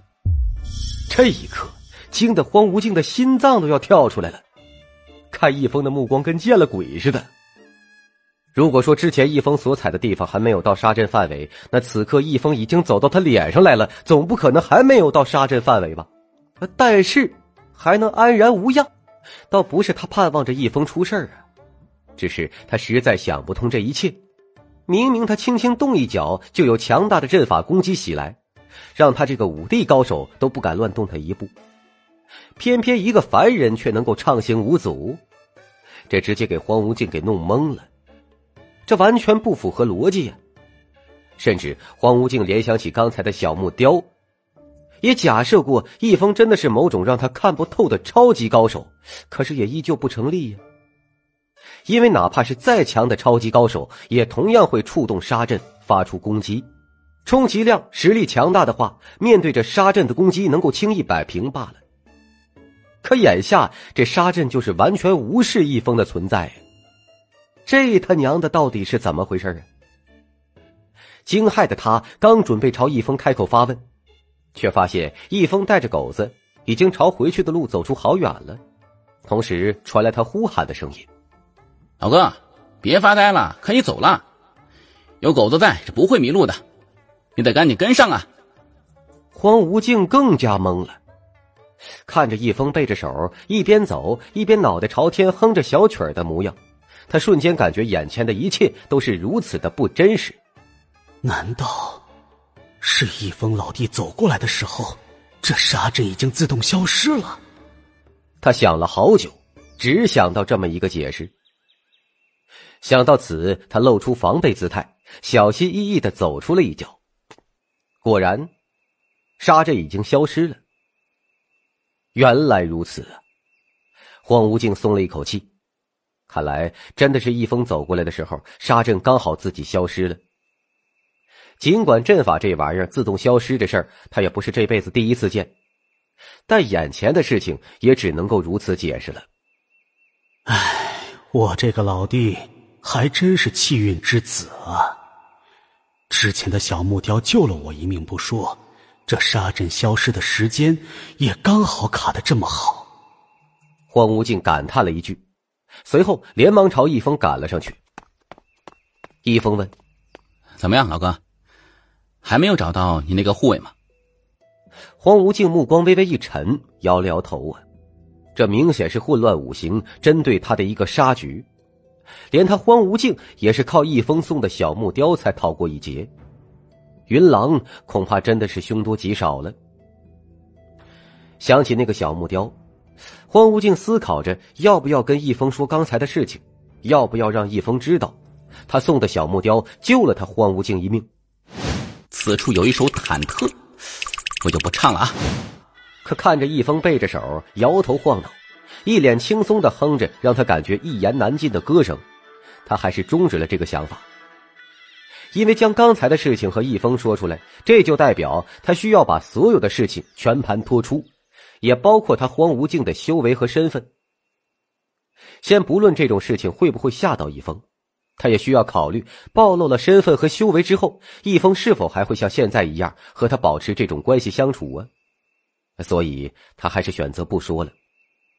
至于小木雕的那份救命之恩，自己暗暗记在心里，找机会报答就好了。易峰笑着安慰说：“哎，放心吧，老哥，你那护卫肯定没事的，指不定跟你一样，害怕迷路，待在哪里不动了呢。等雾散了，他自己就会回来的。”荒无尽强笑了一声：“但愿如此吧。”实则他心中最担忧的，并不是云狼。而是另外一个未曾出现的人物，水行，一个让他荒无境都感到恐怖的女人。他荒无境自问，在整个混乱之地，他都没几个怕的人，但是这水行绝对算一个。夸张点来说，若不是自持身份，他看到这个女人都想绕着走啊。而以五行的行事风格来看，既然火行三人在这山中出现了。那么水行也肯定在这山中。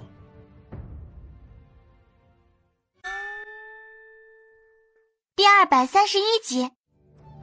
既然那个女人在这个山中，那么便代表自己迟早会碰到这个女人。金行的死先不说，若是那女人知道木行、火行、土行也已经死了，那双方一见面势必是不死不休啊！一想到此，他就感到头疼。因为他面对这个女人，他压根就没有把握。一棵树底下，楼本伟百无聊赖的坐在泥地上。唉，无聊啊！他叹了一口气，从怀里边摸出一颗珠子，丢在地上把玩着。袖子中钻出一条蜈蚣，献媚的说道：“哎哎，哥，别叹气，弟弟给你表演个节目。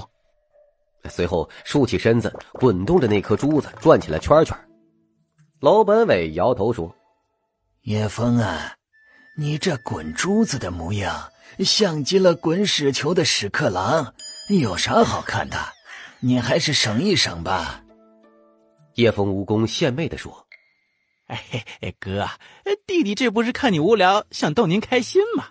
您要实在不开心，您玩我吧。”楼本伟白了叶枫蜈蚣一眼，没好气的说：“我玩你有什么意思啊？我想要的是妹子，是妹子，你知道吗？哎，说起来，我已经不知道多久没有触碰过妹子了。”就在一鼓一蜈蚣有一搭没一搭的聊天中，雾气中掠出了一道身影，正是久久未归的云狼。啊，终于找到人了。这雾气不寻常啊！云狼松了一口气，本来他早就办好了事情，只不过这雾气屏蔽了他的视觉和感官，使得他压根就找不到荒无境等人所在。不过，等他发现找到的人是楼本伟后，脸色顿时阴沉了下来。云狼冷着脸问：“喂，矮子，我问你，我主子人呢？”楼本伟白了他一眼，压根就没理会。云狼顿时满脸怒意啊！好你个矮子！之前在江上的事情倒也罢了，此刻居然又无视他，当真是让他怒火中烧啊！可就在他想撑着没人的时候教训教训楼本伟的时候，忽然发现前方的雾气当中，一道高挑的身影缓缓的走了出来。他穿着暴露，五官绝美，而最引人注目的便是他那一头银发。披在肩上，像极了一条宣泄而下的瀑布。可就是这么个女人，顿时让云狼脸色骤变，宛如见了鬼一样啊！他万万没有想到，在这里居然碰到了这个女人。云狼闷着头皮朝来人抱拳道：“云狼见过水星前辈，不知前辈在此，云狼多有得罪，我现在立即就离开。”随后，他将目光看向了楼本伟，连忙使着眼色喊道。孩子，快走，快跟我走！可然而，楼本伟就跟没有听到他的话似的，呆呆的看着走来的女人，最终还忍不住的呢喃着：“好漂亮的小姐姐，你要是能够陪我一晚上就好了。”妈要死啊！听到楼本伟这句话，云狼差点魂儿都吓出来了。这一刻，他恨不得掐死楼本伟呀！你妈不知道天高地厚的小矮子，也不看看眼前出现的人是谁，居然敢说出这种大言不惭的话！冷汗直流的他连忙朝女人陪笑说：“前辈，我马上带他走。”说着，他一把拉起楼本伟的手掌，就要带他走。可他还未来得及提步，那女人嘴中便传出了玩味的声音：“你是那荒无尽的人吧？”云狼如临雷击的怔在原地，脸上露出了苦涩的笑容。他本以为这个女人不认得他，所以他想趁着这个机会速度带楼本伟离开此地，却没有想到这女人一眼就道出了他的身份。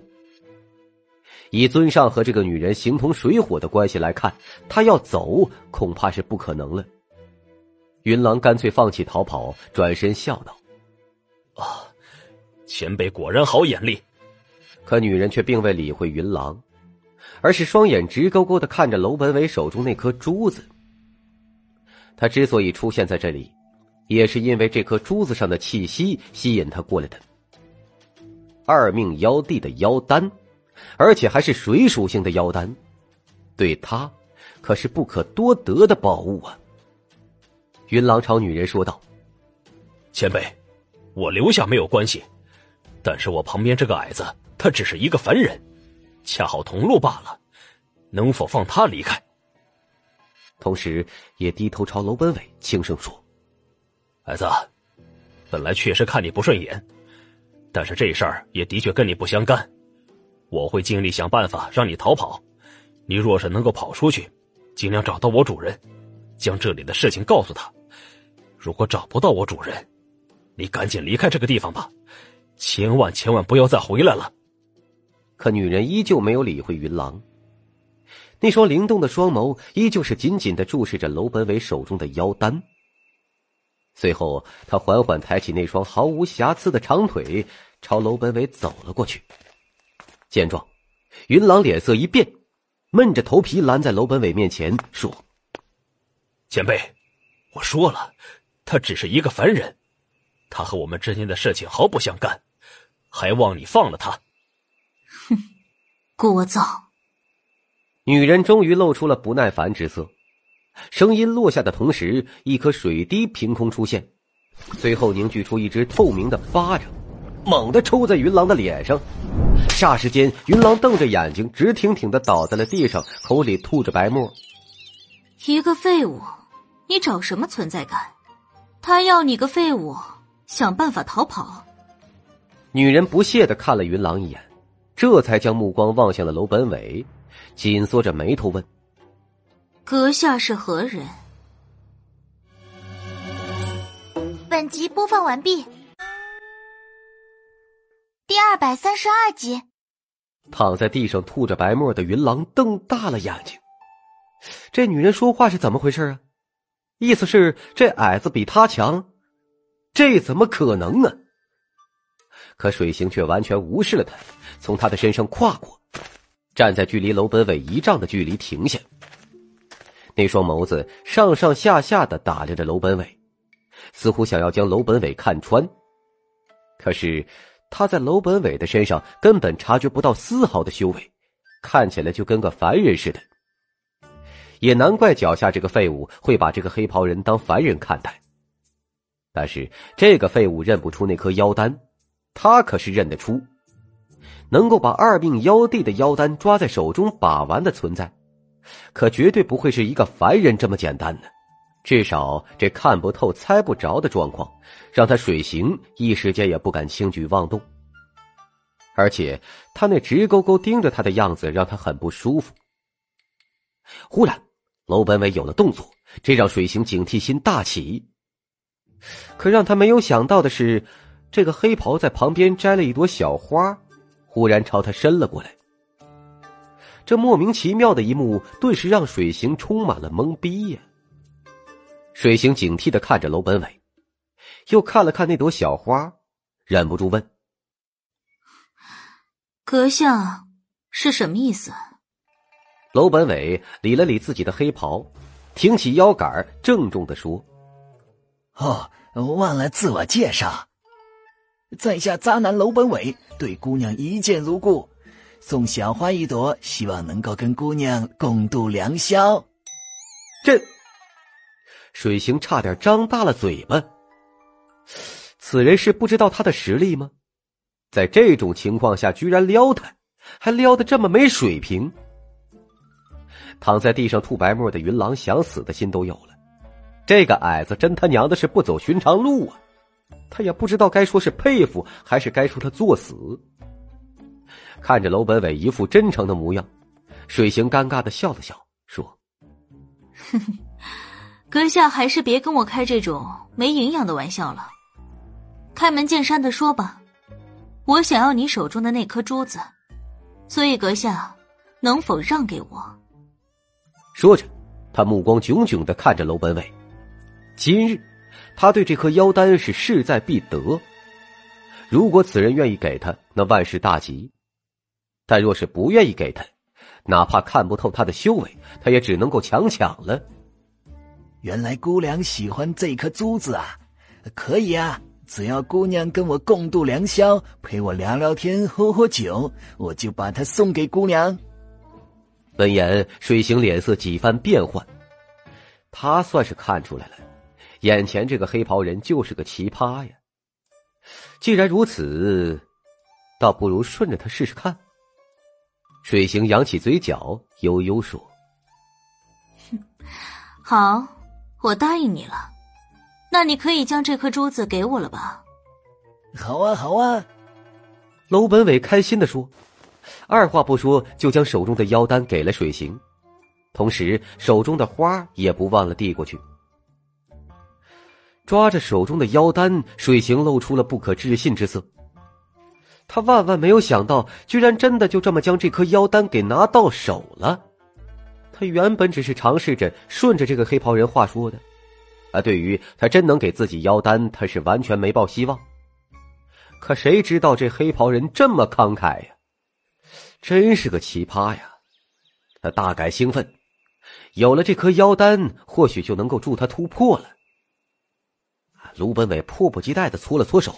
同时，从旁边搬了一个石头，将石头上的灰尘噼里啪啦的是拍得干干净净，殷勤的招手说：“姑娘过来坐，快过来坐啊！”水行扬起嘴角，悠悠说：“哼，做的话，还是你自己一个人做吧。另外，多谢你的妖丹了。毕竟妖丹都已经到手了，谁还真的陪你一个奇葩共度良宵啊？”说罢，他冷笑一声，随后纵身一掠，就闪进雾中，消失不见了。一心迫切的楼本伟看着忽然消失的女人，傻了，整个人怔在了原地呀。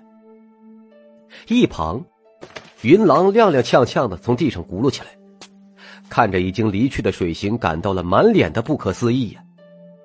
原本他以为是必死的局。却没有想到水行就这么离去了，这种劫后余生的感觉真好啊！他连忙朝楼本伟问：“外子，刚才到底是怎么回事？你有一颗什么珠子这么重要，居然让他对我们两个的性命都没有兴趣了？”云狼的声音传来，怔住的楼本伟这才反应过来，他哭丧着喊道：“怎么骗人呢？怎么走了呢？”不是说好了要共度良宵的吗？人与人之间的信任呐！他右手摸着心脏，脚掌向后踉跄了一步，痛啊！真他娘的痛啊！他终于体会到了被女人欺骗、被女人伤害是什么感觉了。云狼翻着白眼说：“你得了吧，能够逃过一劫已经是幸运。”还真想让他跟你一个凡人共度良宵？你可知道他是什么人？可楼本伟却没有理会他，转而充满了愤怒。不行，该死的女人，说好陪我的，我必须把她抓回来！楼本伟充满怒火的声音传出，手掌轻描淡写的抬了起来，最终喊着：“给本渣男回来！”切！云狼白了楼本伟一眼。他也算是看出来了，这矮子真就是个二货呀！就你这抬一下手，还真能把水星给抓回来不成？你他妈以为你是神呢？第二百三十三集。可下一刻，云狼傻眼了，只见那浓浓的雾气当中，一道熟悉的身影倒着飞了回来，瞬间就被楼本伟给抓到了手中。咔的一下。云狼呼吸困难，只感觉自己喘不过气来，喉咙中宛如卡了鱼刺一般，半天说不出一句话呀，眼珠子也惊得快要爆掉了。这矮子轻描淡写的抬了抬手，居然真的将水行给抓了回来。这一幕看得云狼是那么的不真实，甚至是直接颠覆了他的认知。可是事实就摆在眼前，他亲眼所见，即便再不可思议，也做不得假呀。他瞬间明白过来，这矮子是他妈一个超级强者，强到让他不敢想象的地步啊！毕竟水行是什么人呢？就这样被他随手给抓回来了。而想起自己一口他妈一个矮子，一口一个废人，他顿时冷汗直流啊，双腿也不争气的打着哆嗦，牙根也忍不住的打着磕巴。而此刻的水行脸上也充满了恐惧的神情，刚才。他还在因为顺利得到二命妖帝的妖丹而沾沾自喜，心中嘲笑着怎么会碰到楼本伟这种搞笑的奇葩呀。下一刻，他便感觉有一只无形的手掌抓住了他，并且以一股让他完全无法抵抗的力量将他抓了回去。这种手段，即便是二命五帝巅峰的他也闻所未闻，简直就是超越了他对实力的认知。他瞬间明白，他闯大祸了，得罪了一个让他感到绝望的超级高手。前前辈。他硬着头皮回过头，看着身后的黑袍人，强行露着笑脸道歉道：“ 前辈，我有眼无珠，还希望您高抬贵手，千万不要跟我一般见识。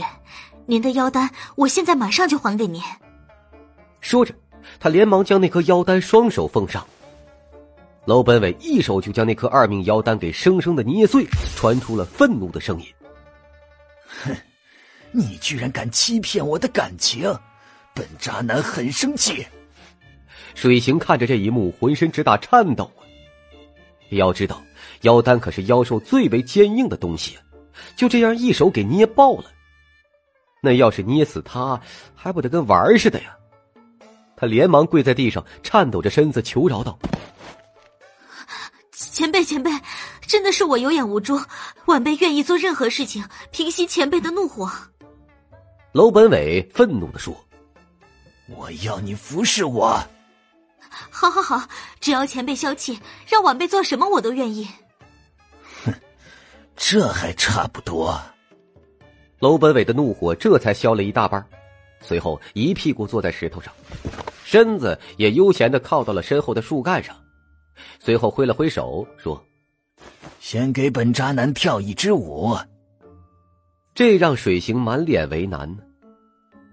这叫他打一套武技没问题，你叫他跳一支舞，这不是要他命吗？关键是他自己也不会呀。嗯。然而那黑袍下传出了愠怒的声音，水行一个哆嗦，紧咬着红唇，硬着头皮，扭动着水蛇腰。在楼本伟面前，尴尬的跳了起来。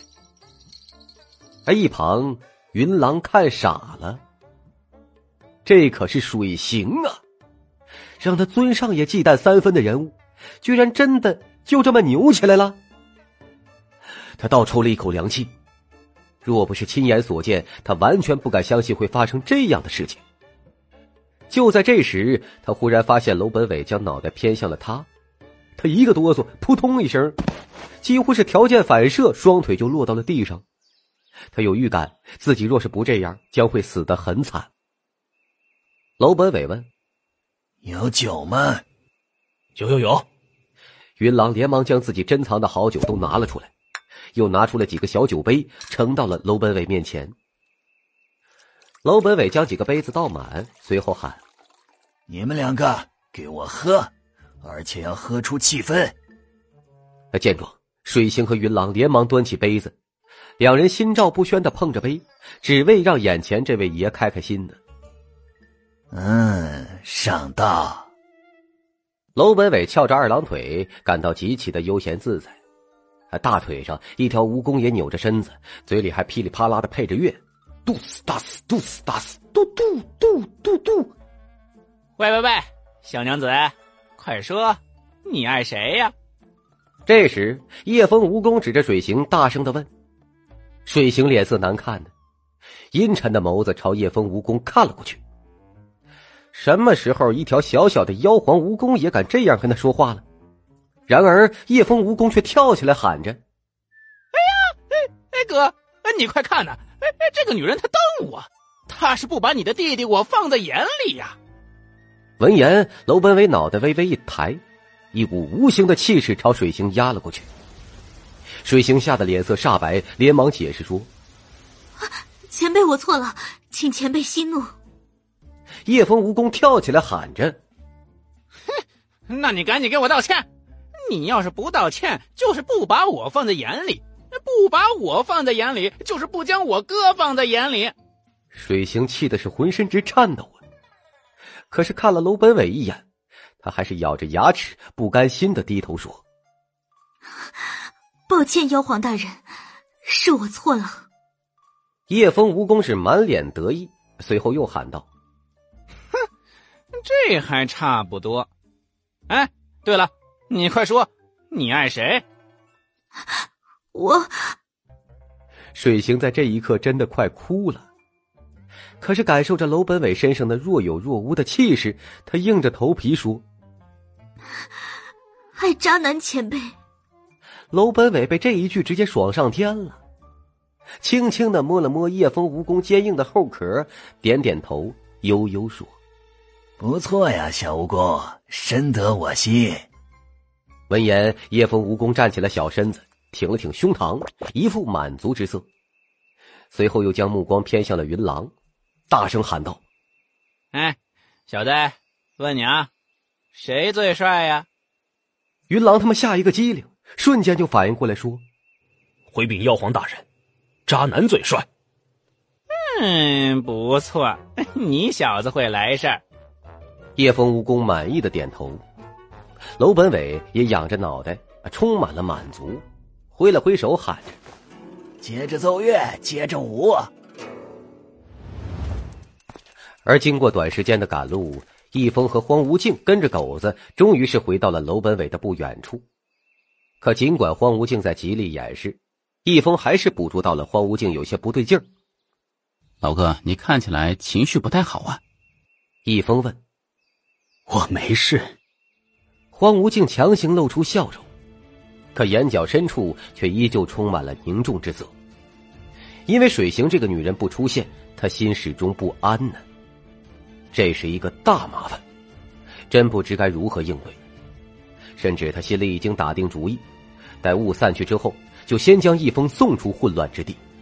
到时候碰到水行，也不至于连累的易峰。或者说，他荒无境自己也比较好跑路一点儿。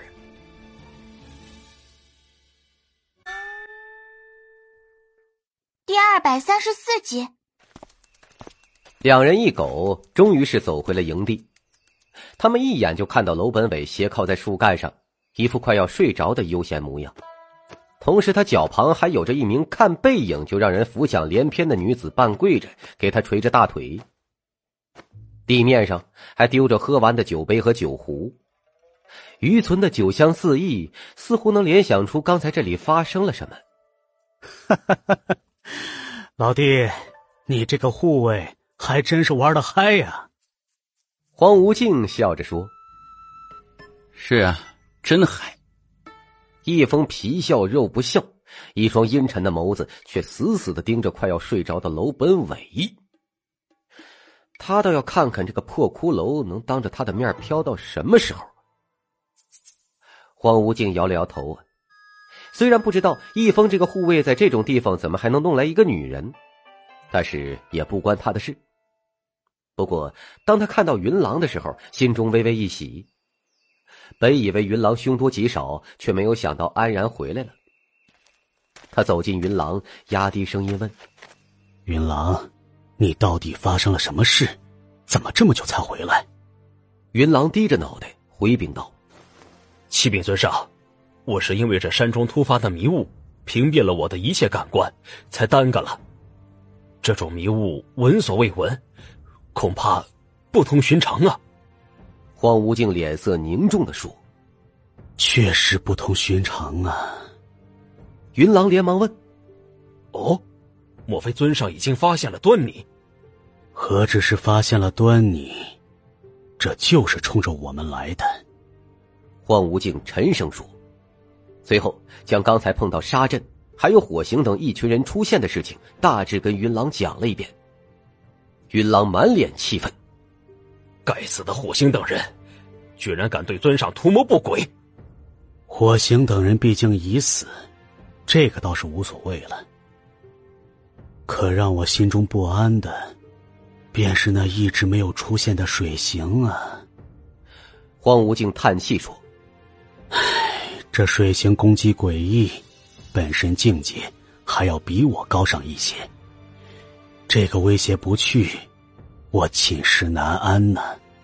所以，我给你一个任务：等山中迷雾散去，你速速带着一峰老弟等人离开此地，不然水星找上门来，我怕会连累到他们。闻言，云狼脸色精彩，意味深长的说：“尊上。”对于水行此事，我看您怕是要多虑了。哼，什么多虑了？荒无境斥喝道：“不到我这种修为，你根本无法理解水行的厉害。平时我是怎么教你的？莫要轻敌，莫要轻敌，尤其是水行这种难缠的敌人。云朗脸色意味深长的说：“嗯，尊上，或许你不会相信我所说的话，但是现在的水行真的不足为惧。”荒无境沉声问：“你什么意思？”云郎悠悠的说：“尊上不妨去看一看那个垂腿的女人是谁。”那个垂腿的女人。黄无境偏头看了一眼那个只能够看到后背的女人，沉声反问：“一个女人有什么好看的？有话赶紧说，我没有心思跟你卖关子。”云郎意味深长的说：“相信我，尊上，您去好好看一眼，您肯定会大吃一惊的。”哼！荒无境脸上带着愠怒，都什么时候了，云狼居然还跟他卖关子？不过看到云狼那副模样，他还是抱着好奇心绕到一旁去看那女人的模样。嗯，看清了，确实挺好看的。不过好看是好看，但还是一个普通的女子嘛，有什么大不了的？不对，可下一刻他猛然反应了过来，他瞪着眼睛重新看了过去。这是我操！当完全看清这个女人的模样。刚才还脸色愠怒的荒无境惊得直接爆粗口，直接在原地跳了起来。水行，这个垂腿的女人居然是水行，这怎么可能啊！荒无境的脑子里宛如响起了一道炸雷，心中掀起了惊涛骇浪！更让他不可思议的是，水行也抬起脑袋看了他一眼。尽管眼神中带着强烈的不甘心，可还是重新埋了下去，给易峰的护卫继续捶着腿。嗯，这他娘的到底咋回事啊？荒无境顿时懵了，这个样子还是那个让他寝食难安的水行吗？他一个箭步冲到云狼的面前，拉着云狼走到一旁，神色急迫的问：“告诉我，这到底是怎么一回事？到底发生了什么？”怎么会这样？看着荒无境这副急迫的模样，云狼是满脸苦笑啊。他早就预料到了荒无境会是这样的表情，毕竟这种不可思议的事情，连他这个亲眼见证者现在回想起来也还是觉得不可思议。随后，在荒无境急迫的目光下，云狼将刚才发生的事情一五一十的说了出来。嘎一声！一听完，荒无尽倒抽了一口凉气。轻描淡写的抬起手掌，就将飞出去不见踪影的水行给逮了回来。这种手段不仅是云狼，就连他这个尊上也是闻所未闻、见所未见这岂不是就是说，这个易峰的护卫就是一个隐藏的超级高手？那他这个老弟又是什么人呢？身边有这么一个超级护卫，到底是偶然还是？就在他猜测间，旁边传来一封的骂声：“狗东西，狗东西，我让你见，我让你见！”听到骂声，黄无敬两人将脑袋偏了过去，顿时让他们看到了极度不可思议的事情。第二百三十五集，便是见到一峰揪着楼本伟的黑袍，按在脚底下，一脚一脚的踹着。主人，我错了，我错了，我再也不敢了。楼本伟完全没有刚才那种悠闲的模样了，抱着易峰的大腿，传出哭丧的声音呢。这一幕简直将荒无境两人给惊得石化了。这还是那个轻描淡写将水行给治得服服帖帖的黑袍人吗？这在易峰面前居然如此卑微。那易峰，一想到此，荒芜境感觉心神俱震为了印证心中的猜测，他再也沉不住气了，终于是鼓起勇气朝易峰走了过去。老，他如了如嘴唇，发现自己有些不敢再继续叫易峰老弟了。易峰倒是将楼本伟一脚踹翻在地后，带着温和的笑容问：“老哥，你有事情吗？”我。这荒无境不知道该如何开口啊！心中忐忑之下，将一封送他的小木雕拿了出来，问：“我想问一下你，这个木雕，你到底是从哪里来的？”一峰笑着说：“老哥，你看你这记性，我不是说了是我自己雕刻的吗？黄无尽心中猛地一惊。尽管之前易峰确实跟他说过是自己雕刻的，但他以为是易峰随口搪塞的说辞，所以他也完全没有放在心上。可此刻易峰再次承认这木雕是他雕刻的，就让他不得不考虑其中的真实性了。只是他还是有些无法置信呢。这个跟他朝夕相处这么多天、看起来极其温和的青年，真的是一个绝世高人吗？怎么了，老哥？是出什么问题了吗？易峰随手接过荒无境手中的小木雕，随后恍然大悟，说：“哎呀，居然开裂了！那老哥真是对不住了。”易峰神色颇为尴尬。这木雕是他刚学雕刻的时候雕出来的，用的材料和技术都不咋地。易峰随手将那个大力娃扔在地上，说：“呃，这样吧，老哥，我重新送你几个。”然而。易峰这轻描淡写的一句话，顿时让荒无境惊呆了。他涨红着脖子说：“你，你还有？哎呀，当然有了，又不是什么稀奇玩意儿。我这里还有六个呢，跟之前送你的那个在一起，就是配套的。”说着，易峰从怀里摸了摸，将其他几个葫芦娃全部都摸了出来，捧在手上，朝荒无尽递了过去，笑着说。那来，老哥，都送给你。见状，荒无尽呼吸都变得有些急促，伸着的手掌都直哆嗦呀。目光看着易峰手中这一捧的葫芦娃，感到极度的不可置信。如此强大的东西，居然随手拿出这么多，简直就是太恐怖了。而这一刻，他也完全确认了易峰高手的身份，因为一个葫芦娃或许是易峰不小心从哪儿得来的。但是总不可能这么多葫芦娃，他都是无意中得来的了，不由得他充满了苦笑啊。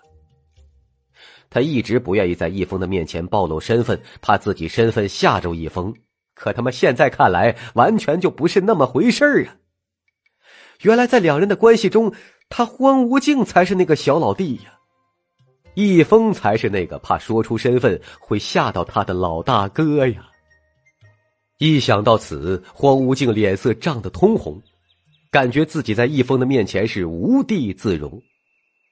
更可笑的是，他还送玉佩给易峰保命呢。殊不知，易峰随手拿出的一样东西都可以保他荒无境的命。而且回想起来，易峰当时把这混乱之地当成旅游景点他还觉得易峰挺天真无知的。可按易峰现在这种种手段看来，这什么他妈混乱之地，在他的眼中可不就是一个旅游景点吗？荒无境忐忑的弓下了身躯，敬畏的说：“前前前辈，都怪我荒无境有眼无珠，之前若有得罪之处，还望恕罪啊！”哎，老哥，你这是做什么呀？易峰连忙将荒无境扶起来，板着脸说。你咋忽然叫我前辈了呀？虽然我也觉得我雕刻的手艺确实不错，但是我们之间的关系因为一个雕刻就这样，你未免也太见外了吧？你看见易峰这副模样，荒无境呆住了，心中感动至极呀。易峰板着脸说：“老哥，我难得交你这么一个好朋友，你若是因为我这一点点雕刻的技术就变成这样了，早知道。”我就不送你葫芦娃了。闻言，荒无境心中顿时更加感动。不过，他心中顿时也明白了过来。易峰此刻看着他的心里，跟他当时第一次看易峰的心里是一模一样的。毕竟高手啊，寂寞呀。平时习惯了被人恭维，难得碰到一个可以交心的人，不容易呀。当然，只不过现在他才是那个易峰眼中。挺有意思个人，好吧。荒无境心中感叹了一声，看来易峰是并不想挑破这一切。既然如此的话，他荒无境也更加不会挑破，他只能够配合着易峰继续来当这个有意思的人啊，毕竟能够跟这样一位人物交朋友，是他荒无境前世修来的福分呢。而这时，易峰来到水行的面前。扶起水行，轻声说：“这位姑娘，你没有怎么样吧？”水行露出了受宠若惊之色，惊慌的应道：“我，我，我没事。”毕竟他刚才可是亲眼见到这个青年将那个让他感到恐怖的黑袍人士一顿乱踩呀。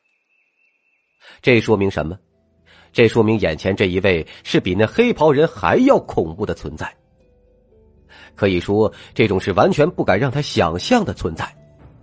他看了荒无境一眼，眼中带着浓浓的嫉妒，嫉妒他荒无境居然和这种人物搭上了关系。他知道。哪怕现在的修为比荒芜境强，但是也永远斗不过荒芜境了。易风朝水行语重心长的说：“姑娘，下次可别到处乱跑了啊！你就碰到了我，若是其他人的话，今天你恐怕就走不了了。毕竟他这话也不是没有道理。毕竟这么漂亮一个女孩子，在这种前不着村后不着店的地方，很难不让人产生非分之想。”但凡起了点邪心，怕也要落一个身残魔破的下场了。可易峰此话却让水行猛然一颤，易峰的话中的警告之意十足啊！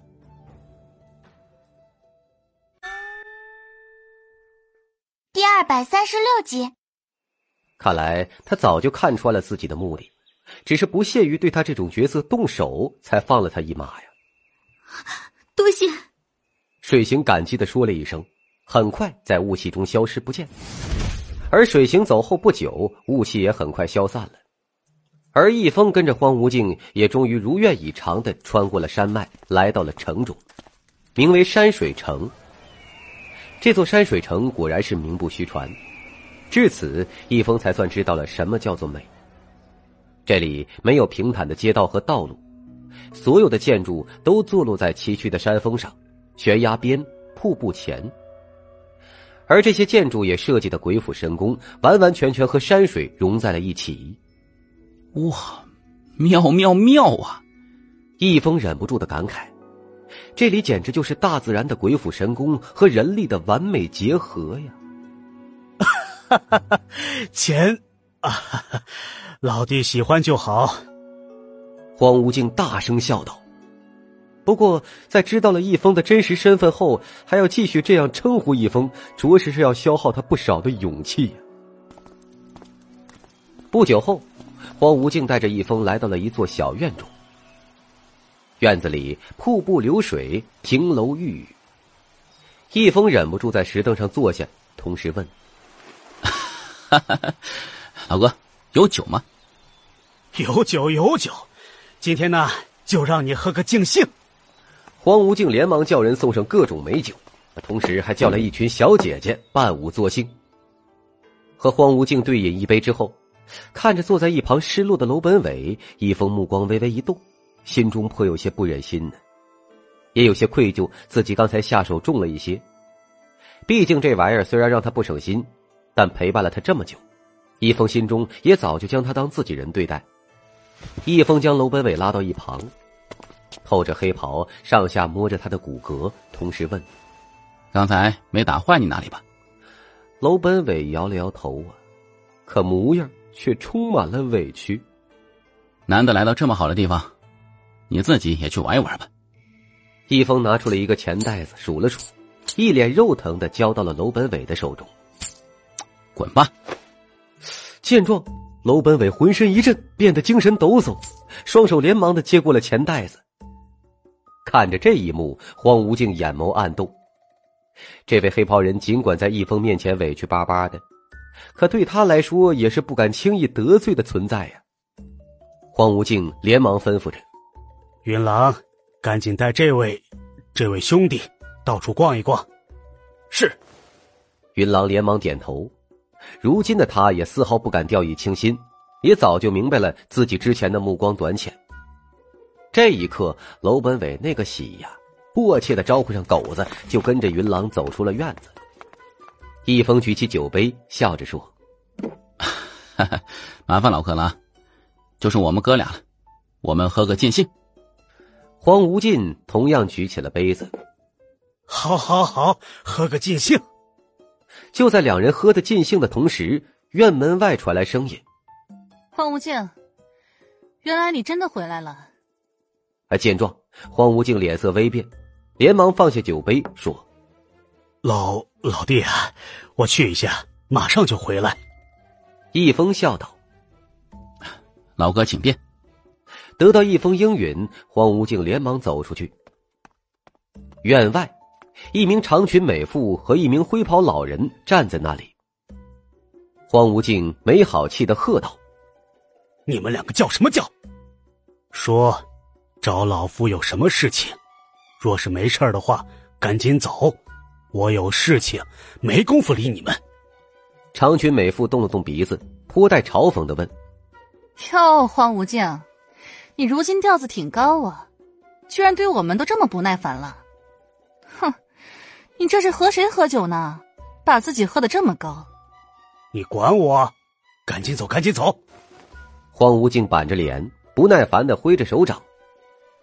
长裙美妇郑重说：“哼，荒无境，我们来找你，可是商议五行这几个心腹大患的，这可是正事。”荒无境继续下着逐客令，说：“那也给我走，没什么正事儿，比我现在的事情更重要。”哦，那既然如此的话，我就偏要看一看，你到底是在跟哪个如此重要的人喝酒，居然连五行这种正事都不放在眼里了。长裙美妇颇带怒意，查探的气势顿时朝院子里悄无声息的弥漫而去。最后，顿时冷笑出声：“哼，荒无尽，你可以呀！我倒以为是什么人让你对我们这么不耐烦，原来是个凡人啊！”荒无尽沉声说：“哼，不就是凡人？你个有眼无珠的东西！你最好闭上你的嘴巴，别到时候不知道怎么死的。”说罢，荒无境怒甩袍袖就要离去。可长裙美妇见荒无境这般模样，反而是更有了兴趣，连忙拦住荒无境，好奇的问：“荒无境，认识你这么多年，我还真没见过你这副样子。今天我还就将话给你撂这儿了，你要是不告诉我这个青年到底是什么人，我还就不走了。”你，荒无尽看着长裙美妇，脸上充满了愠怒，可是他又知道这女人的性格。这才回头怒哼着：“哼，我可以告诉你，但是你最好别说出去。你知道了，就给我速速离去。”长裙美妇被吊足了胃口，连忙问：“啊，你赶紧说，别卖关子了。”荒无尽看了一眼院子里独自喝酒的易峰，深吸了一口气，这才郑重说：“这位虽然你看不穿他的修为，但绝对是超级恐怖的存在。”甚至我怀疑，他根本就不是武帝。不是武帝。长裙美妇微微吃惊，不可置信的说：“莫非，他还能是天上的仙人不成？”荒无境郑重点头说：“不错。”长裙美妇疑惑的问：“可是成仙之路不是已经斩断了吗？如今这仙江大陆哪里来的仙啊？”这个。谁能说得准？但是我感觉，他就是仙。荒无境言语之中充满了肯定，因为若不是仙，根本无法解释一峰的雕刻就能杀死火刑他们的手段。至少荒无境认为这种手段，哪怕是十命五帝都做不到啊！甚至不说易峰，光是从云朗口中描述楼本伟一手将水行抓回来的手段，同样超越了十命五帝能做到的能力。荒无境沉声说：“行了，该说的我都跟你们说了，你们速速离去吧，别打扰我们兄弟俩喝酒，引起他的不快。”兄弟，可长裙美妇却捕捉到了关键字眼，疑问出声。荒无境微微迟疑，最后郑重点头说：“对，兄弟。”你笑什么？哼，我在笑你荒无境什么时候变得这么天真了？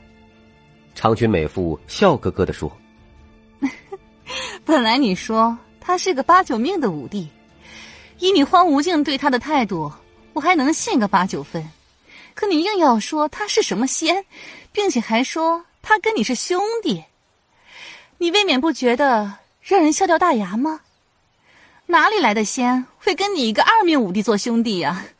荒无尽涨红着脸，怒声喝道：“你，哼，你不信就算了。”哎呀，我也没有说一定不信。你这样，带我们两个和你说的那位仙兄弟认识认识，总可以了吧？第二百三十七集，荒无尽满脸阴沉的说。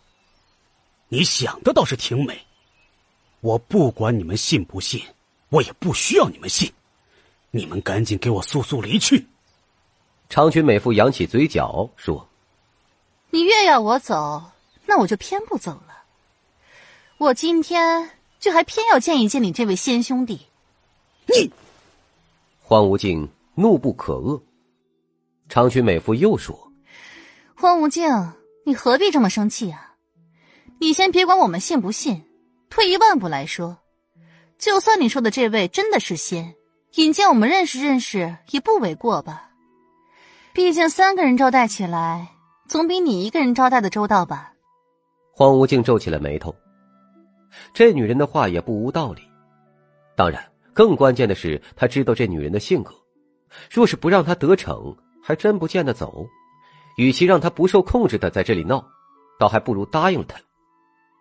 荒无尽沉声说：“行，但是我得去问一声，他答应了才行。”随后朝内院走了回去。荒无尽问：“老弟啊，我有两位老友知道你来了，也想要过来认识一下你。你看？”易峰笑着说：“哦，那真是太客气了，快让他们进来吧。”啊，好的。闻言，荒无尽这才走回外院。长裙美妇问：“怎么样？”荒无尽沉声交代：“我那兄弟答应你们去见他，但是见之前，有些话我必须跟你们说在前头。第一，到了他面前，你们不得无礼；第二，他是隐藏身份的，同时我在他面前也是装成一个凡人的。”尽管他对这一切心知肚明，但是你们也万万不可挑破，明白了没有？不然，休怪我荒无尽翻脸不认人。长裙美妇答应道：“好，没问题。”而这时，那一直未曾说话的灰衣老者却面无表情的拒绝了：“你们去吧，我就不去了。”显然对这些东西没有任何兴趣。长裙美妇没好气的说。你这老头，整天除了你那破棋盘，还有什么是提得起你的兴趣的？灰衣老者依旧面无表情。长裙美妇坚定说：“走，今天必须去。”一旁荒无尽也劝说：“对，既然我和那兄弟说好了，那就一起去吧，总没坏处的。”闻言，灰衣老者这才默不作声的点头。终于，荒无尽领着两人走进了内院，来到了桌前。灰衣老者依旧是那副面无表情的模样，似乎一封是不是仙跟他没有丝毫关系。不过，那长裙美妇却扬起了嘴角，她倒要好好看一看荒无尽的这个仙兄弟到底有几斤几两。荒无尽介绍说：“一峰兄弟，这位是梦离仙。”一峰抱拳，你好。你好。长裙美妇笑了笑，但嘴角却涌动着意味深长的色彩。荒无尽又朝一峰介绍那灰衣老者说：“这位是尹胜夫。”一峰又抱拳说：“啊，见过尹老哥。”可尹胜夫却没有理会一峰，而是自顾自的盘膝坐下。随后合上双眸，闭目养神。易峰尴尬的愣在原地，皱起了眉头。荒无尽心中一个忐忑，怒瞪了尹胜夫一眼，可后者却完全无视。啊，易峰兄弟，别管他，我们喝我们的。荒无尽连忙安慰说，心中生怕易峰动怒。易峰点点头，并没有太过放在心上。来来来，喝酒，喝酒。荒无尽连忙举起杯子说：“好，喝酒。”易峰和孟离仙同样举起酒杯。喝完一杯之后，孟离仙将酒杯轻轻放下，意味深长的看着易峰说：“易峰兄弟，你是不知道啊，刚才荒无境可是把你夸上天了呀，说你怎样怎样厉害，所以想必你一定多才多艺吧。”闻言，荒无境脸色一沉，瞬间就听出来这梦离仙话里有话，连忙瞪了他一眼。可梦离仙却视而不见。依旧用炯炯有神的目光看着易峰，充满了询问。易峰笑着说：“那是黄老哥抬举我罢了，我能有什么才艺啊？只不过是一个凡人罢了。”孟离仙扬起了玩味的嘴角，又问：“凡人？哼，哪怕是凡人，也总会有一些才艺的吧？”荒无尽终于忍不住了，重重的将手中的酒杯一放。孟离仙，你够了！荒无境，你着什么急？我只不过是跟你这位兄弟唠一下家常而已。孟离仙朝荒无境反斥一声，随后又满脸笑意的看向易峰，悠悠问：“所以，易兄弟，你说我说的对不？”“哈，你说的对。”易峰笑了笑，可神色同样变得意味深长。孟离仙问。所以，易峰兄弟，你到底有什么才艺呢？易峰说：“确实有，而且不少。”哦，那既然如此的话，那易峰兄弟赶紧给我露一手呗。梦离仙装作一副期盼的模样问。然而，易峰却抬起脑袋反问：“好，我为什么要跟你露一手啊？而且，我有什么才艺？”跟你有什么关系吗？再者，我和你很熟吗？一连三问，直接让孟离仙正在当场，脸上充满了阴沉，极其的不好看。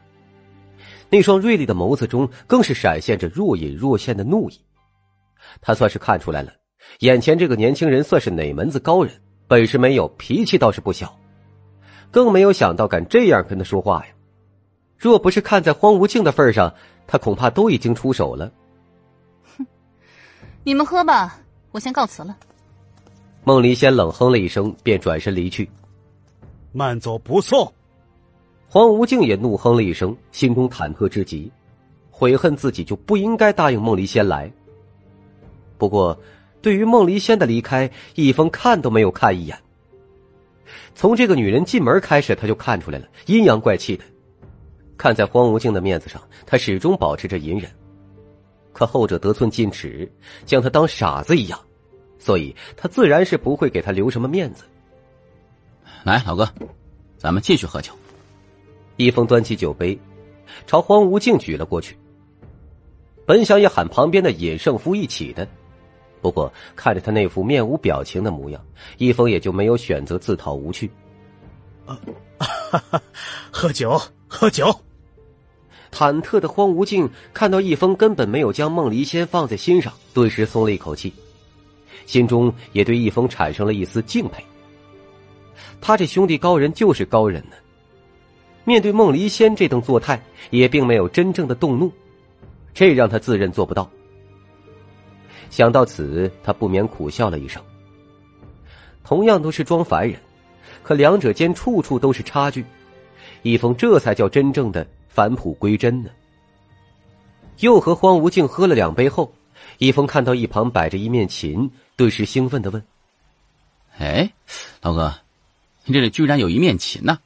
呃，我可以弹一弹吗？”荒无境顿时惊讶的问：“哦，兄弟，你还懂琴？”易峰笑道：“哈，略懂。”荒无境说。此琴是小女摆放在这里，平时弹的。兄弟若有兴趣，尽管使用。好，那我就见笑了。易峰放下酒杯，忍不住起身。说实在的，这一刻他是真的有些手痒了。喝点酒，打着屁，再配点音乐，简直就是人生的一大快事啊！易峰在琴台前端坐，修长的双手缓缓的落到了琴弦上。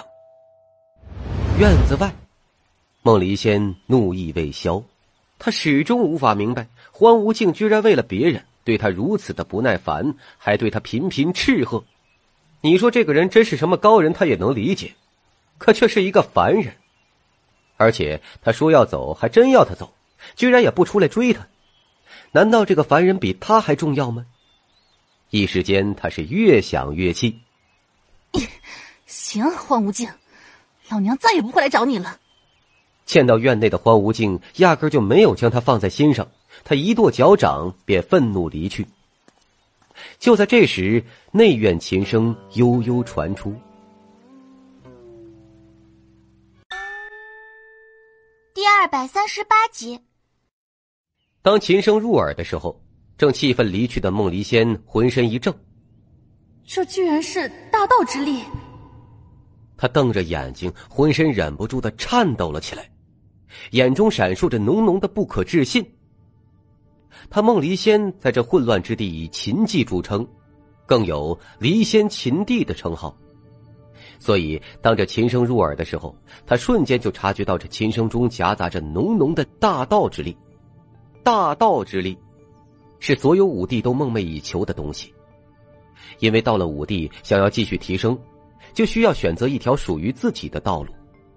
只有循着这条道路一路向上，才有破仙的可能。虽说如今仙路已断，但不到那个临界点，众人依旧还是会有一颗追求的心。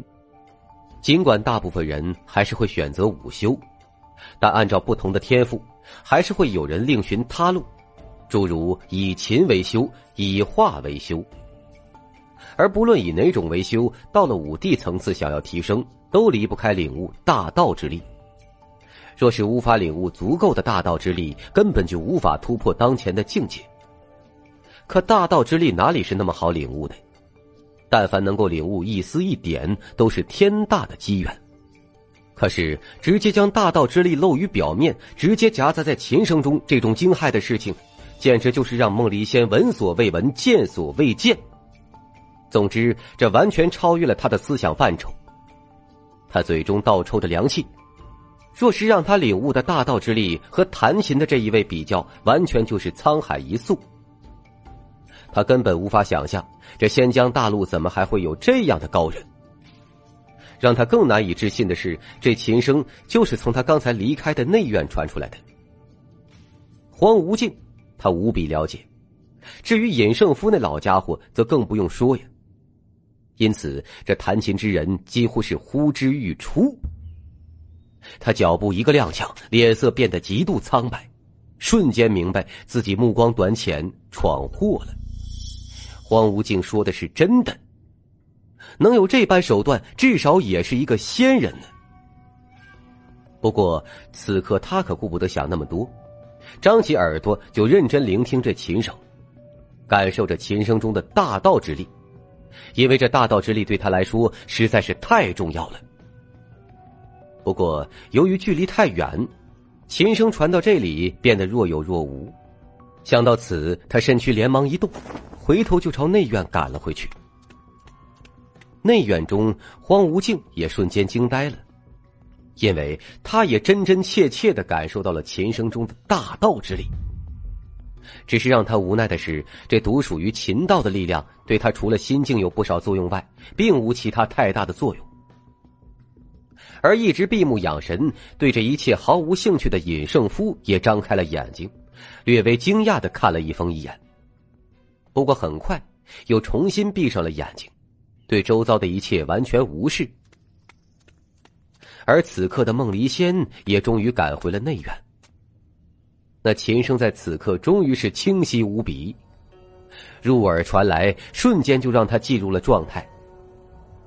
尤其是那浓浓的大道之力，夹杂在琴声中，简直就是扑面而来，这让他激动至极，浑身都忍不住颤抖啊！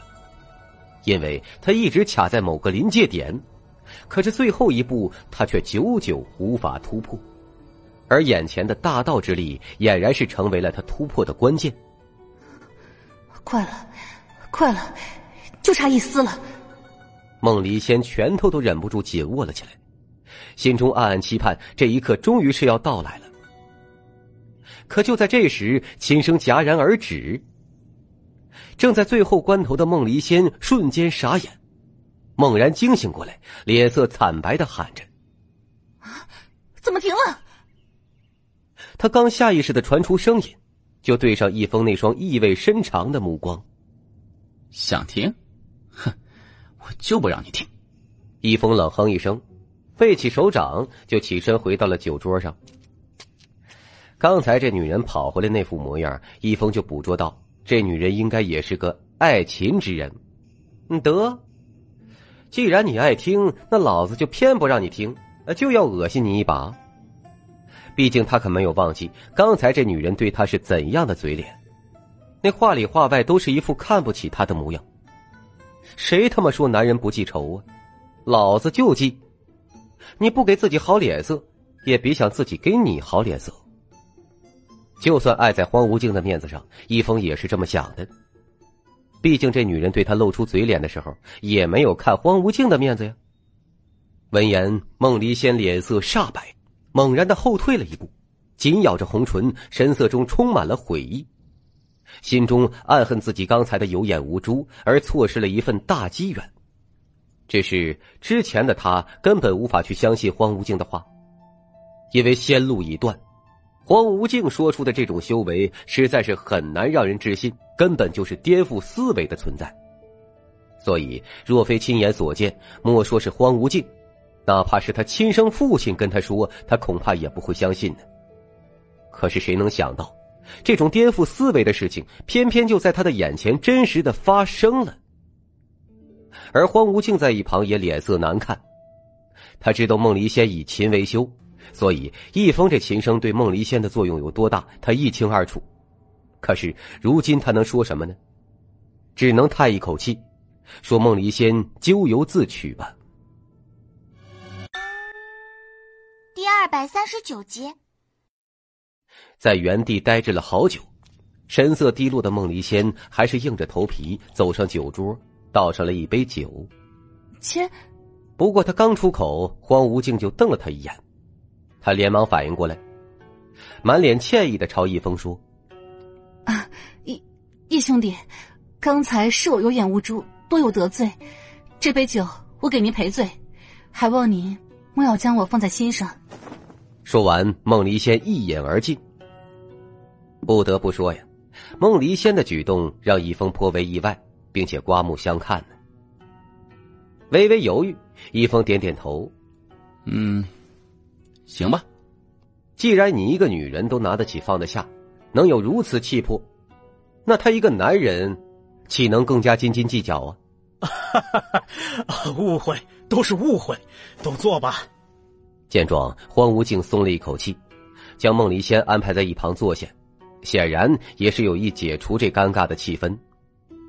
坐下后，易峰犹豫了片刻，朝孟离仙扬了扬杯子，来。见状。孟离仙受宠若惊，连忙起身举杯相迎。一杯下肚，他面色红润。此番认真接触，才发现易峰身上带着一股吸引人的气质，尤其是那股温和的模样，很难不让人引起好感。刚才的事非但没有计较他，反而这让孟离仙更加愧疚，一时间无地自容。这一刻，他不得不承认。哪怕易峰没有那种修为，自己也愿意和他相处。而就在三人气氛重新回归活跃的时候，盘坐在一旁，好似对任何一切都没有兴趣的尹胜夫，忽然拿出一盘棋，自顾自的推演了起来。这老头。见状，荒无尽和孟离仙同时摇头，朝易峰解释说：“老弟，这老头任何事情都引不起他半点兴趣。”除了他那棋盘，下棋好啊！看到这盘棋，易峰一下子来了兴趣。毕竟他琴棋书画的任务就剩棋还没有圆满呢。易峰走过去，笑着说：“来，老哥，我跟你下一把。然而尹胜夫却面无表情的说：“我这棋不是什么人都能碰的。再说，我也不会无端的浪费时间。”闻言，易峰脸色难看。得，先是孟离仙，现在又是这个老头儿，这他妈都什么人呢？你拒绝和自己下棋，自己没意见，但是说话能不能有点基本的尊重啊？然而尹胜福却依旧沉浸在他的棋盘中，对易峰完全无视。易峰也懒得自讨没趣了，便询问荒无境厕所在哪儿，就匆忙的跑去厕所，将那泡憋了好久的尿给撒干净。不过，易峰刚走，荒无境和孟离仙则是直跳脚。荒无境沉声喝道：“老头，你干什么呢？”尹胜福依旧懒得理会，目露思索的看着自己的棋盘。荒无尽气愤喝道：“我跟你说话呢，难道你还看不明白我这位兄弟是什么人吗？”尹胜夫面无表情的说：“知道。”孟离仙也斥喝道。那你还说出这种话？尹胜夫抬起脑袋，应道：“那又如何？他是仙也好，是神也罢，跟我又有什么关系？”孟离仙气愤至极呀，喝道：“嘿，你，人家看得起你，想要跟你下棋，你却摆着那副臭脸，什么意思呀？刚才我已经差点得罪他了，难道你还要得罪他？”尹胜夫面无表情的说。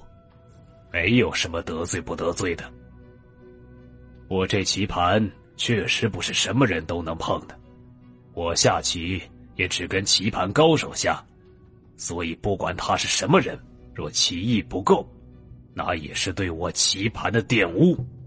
可你怎么知道人家就棋艺不精？一人只精一道，他琴艺高超已达天人，但绝无可能第二道再有成就。这就是天命不可违。闻言，荒无境两人脸色难看。这事情的确如此。不过一想起这老头拒绝易峰的模样，还是觉得不妥。想到此，荒无境冷声说：“老头，我不管你那些有的没有的规矩。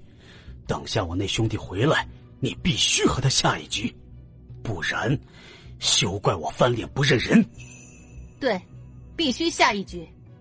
孟离仙也沉着脸说：“自己对易峰的不敬已经让他很难受了，他可不想人家堂堂一个高人，在他们这种小地方屡次遭受不快。”尹胜福看了看两人，沉默了良久，这才不情愿的点头。不一会儿，这易峰上完厕所回来了，荒无境两人笑着迎了上去，笑着说：“哈哈呃，兄弟。”那老头是这个怪性格，你别放在心上。来来来，现在呢，你就跟他下一局，让我们开开眼。易峰看了这僵尸老头一眼，说实话，是真的不想跟这老头下了。不过看荒无境两人热情的模样，又想起自己棋艺为雨神比肩呢，微微犹豫后，一峰勉强答应了。尹胜夫摆好棋盘，看了一峰一眼，面无表情的说。丑话说在前头，我是不会因为你的身份而给你面子的。同时，就此一举，下不为例。妈，这话顿时让易峰怒火中烧啊！这老头看不起人的模样，真他娘的欠扁呢！得，那自己就好好看一看，你这老头棋艺到底有多牛。第二百四十集，易峰坐下说。来吧，而荒无境和梦离仙也凑了过来。就一盘，哼！将棋盘摆好之后，尹胜福看了易峰一眼，又补充说：“这话让易峰一肚子火啊！啊，不过并未说话，而是手执棋子落到了棋盘上，一切用实力说话。很快，尹胜福脸上就露出了不耐烦之色。”因为他发现易峰根本就不会下棋，其中的一些个落子根本就是毫无章法，这让他脸色越来越难看。在他看来，跟易峰下棋根本就是浪费他的时间，还不如自己推演着下棋呢。若非看在荒无境和孟离仙的面子上，以他的脾气，恐怕早就收棋盘走人了。而一旁，荒无境和孟离仙也发现了问题。尽管他们不经其道，但多少还是懂一些的。此刻，他们也看出来了，易峰完全就是一个下棋小白，而尹胜夫无论是在意图上还是布局上，都要高明的多。发现这一幕后，顿时让两人脸色有些紧张啊，不由得，荒无境的屁股下意识的朝尹胜夫挪了挪，悄无声息的传音道：“老头，以情为主，你一定要给我这位老弟放放水，人家就是陪你娱乐娱乐。”你可别让他脸上太挂不住。哼！然而面对荒无境的提醒，尹胜夫只是冷哼一声回应着，这让荒无境脸色阴沉不已，暗恨尹胜夫这个老匹夫不懂世事、不通情理，真他妈梗呢。但是他也知道尹胜夫这个人的脾气，你让他在棋局上放水或者如何，这根本比要他命还难呢。所以，他们也只能期盼着一峰能够在尹胜夫的手中多撑一会儿，不至于输得太难看而导致尴尬。然而，让他们没有想到的是，尹胜夫不仅没有放水的打算，对和易峰下棋是越发的没有耐心了。尹胜夫面无表情的说：“最多再下半刻，你自己认输吧，不然我可没有这么多时间浪费在你的身上。”易峰同样面无表情的说：“用不着这么久，马上就好。”声音落下的同一时间，将手中那一枚棋子放了下去。落子后，易峰起身离开了棋盘，又重新坐回了酒桌上。尹胜夫面无表情的说了一声：“有点自知之明。”也是没有想到易峰这么爽快就认输了，于是目光也从棋局上收回。而见状，荒无境和孟离仙脸色尴尬。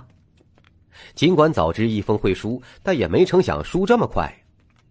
于是两人连忙坐回一峰旁边，笑着说：“啊，兄弟啊，没事输了就输了，下个棋而已，没什么的。”孟离仙也连忙笑着说：“啊，对对对，尹老头棋艺确实可以的，整个城里面也找不到对手，所以输在他手里也正常。”来来来，我们继续喝酒。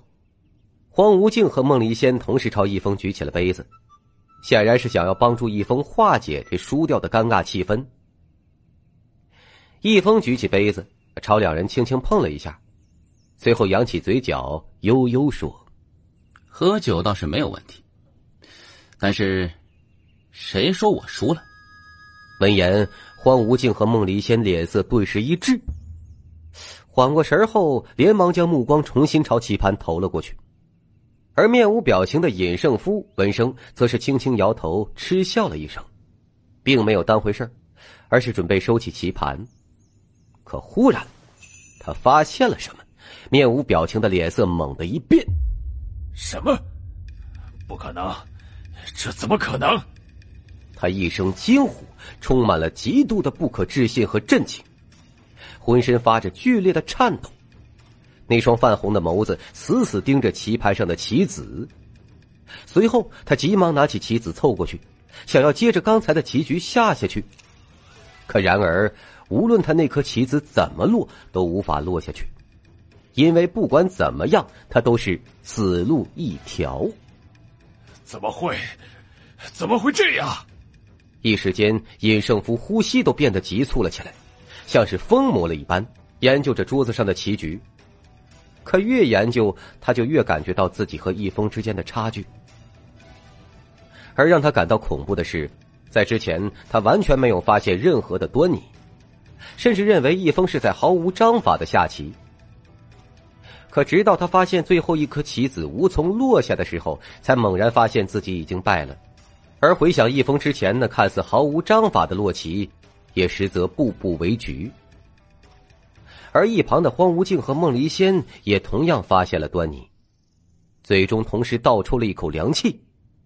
万万没有想到，季风在琴技之外的棋艺，居然也还有这么高的造诣。本以为是易峰输了，却没想到输的是尹胜夫。这一反转简直让他们不可置信呢。而更让三人感到不可思议的不仅如此。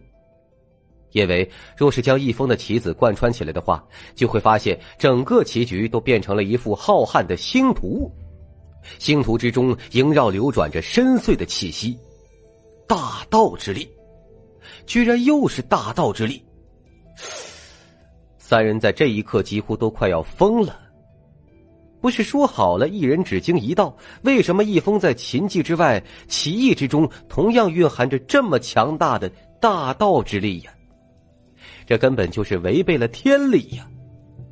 不由得，荒无尽和孟离仙对视一眼，皆是从对方的眼神中看到了浓浓的震撼。尽管他们无法理解易峰为什么能够精通两道，但至少从现在看来，他们之前还是小瞧了易峰。更加可笑的是，他们还安慰易峰，担心易峰会因为输棋而感到不高兴。现在看来，完全就是他们多想了呀。只是，尽管这棋局中蕴含着浓浓的大道之力，可荒无境和梦离仙却无法领悟，甚至连尹胜夫也同样如此。因为易峰下的这盘棋实在是太深奥了，就像一个武灵，即便你给他将一份地品的武技摆在他的面前，他也不可能练成，只知道其强大，却无法领悟而干瞪眼。当然，即便无法领悟。但有天赋者也能抓住一点东西，而此刻的尹胜夫正是如此。尽管他在易峰的手中败得很彻底，但他棋道的成就却是有目共睹的。他揣摩着易峰的棋局，总感觉自己抓住了什么，可具体是什么，又有些虚无缥缈。但是他明白，只要把这个点抓住了，参透了。他的棋艺将会上升一个台阶，进入一个新的境界。不由得他颤抖着身躯，将希冀的目光看向了易峰，因为他坚信，呃，只要再跟易峰下一局，哪怕无法领悟其中的大道之力，但只要揣测易峰每一步棋的布局，肯定能够让他领悟到这一点。易峰一边喝酒一边说道：“你看我干什么？”而语气也没有半点客气。闻言，尹胜福脸上充满了窘迫和不好意思，但还是厚着脸皮躬身说：“前辈棋艺高超，是在下有眼无珠了。晚辈斗胆恳请前辈能与晚辈再下一局。”第二百四十一集。好。一听这话，易峰顿时感觉有意思了。刚才要跟他下棋的时候，又是说浪费他的时间，又是怕玷污了他的棋盘，摆出一副死了妈的模样。现在看他会下棋了，马上又来跪舔，甚至还叫起前辈了。你不是说只下一局吗？易峰满脸不屑的冷笑着。这话说出来的可是你呀。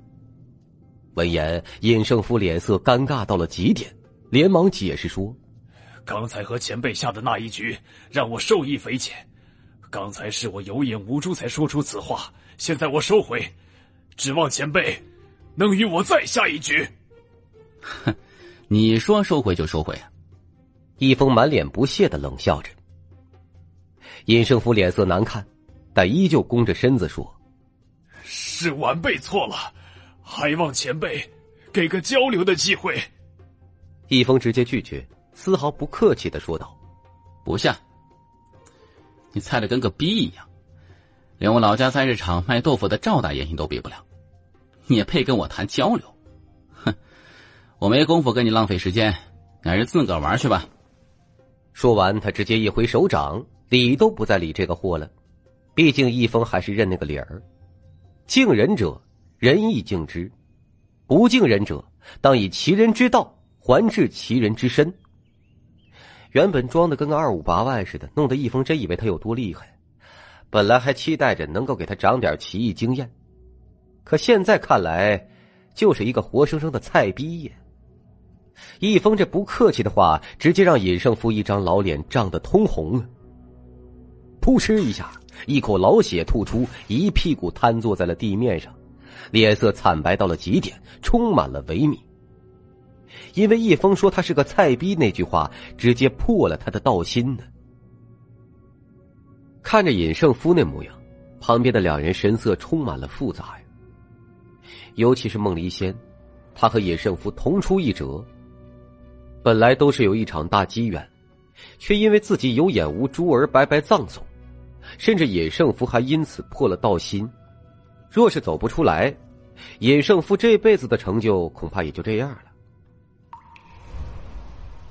混乱之地入口，天空中凌空而立着两道身影，一男一女。女的黑色长裙，男的年约六旬，身着道袍。道袍老者忍不住问。那钟青到底对你怎么了？怒气这么深。闻言，黑衣女子俏脸一沉，眼神中闪烁着强烈的冷意。想起前几日发生的一幕，恨不得让他直接杀人呢。他看到钟青一个人留在汉昌城，本以为天赐良机的他，乔装去接近钟青，想要借此探清钟青到底是不是神体的事实。可恨的是。钟青这个钢铁直男非但没有理他，甚至还当着他的面和云梦天喂了他一嘴狗粮。更可气的是，那该死的臭小子还一口一个大妈，语重心长的说：“叫他不要老牛吃嫩草，两个人是不可能的。”这侮辱性极强的语言，让他恨不得直接杀了钟庆呢。甚至向来自信的他，第一次对自己容颜产生了质疑。面色冰冷的他忍不住摸了摸自己俏脸，朝一旁的道袍老道问：“林墨老道，我问你，我真的很老吗？”林木老道忍不住后退一步，不适应的问：“嗯，你为什么会这么问？”黑衣女子面色寒霜的说：“让你回答问题就回答问题，哪来这么多问话？”呃，这个怎么说呢？林木老道挠了挠脑袋，可是他还未开口呢，就发现这黑衣女子手中不知在何时凝聚出了一个能量球，涌动着恐怖的能量，蠢蠢欲动着。黑衣女子把玩着手中的能量球，漫不经心的看了林木老道一眼，悠悠说：“记住，想好了再回答。”闻言，林木老道顿时一个机灵，嘴中连忙说：“美，美到天际。”哼，那还差不多。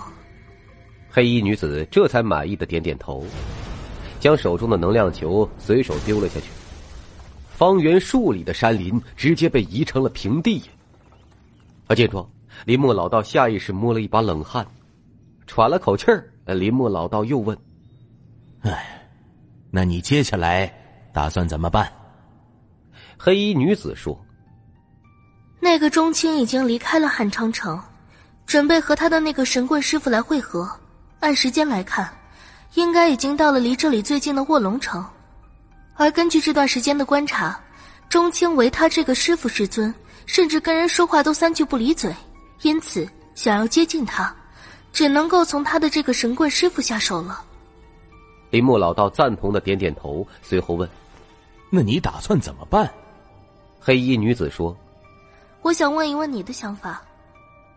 林墨老道说：“要不直接将那神棍抓了，然后直接逼他将你安排在钟青的身边。”黑衣女子摇了摇头说：“这个办法我也想过，但是还是不妥。若钟青真是神体，知道了我们这么对他这个神棍师傅，恐怕死都不会从我了。”黑衣女子郑重的说。而这件事情太过重大，我们不能够冒这种险。那你到底打算怎么办？如今我们要解决的，就是靠什么办法能够留在钟青的身边，好探清他的身份。钟青这个小王八蛋不解风情，他那个神棍师傅可不见得。你的意思是？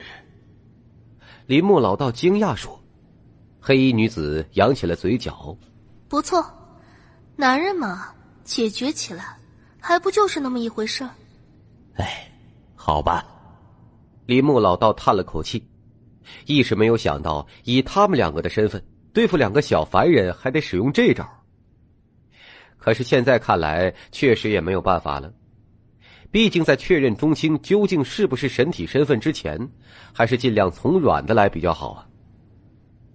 这时，黑衣女子看着下方混乱之地的出口，说：“出来了。”林木老者低头看去，果然，混乱之地的出口走出了一个白袍青年，正是易峰。易峰在原地伸了个懒腰，脸上洋溢着淡淡的笑容。通过传音预检，易峰知道自己小徒弟离开汉昌城来找他了，已经到了不远处的卧龙城。这不，他这当师傅的去接徒弟去了。天空中，黑衣女子看着地面的易峰，悠悠说：“不得不说，这个神官还真厉害，就连混乱之地都跑进去了。你说他是不是真的有点本事呢？”林墨老道说：“谁知道呢？修为肯定是没有修为的，其他的，到时候你接近不就知道了。”行吧。你先回去吧，接下来的事情交给我了。黑衣女子交代了一声，看着易峰的身影追了上去。二百四十二集。不久后，易峰终于独自一人来到了卧龙城。本来不至于如此孤单一人的，可吴永红家里面刚好有急事儿。至于楼本伟。易峰想起了这一茬，就感到头疼了。就是易峰和那个僵尸脸下棋的那一天，这厮和云狼也一起去外面喝酒。但是你说你喝酒就喝酒吧，这他那个骷髅架子是怎么喝的，也先不去追究了。可他娘的是，你喝完之后，哎，人家抛绣球，你个破骷髅去凑什么热闹啊？得，还真他娘的抢中了。一想起这其中的麻烦事儿，易峰实在是不知道说什么好了。不过也不能让钟青一个人在外面干等着，这不，他只好孤身一人先把钟青接回来再说。至于楼本伟那事儿，也只能够等回去了再慢慢解决吧。来到卧龙城不久之后，终于是见到了多日不见的小徒弟。别说，这小家伙改变还真大呀，不仅变得春风得意，哎。就连衣品也改变了不少啊！果然呢，有女人就是好啊！我可恨的是他这个当师傅的还是单身狗。看着旁边的酒楼，想着也已经到了饭点了，易峰忍不住朝小徒弟问：“喝点儿，好。”钟青挠了挠脑袋，还是那副懵懂憨厚的模样。师徒两人靠窗坐下，点了两个小菜又上了一壶好酒。师徒两人干了一杯之后啊，钟青唯唯诺诺的，似乎是有话想要说。终于，他憋了好久，这才红着脸说：“师傅，男人都那么难的吗？”易峰皱了皱眉：“你啥意思？”而钟青红着脸，挪动着凳子朝易峰凑了凑，说：“就是。”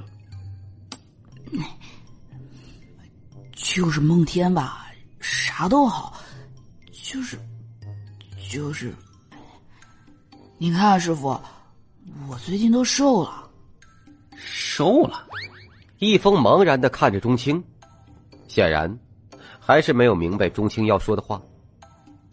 钟青脸色难看的摇头说：“哎呀，师傅，你你怎么就是不懂呢？算了算了。”现在回想起来，师傅你不懂也是情有可原的。易峰放下酒杯问：“你这又是什么意思？”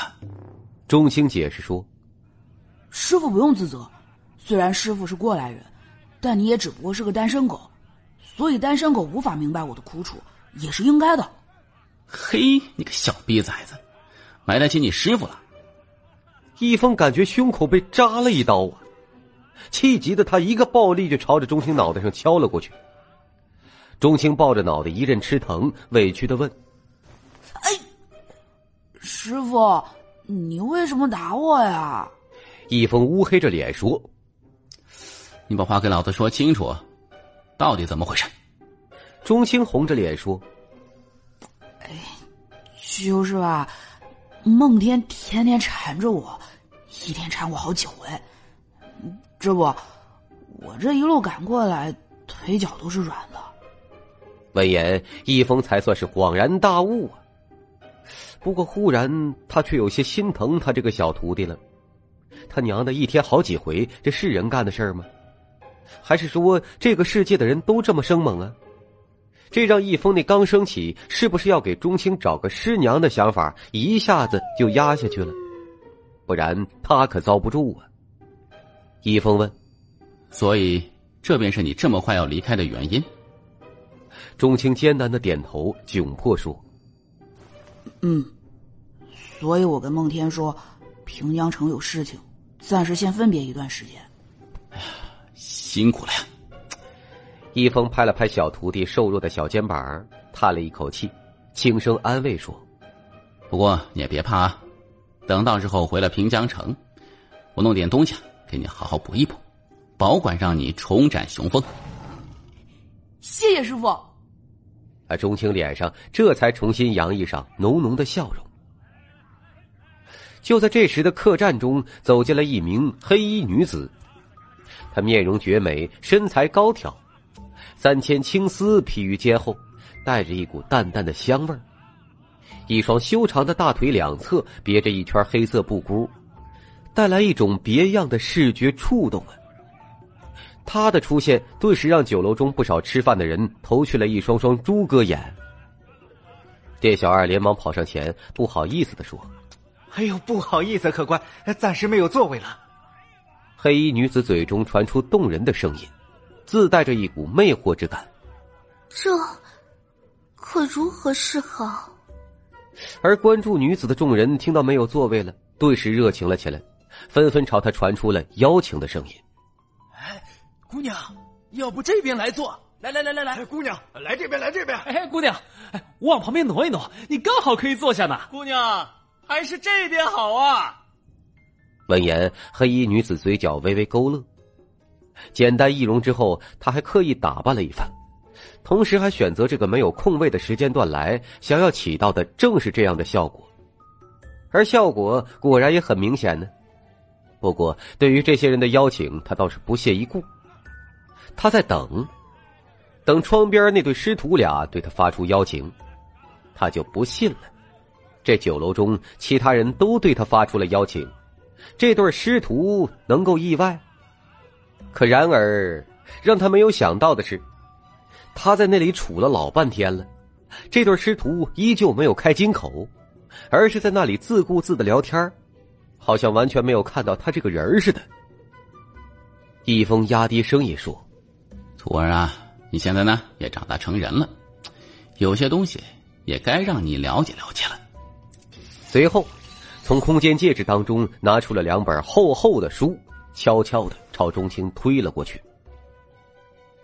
钟青将目光朝这两本书打量而去，这是《金品梅》《灯草和尚》。两本书的书名映入眼中，让钟青感觉很奇怪，而且这书包也皱巴巴的，书页下角已经卷了起来，看得出来这易峰平时没少翻。易峰悄悄的说。声音压得更低了，你打开看看就知道了。这是你师傅改编过后的啊，其中的一些知识能够让你受益匪浅的，啊，记住啊，悄悄的观看。易峰这副模样，顿时让钟青对这两本书充满了好奇心呢。悄悄的翻开一页看去，眼珠子顿时一瞪，菊花也猛地一紧。他惊呼道：“师傅！”深藏不露啊！易峰连忙摆出个手势，嘘。啊，钟青点点头，眼神狂热的将这两本书给收了起来。易峰又问：“对了，还有啊，你如今打算要孩子吗？”孩子。钟青挠了挠脑袋，嘿嘿笑着说：“呃，师傅，您说这个是不是太早了一些？我自己也还是个孩子呢。”易峰苦口婆心的交代说：“那你既然不要孩子的话，那你有些措施就必不可少啊。”钟青皱起了眉头说：“啊，还请师傅告知，我是真的不懂。”易峰朝钟青科普说：“这么跟你说吧，措施分为很多种，而最有效的措施……”说到此，易峰挠了挠脑袋，这世界恐怕还真没有这玩意儿。既如此的话，易峰又想出一招，说：“那你得学会算他的安全期。”安全期？对。那这个到底该怎么算？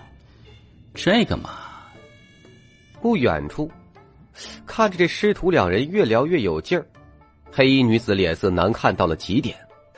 难道他就这么不入两人的法眼吗？哎，就连看一眼也不会。就因为两个凡人，以他的身份费尽苦心乔装成这样，已经是破天荒了。他本想保留最后一丝尊严，让这对师徒自己邀请他过去，这样他也能够掌控主动权。可现在这情况，难道还要他自己亲自凑过去？他咬了咬牙，终究是没法了。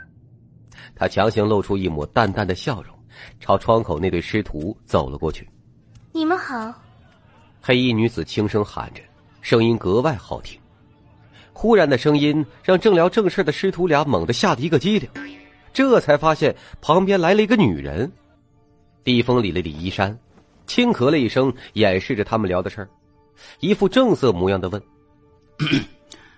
你好，请问姑娘有事吗？”是这样的。今日舟车劳顿，实在有些疲惫，本想就店果腹，可这店中却没有多余的座位。我看两位风度翩翩，想必不是坏人，所以能够让我在这里坐下吗？第二百四十三集，黑衣女子声音悠悠传出，语言中更是带着一股让人无法抗拒的魔力。而他的话术也十分高明，先是表达了他的困境，又对两人有了一番夸奖，最后表明了他的理由，不刻意，不做作，他就不相信这天下间还有人会拒绝。而他也想好了，坐下来之后，免不了会发生交谈，然后相互熟络，最好再被一封邀请同游，最后探清中青是否为神体，这一切顺理成章。不出意外，都会按照他的意愿如期实现。想到此，他补充了一句：“所以，方便吗？”然而，易峰直接拒绝了他：“抱歉，不方便。”呃，啊！黑衣女子一下子没缓过神来，凝固当场。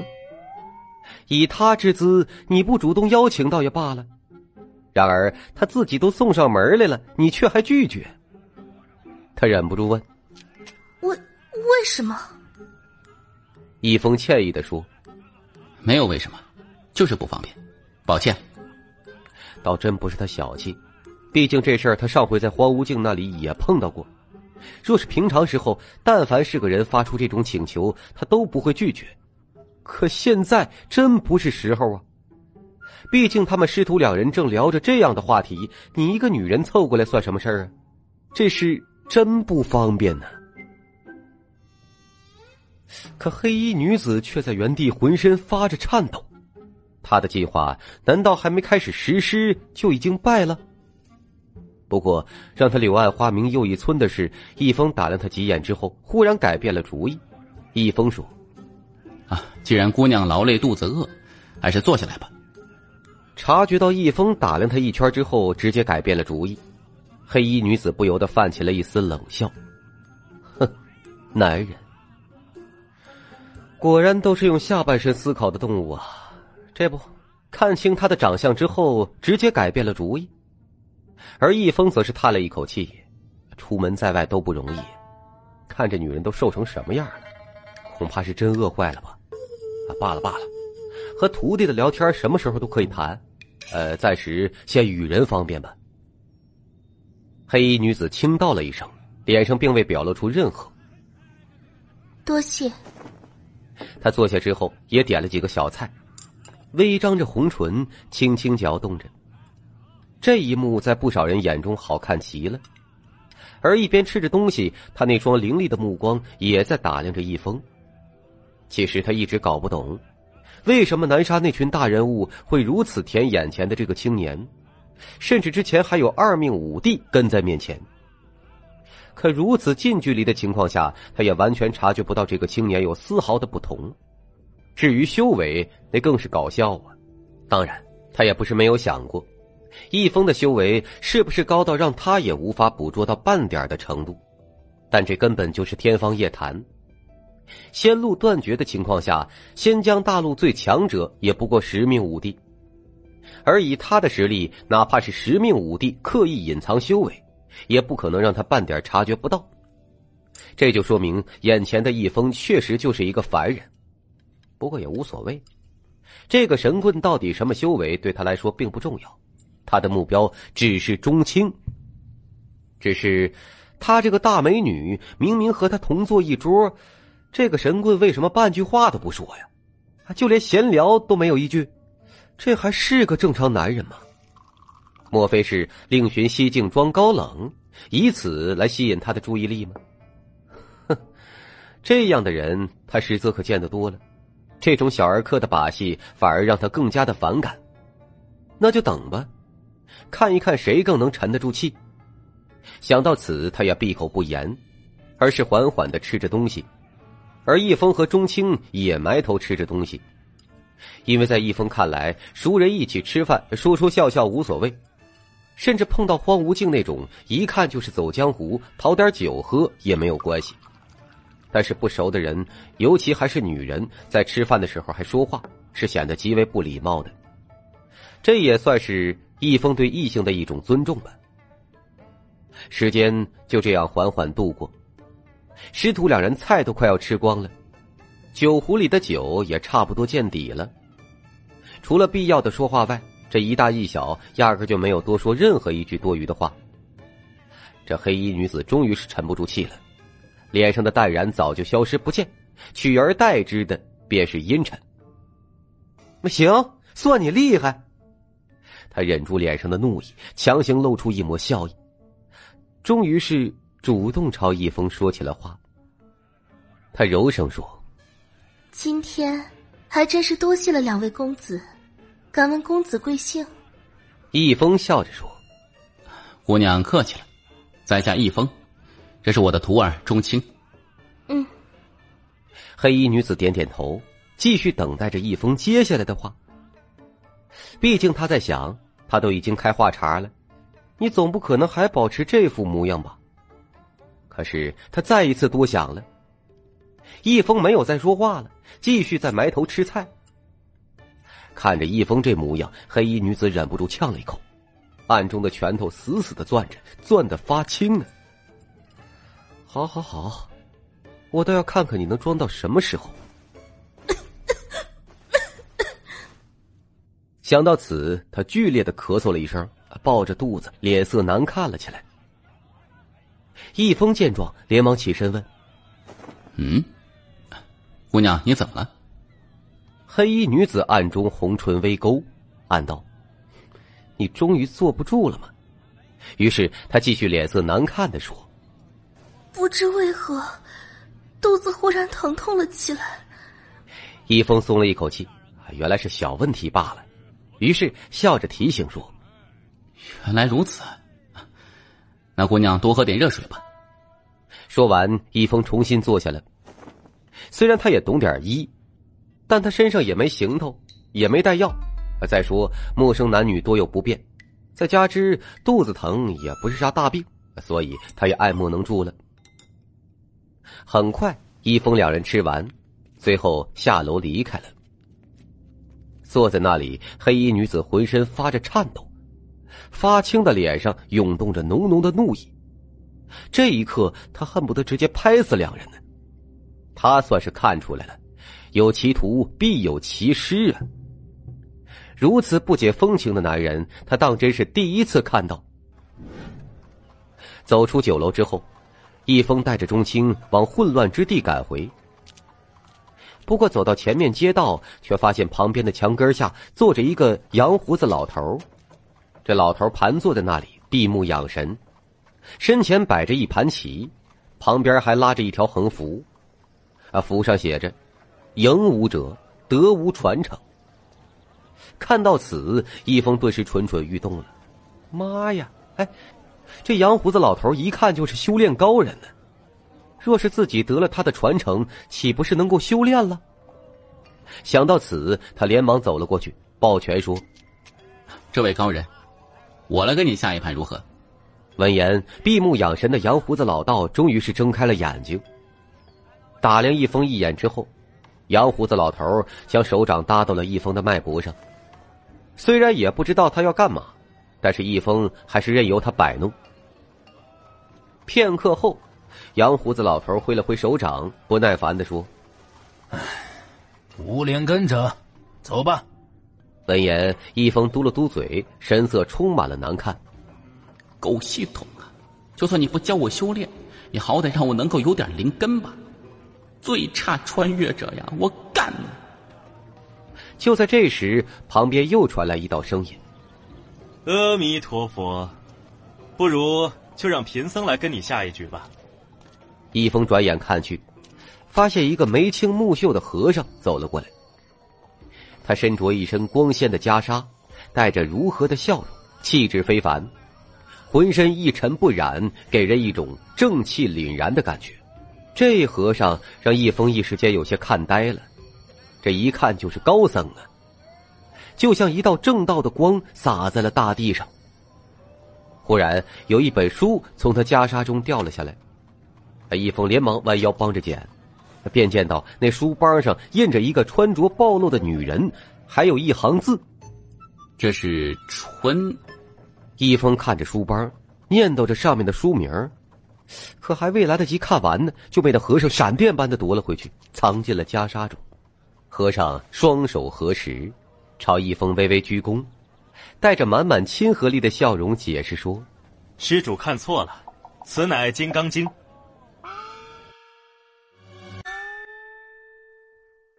第二百四十四集，易峰有些纳闷金刚经，难道是自己看错了吗？不过这个和尚一副高僧的模样，实在很难不让人相信。估计可能真的是自己看错了吧？毕竟这种高僧的手中怎么会有他想象的那种书啊？和尚伸出手掌，笑着说：“施主，烦请看看我有没有灵根吧。”杨胡子老头点点头，将手搭了过去。片刻后，他悠悠说：“嗯，中等灵根。”和尚双手合十说：“阿弥陀佛。”那施主，我就坐下了。杨胡子老头点点头：“嗯，坐吧。”就这样，两人就开始了博弈。而易峰也并没有急着离去，而是就在一旁观棋。易峰看得出来，这两人的棋艺都很高超，都不是之前那个尹胜夫可以比拟的。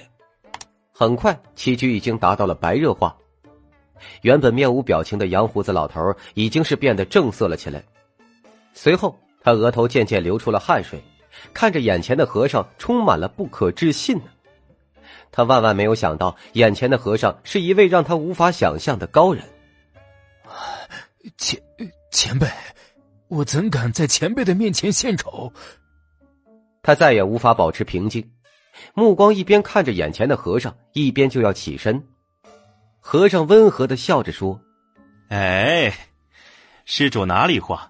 施主大可不必如此，就当是一场正常博弈就好。”啊啊！多谢前辈。杨胡子老头重新坐下，擦了擦额头的汗水。紧张的同时，也变得格外的认真，而接下来的结果也并没有出乎预料。杨胡子老头一番挣扎之后，直接输掉了这一局。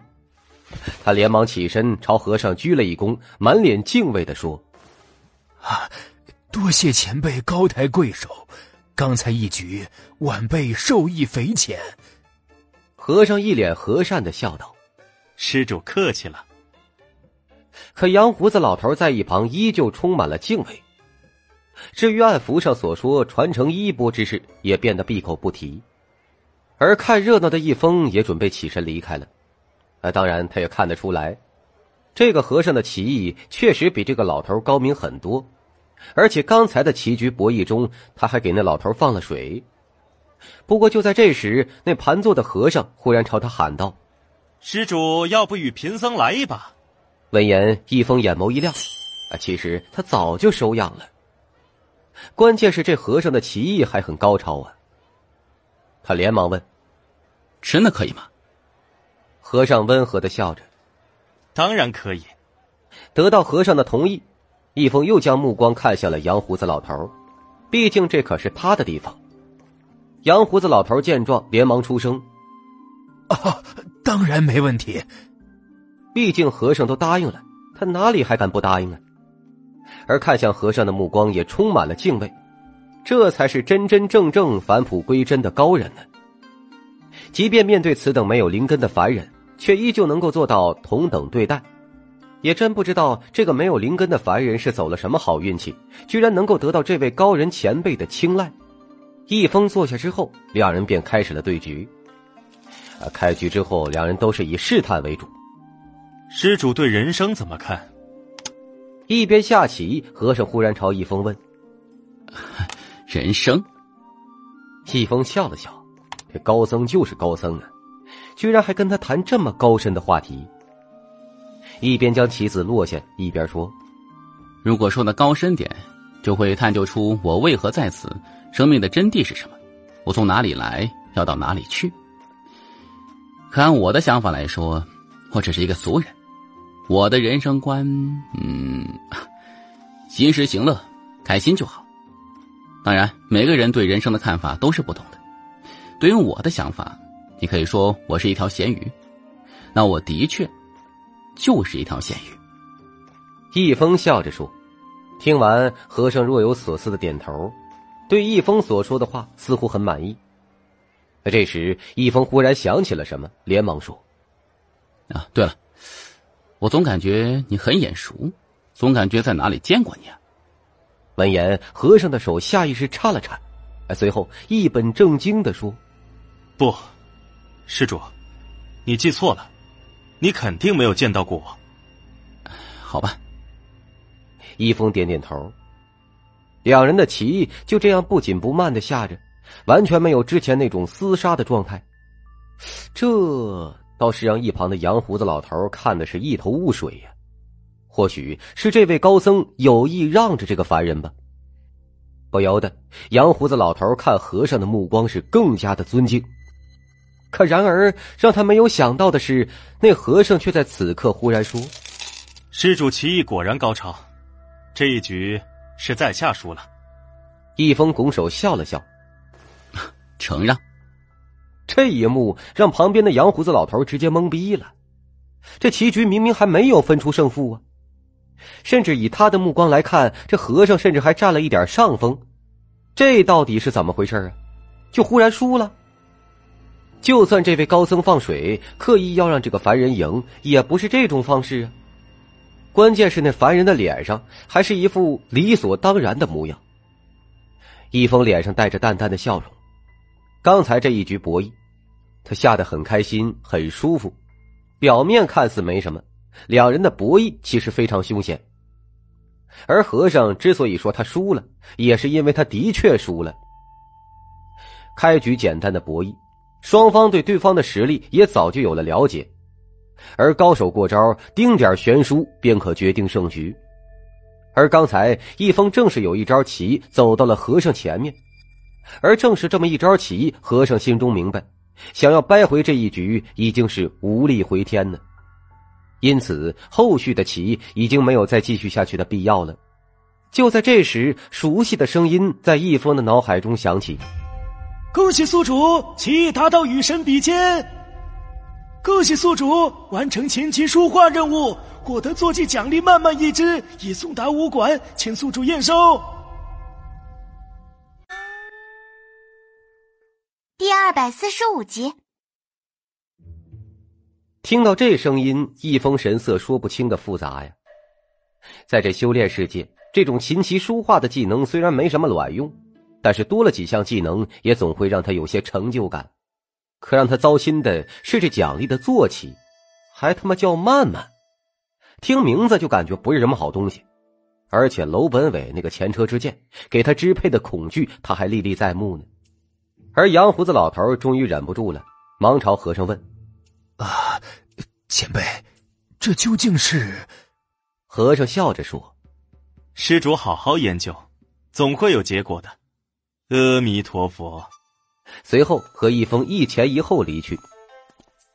杨胡子老头满脸茫然的站在原地，随后连忙朝棋盘旁坐下，双眸细细观察着两人刚才的棋局。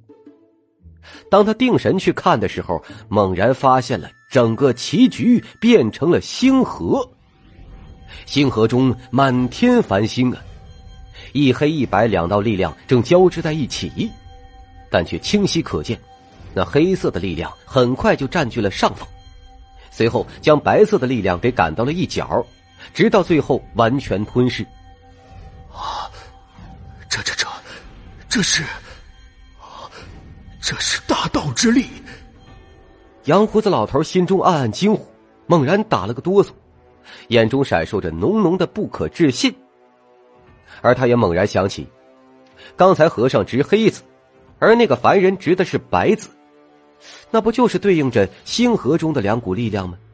才发现，这位让他看清的青年哪是什么凡人呢，而是一个比和尚还要强大的高人，在他的面前，恐怕自己才是那个真正的凡夫俗子啊！他苦笑摇头。也是万万没有想到，他只是想在这里收个徒，却炸出了两个这样的绝世高人，还一个比一个强呢。只是仙路已断，这种高人本不应出现在这世上啊！这大陆恐怕要变天了，如此大事必须要通知下去。不过留下的棋局对于他来说是天大的机缘。不由得，他朝易峰和和尚离开的方向鞠了两躬，以示感谢。街道上，易峰追上和尚，笑问：“啊，对了，还未问师傅名讳呢。”和尚露出笑容，双手合十道：“贫僧陈鲲鹏，法号鲲鹏。”易峰同样双手合十，低了低头，接着说：“啊，原来是鲲鹏师傅，幸会幸会。对了，鲲鹏师傅。”刚才那老头的传承你没有接受，而且他还那么恭敬的喊你前辈，想必你也是个修炼者吧？鲲鹏和尚笑着回应：“施主哪里话，我只是一个和尚，他叫我前辈，也不过是我棋艺比他略高一筹而已。”易峰点点头：“啊，好吧。”心中有些敬佩这个鲲鹏和尚啊，明明可以接受修炼者的衣钵，却选择不要。真乃高人也，就是他没有灵根呢啊！不然以他的棋艺，那个老头肯定可以传承他的衣钵吧？真是太可惜了。不然自己修炼修炼，最起码也能混到个武灵吧？就在这时，鲲鹏和尚忽然脚步一顿，转过身来，笑着朝易峰说：“施主，今天暂且告别吧，我差不多该去画个圆了。”说着，他朝旁边的酒楼走去。可易峰定睛一看，却大吃了一惊啊！怡红院，他忍不住喊着：“鲲鹏师傅，你去这里化缘？”鲲鹏和尚抬头看了那牌匾一眼，温和的笑着说：“啊，施主不必惊慌，一切都是缘分，而且在贫僧的眼中，众生平等，皆是施主。既然都是化缘，那哪里不是化缘呢？”所以，施主再会。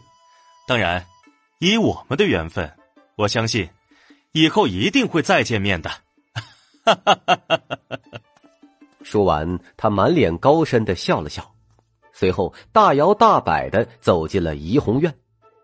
高人呐，这才是真正脱离了世俗的高人呐！易峰忍不住竖起了大拇指啊，随后带着钟青离开。很快，师徒两人便赶回了混乱之地。而想起楼本伟抢绣球的事情，易峰就感到头大呀。尤其是听说这女方婚礼都准备好了，明天就要来接人的时候，易峰终于是坐不住了。所以，本想在荒芜境这边再玩几天的他，带着楼本伟是连夜跑路了。别人不知道这楼本伟是个啥玩意儿，他还不清楚吗？因为这纸婚根本就是结不成的。若是让女方知道了抢绣球的是个骷髅，先不说会不会吓到人家，说不定还会一怒之下将他们全部给绑了。黑夜中，易峰一边拉着娄本伟，一边教训着：“你说你什么样，自己没点逼数吗？你个破玩意儿，还跑去抢绣球，这不明摆着坑别人吗？你有那玩意儿吗？”爸，我不走。然而，娄本伟却紧紧的抱着一棵树，任凭易峰怎么拉都不肯走。易峰沉声说：“你不走，你留着干嘛呀？”娄本伟紧抱着大树，坚定说：“我要成亲，我要爱情。”一听这话，易峰他妈火了，直接一个大耳刮子就抽了过去。成亲？这狗东西，你还成亲？还他妈要爱情？你抢别人绣球就已经把别人坑得够惨的了，还想跟别人成亲，毁别人名声啊你！易峰气的是七窍冒烟呢，揪着娄本伟的胳膊，一字一句的教训着。娄本伟用最怂的语气说出了最坚定的话：“不，我就要。”说完还不忘缩了缩脑袋。楼本伟这副模样，简直让易峰是又气又笑啊！易峰冷着脸说：“这事情你说要就能要的吗？我们先不说那姑娘知道了你这副模样之后会不会接受你，即便接受了，你又能够如何呀？就拿入洞房来说，你们两个怎么入啊？打算玩一晚上的泥巴吗？人家的幸幸福又怎么办呢？啊，你用手吗？以后那姑娘若是想要孩子又怎么办呢？”你是找隔壁的老王呢，还是对面的老李帮忙啊？啊！易峰这一番灵魂拷问，直接将娄本伟给整懵逼了，直接怀疑人生啊！所以赶紧走吧，别拿人家女孩子的幸福来开玩笑啊！易峰语重心长的说道：“你真想玩？等回去了武馆，我跟你去瞅瞅哪里有荒掉的古墓啊！我给你挖一个骷髅架子来给你玩。”娄本伟低着脑袋。终于是松开了紧抱的大树，满是失落的跟着易峰离去。就这样，易峰带着钟青和娄本伟踏上了返回平江城的行程。啊，当然，后面还跟着一头狗子，狗子脑袋上还趴着一条蜈蚣。翌日，荒无尽刚从打坐修炼中醒来，一道暴力的气息就笼罩了他的整个小院。荒无尽。你给我滚出来！第二百四十六集，伴随着一道清丽的喝声，同时一道滔天的能量波动压了过来。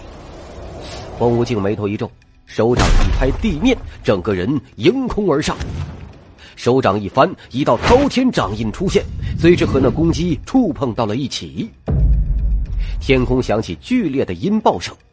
天空滚起动荡，泛起一道道气劲涟漪。涟漪之中，一名拥有着魔鬼身材、穿着暴露的女子，手持长鞭翻滚而出，随后一鞭子朝荒无尽抽了过来。见状，荒无尽凌空翻滚，躲过一鞭，同时冷声喝道：“苏莫叶，你干什么？”苏莫叶满脸冷光的说：“哼，还问我干什么？我问你。”是不是你把我男人藏起来了？荒无尽是满脸疑惑呀！什么男人？苏莫叶喝道：“你说什么男人？就前几日抢到我绣球的那个男人。”闻言，荒无尽大惊失色，感情楼本伟抢到的绣球是这个女人的呀！他顿时感到头大，连忙心照不宣的说：“苏莫叶，你是不是找错人了？”我可不知道你所说的男人。哼，还狡辩！我都已经查清楚了，我男人之前就住在你这里，现在却找不到人了。快说，你到底把他藏到哪里去了？苏木叶修长的玉手紧紧的抓着长鞭，随时就要对荒无尽发动攻击。闻言，荒无尽是顿感头疼啊！这女人似乎已经知道他和楼本伟之间的关系了，看来躲是躲不掉了。只好安抚说：“你先别冲动，有话好好说。”苏莫叶冷声说：“那你倒是赶快说，我男人到底哪里去了？”荒无尽满脸苦涩的说：“ 他之前确实在我这里，可现在我是真的不知道，毕竟我总不可能控制他的行踪啊。苏莫叶直接说：“哼，我不信！我警告你，荒无境，今天你要是不告诉我他的下落，我跟你没完。”闻言，荒无境脸色阴沉。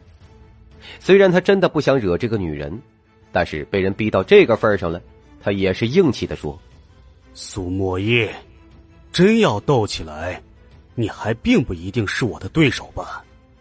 那又如何？苏莫叶抬了抬傲人的下巴，转动着美眸，意味深长的说：“哼，老娘今天还就将话搁这里了，你不把人给我交出来，那我打不过你就嫁给你。”闻言，刚刚硬气起来的荒无境一个哆嗦，顿时怂了，额头更是滴下了一滴汗水呀，脸色铁青的说：“苏小姐，没必要这样吧？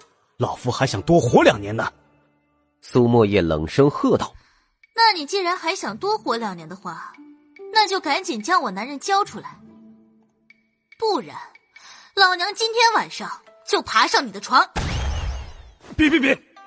荒无竟是连忙摆手，声音慌张的说：“论打架，他或许真不怕这个女的，但是这女人来这一套，他是真的害怕呀。毕竟这个女人是真的让人闻风丧胆呢。倒不是说苏墨叶长得丑，相反，这女人有着天生的媚骨，加之那精致的容颜和高挑的身材，堪称祸水级的尤物啊。”可正是这样的尤物，却有着一条克男人的命，克所有一切和他亲近的男人。而他的故事早有传说：早年未修炼的时候，碰到一个恶霸逼亲，这恶霸刚走进他的家门就暴毙而亡了。后来又有一个青梅竹马，藏在小树林里面，才牵了一下手，那青梅竹马就直接被雷给劈死了。修炼了之后。垂涎他美色的人也不在少数，可无一例外暴毙而亡。当然，真正让所有人感到恐怖的，还要数他刚来混乱之地的时候。当时的混乱之地统治在一个五命五帝的手中，这位五帝无论是手段还是实力都是极强的，加之他性格暴戾，因此所有势力都被他压得出不了头。当时那武帝一眼就看上了苏莫叶，强行逼迫当时只有五尊修为的苏莫叶作为他的双修伴侣。可他刚掳走苏莫叶，意外就发生了，空气中凭空出现了一个空间裂缝，将这个武帝给拉了进去。狂暴的空间乱流瞬间将这个武帝打成了粉末。这名武帝死后，那些被压着的势力才算是重见了天日。而至此，苏莫叶名震混乱之地。毕竟，她可是以一己之力改变整个混乱之地势力布局的女人呢。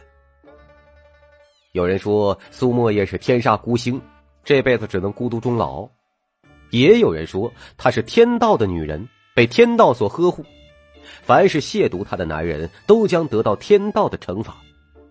而名声在外的苏莫叶自此之后，直接放出了豪言。不管是什么人，只要能当她的男人而不死，不管是什么人，哪怕是山野樵夫，也会嫁给他。这往后啊，他便乐此不疲的找起了男人，每隔几年就会丢一丢绣球啊，弄一下什么比武招亲。因为他的地位和美貌，每次总有不怕死的去争抢这个名额，可结果都是死的五花八门啊，什么被雷劈、走火入魔，甚至离谱的连喝水呛死的都有。可谁知道这次绣球却让楼本伟给抢到了，荒无尽叹了一口气：“唉，难怪一峰兄弟要带着他离开。恐怕即便以他们的实力，也对这个女人多有忌惮吧。”看着苏墨叶那灼灼逼人的目光，他微微思忖后说：“苏墨叶，实话跟你说了吧，抢你绣球的那一位已经走了。”你找不到他们的，你还是放弃吧。走了。苏沫叶俏眉一皱，手中的长鞭狠狠一挥，啪的一声，地面甩出一条百丈长的沟壑呀！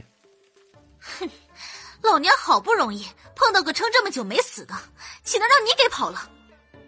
伴随着一声冷哼，苏沫叶就要离去找人。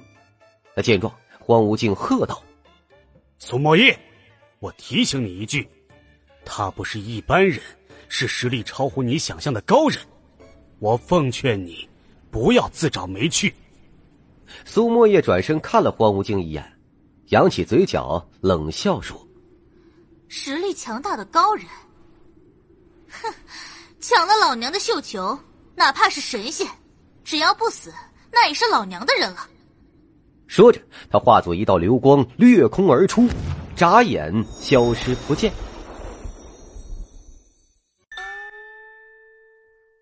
第二百四十七集，易峰等人已经是到了回城的路上，一路上是走走停停，历经了差不多一个月的时间，终于是又回到了南沙边界。只是如今比起来时无聊了很多呀。易峰叹了一口气，也不知道那群老头子干什么去了。希望吴老头家里的麻烦事儿已经解决了吧。可刚准备继续赶路，却发现前方的山林当中一帮人拦住了他们的去路。这些人长得凶神恶煞，一看就知道不是好人。果然呢，那为首的独眼龙传出了威胁的声音。沉沉喝道：“几个小家伙，识相的话，就将身上的东西全部交出来，不然，就给我们死在这里！”完了，碰山匪了！易峰心中暗道不好，满脸的凝重，一时间不知道如何是好。虽然来的时候也碰到过山匪，但是他们好歹是人多呀，哪怕王老头那种老胳膊老腿儿，也能够帮他牵制一两个。更何况，他们来时的路上还碰到了一个李意涵那个女侠呢。可现在就他带着娄本伟和钟青，面对这么多人，无疑是双拳难敌四手啊！加之这种荒无人烟的地方，想求救也很困难。可是叫他把家当全部都交出去，无疑是更加让他难受啊！他可不想回去继续吃土。总之，现在情况很不妙。就在易峰进退两难、不知如何是好的时候，后面忽然传来一道突兀的声音：“阿弥陀佛，善哉善哉。”易峰回头一看，便见到一个满脸红光、一身正气的和尚走了过来。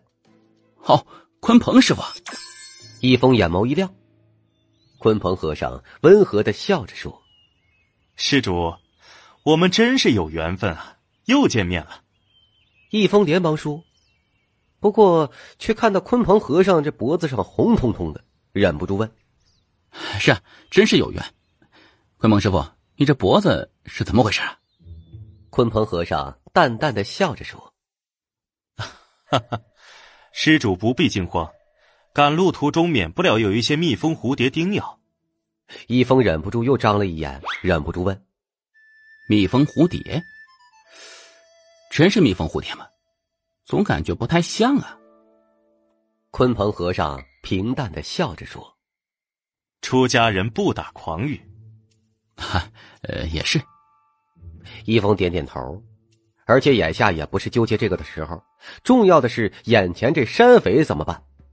不由得他将目光看向了鲲鹏和尚，问：“鲲鹏师傅，这些山匪拦路，你有什么办法可以解决的吗？”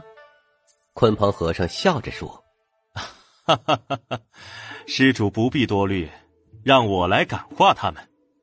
感化他们。”易峰微微吃惊啊！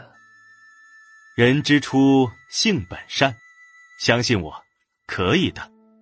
鲲鹏和尚温和的点点头，随后双手合十，在易峰的目光下朝那群山匪走了过去，随后带着他们走进了密林。不过片刻的功夫，鲲鹏和尚又双手合十，一身正气的从密林中走了出来，而身后再也不见了山贼的踪影。易峰连忙迎上去问：“鲲鹏师傅，你这……”鲲鹏和尚淡淡的笑着：“施主可以放心了，他们都被我感化完毕。阿弥陀佛，真就这么厉害？”易峰满脸的不可置信呢。这群山匪可是刀口上舔血的人呢，就这么一会儿，真就被感化了？想到此，他小心翼翼的问：“鲲鹏师傅，你不会把他们都杀了吧？”鲲鹏和尚连忙摇头告诫：“哎，上天有好生之德，施主怎可妄谈杀戮？”易峰微微一怔，反应过来，略微惭愧的说：“哈，倒是我唐突了。”哈哈哈哈好了，施主，贫僧先告辞了，有缘再见。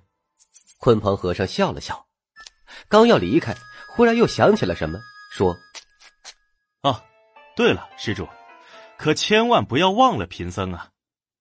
尽管不知鲲鹏何出此言，但一峰还是说：“在下自然不会忘记师傅。”多谢施主，阿弥陀佛。说完，他朝一峰双手合十，微微鞠躬。踩着一双不易察觉的鞋脚印儿离去了。鲲鹏师傅慢走。易峰也双手合十的说，笑着相送这和尚。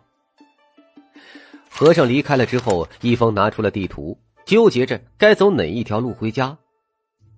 因为此地距离平江城路途遥远，这才走多远呢，就碰到了山匪。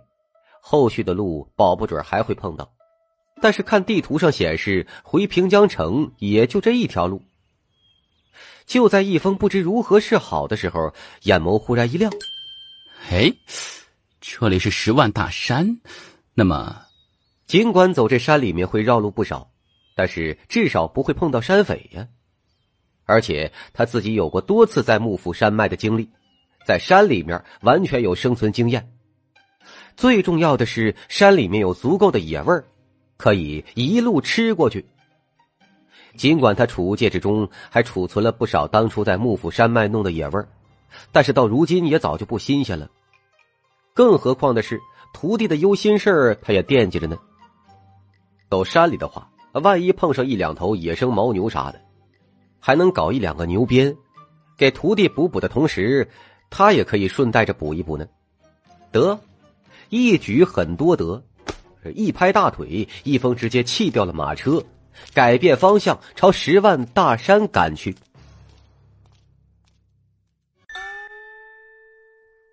第二百四十八集，一座山峰下面，林墨老道看着眼前硬生生被削掉了一大半的山峰，是冷汗直流啊！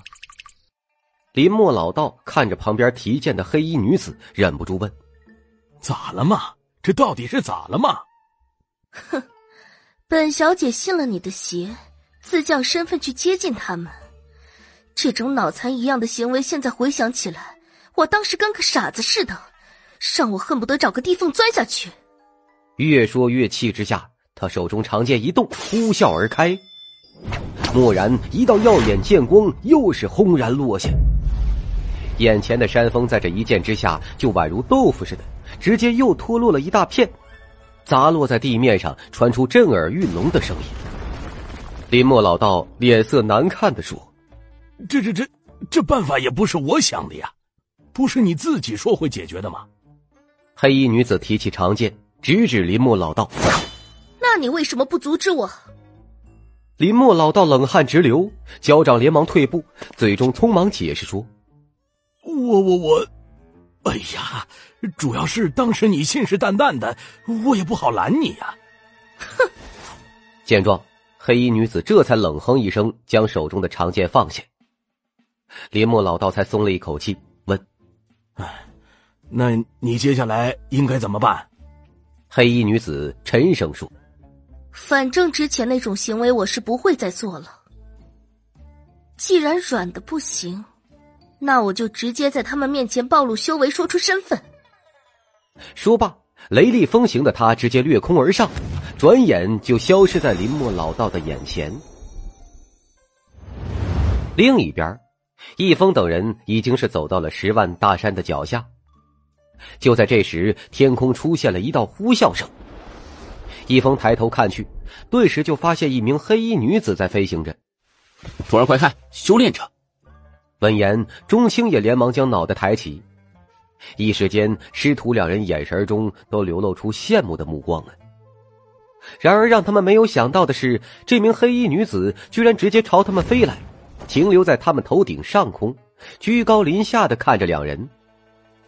正当两人不知道是什么事儿的时候，那黑衣女子看向易峰，直接开口了，说：“本人东胜州虚空门白冷溪，今天来是要带走你的徒弟。”此刻的黑衣女子算是开门见山，直接自报家门不说，也没有再如之前那般易容。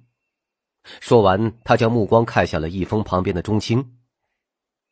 易峰眉头顿时一皱，连忙抱拳说：“带走我徒弟。”是我徒弟犯了什么事情了吗？那倒没有，但是今日我必须带走他。不过你们大可以放心，我绝对不会伤害他。少则半月，多则两月，我就会送他回来。而无论最后如何，我都会送他一番机缘。可即便这么说，易峰还是满头雾水和充满了不可置信。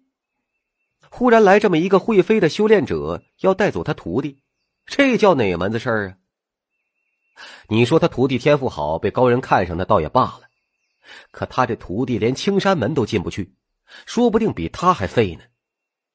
想到此，他忍不住问：“我能问一问，到底是什么事情吗？”白冷溪冷冷的说：“具体是什么事情，无可奉告。但是以我的身份，还不至于骗你们几个凡人。”而说话的同时，也在打量着易峰的表情和动作。实则呀，也是在试探易峰。毕竟南沙那群大人物对易峰的态度，他可是看在眼中的，这也是一直让他想不通的事情。所以他还是抱着谨慎的态度来试探看看，万一易峰真是什么绝世高人，他没有看出来呢？易峰沉默的点点头，好吧。按逻辑来看，这么一个修炼者，确实没有必要费尽心思的欺骗他这个凡人。易峰的反应，白冷溪看在眼里，他心中冷笑了一声，再次确认易峰真的就是一个凡人，因为哪怕是装的，在这种情况下也不可能是这番模样啊。白冷溪接着问：“所以怎么样？”而易峰则是将目光看向了钟青，说：“徒儿，你自己决定吧。”钟青问：“师傅，你的意思呢？”微微思虑，易峰说：“按我的意思，你去试试也行。因为人家真的要害你的话，确实大可不必如此。所以此番对你来说，确实有可能是机缘。而且他也说了，最多两个月就回来了。算算时间，那时候你师傅我刚好也回到了武馆了，叫他直接送你回武馆就行，也省得跟我在山里面奔波了。”钟青低了低脑袋说：“那师傅。”我听你的，易峰摸了摸他脑袋，点头笑了笑。毕竟他也知道这孩子身上还肩负着血海深仇呢，一直想要修炼却没有希望。此番若是真能够得点机缘，或许会缓解他不少的压力吧。钟青抬头说：“我跟你走，但是你保证，最多两个月，你把我送回到我师傅身边。”我保证。白冷溪脸上的阴沉也终于散去了。早知道这样来会这么顺利，他之前就不用跟个傻子似的做出酒楼那种白痴行为了。片刻后，白冷溪便带着钟青掠空离去。临走前，看到白冷溪还特意为钟青披上了一件外套避风，便让一峰确认，这个女人对钟青确实没有恶意。或许钟青的人生会发生变化呀。徒儿，记得想为师啊！易峰大喊道。可钟青早就不见了踪影。看着他离开的方向，易峰心中是又高兴，也有些失落。他徒弟不仅有老婆了，或许从今儿个起还能够修炼了。再看看他这个当师傅的，不仅是个单身狗，混到现在还是个底层小蝼蚁。唉，真他妈扎心呢！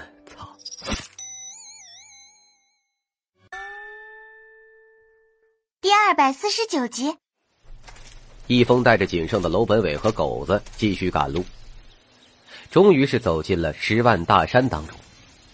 这里丛林茂密，地面上到处都是枯黄的树叶，看得出来这山中少有人烟呢。就在此刻，易峰的传音玉简传来了荒无尽的消息，荒无尽告知，楼本伟抢绣球的那个女人非常恐怖，朝他们追过来了。妈的，麻烦大了！易峰是一副糟心之色呀。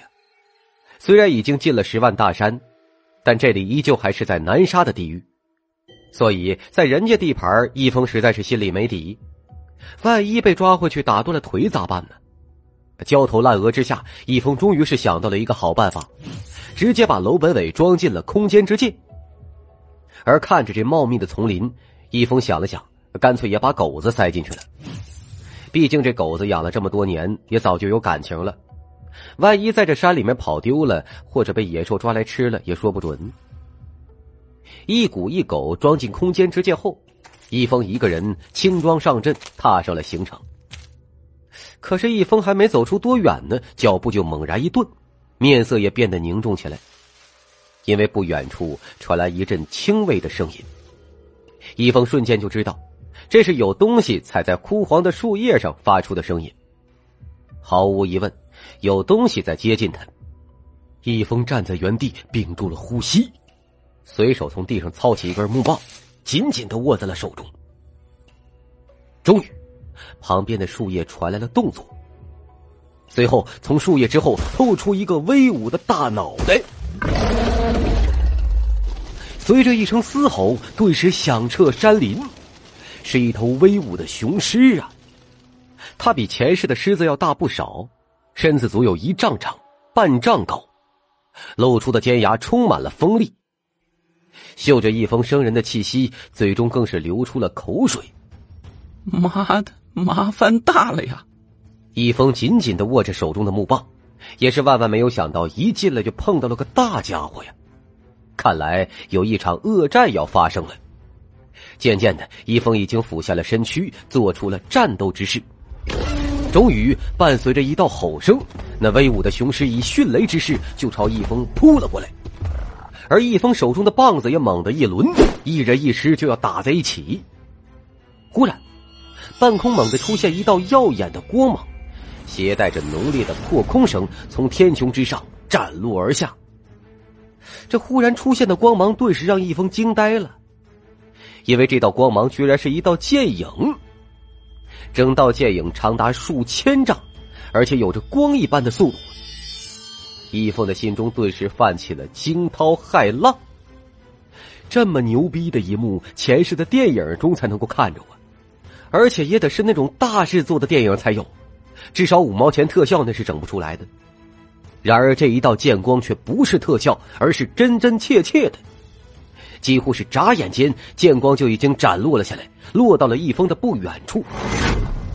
接着，易峰便震惊的看到，那只朝他袭击的狮子，在这一剑之下直接飞灰烟灭，就连毛都没有落下一根呢。啊，当然，那地面上也留下了一道数百丈长的沟壑。看着这一幕，易峰倒抽凉气。心中久久的缓不过神来，同时刚才的那一剑还在他脑海中久久不散。就在这时，过风升起，天边一道人影闪烁而来，整个空间的气流都因此而变化。片刻之后，就已经到了易峰头顶。易峰连忙抬头看去，惊骇的发现是一个美到窒息的女子，一双光着的玉足凌空而立。她五官精致，身材高挑，露出的肌肤白皙无瑕，长发三千垂落腰间，宛若星河一般的亮丽。白衣飘飘之下，纱裙无风自动，宛如不食人间烟火的仙子。身侧手执长剑，一股骇然的气势若有若无的散发而出啊！不得不说。无论是这个女子的美貌还是实力，都把易峰给震撼住了。他肯定这个女人肯定要比武灵强。易峰抱拳说：“多谢姑娘出手相救。”虽然他也有一定的信心干掉这只狮子，但人家毕竟给自己省了大力气。女子俏眉动了动，看着易峰淡淡说：“你一介凡人，怎会出现在此？”易峰笑着说。哈这事儿说来话长，我是准备横穿十万大山，然后再通过幕府山脉，赶往平江城。穿过十万大山，听到这话，饶是以白衣女子的心境，眼皮子也忍不住一跳。易峰挠了挠脑袋，问：“这有什么问题吗，姑娘？”白衣女子告诫的说：“你还是从哪里来就回哪里去吧。你不可能穿得过山脉的。刚才一只野兽就让你够呛，山里面还会有你无法想象的东西。”这个，我有野外生存经验，应该还是可以的。易峰笑了笑，既然准备进山，他也不是毫无准备的，诸如毒针、毒药也都准备了不少。这也是为何易峰刚才碰到了狮子，虽然凝重却没有慌的原因。白衣女子看了易峰一眼，说不清是什么神情，随后玉足轻轻一动，整道身影化作一道流光，消失在天际中。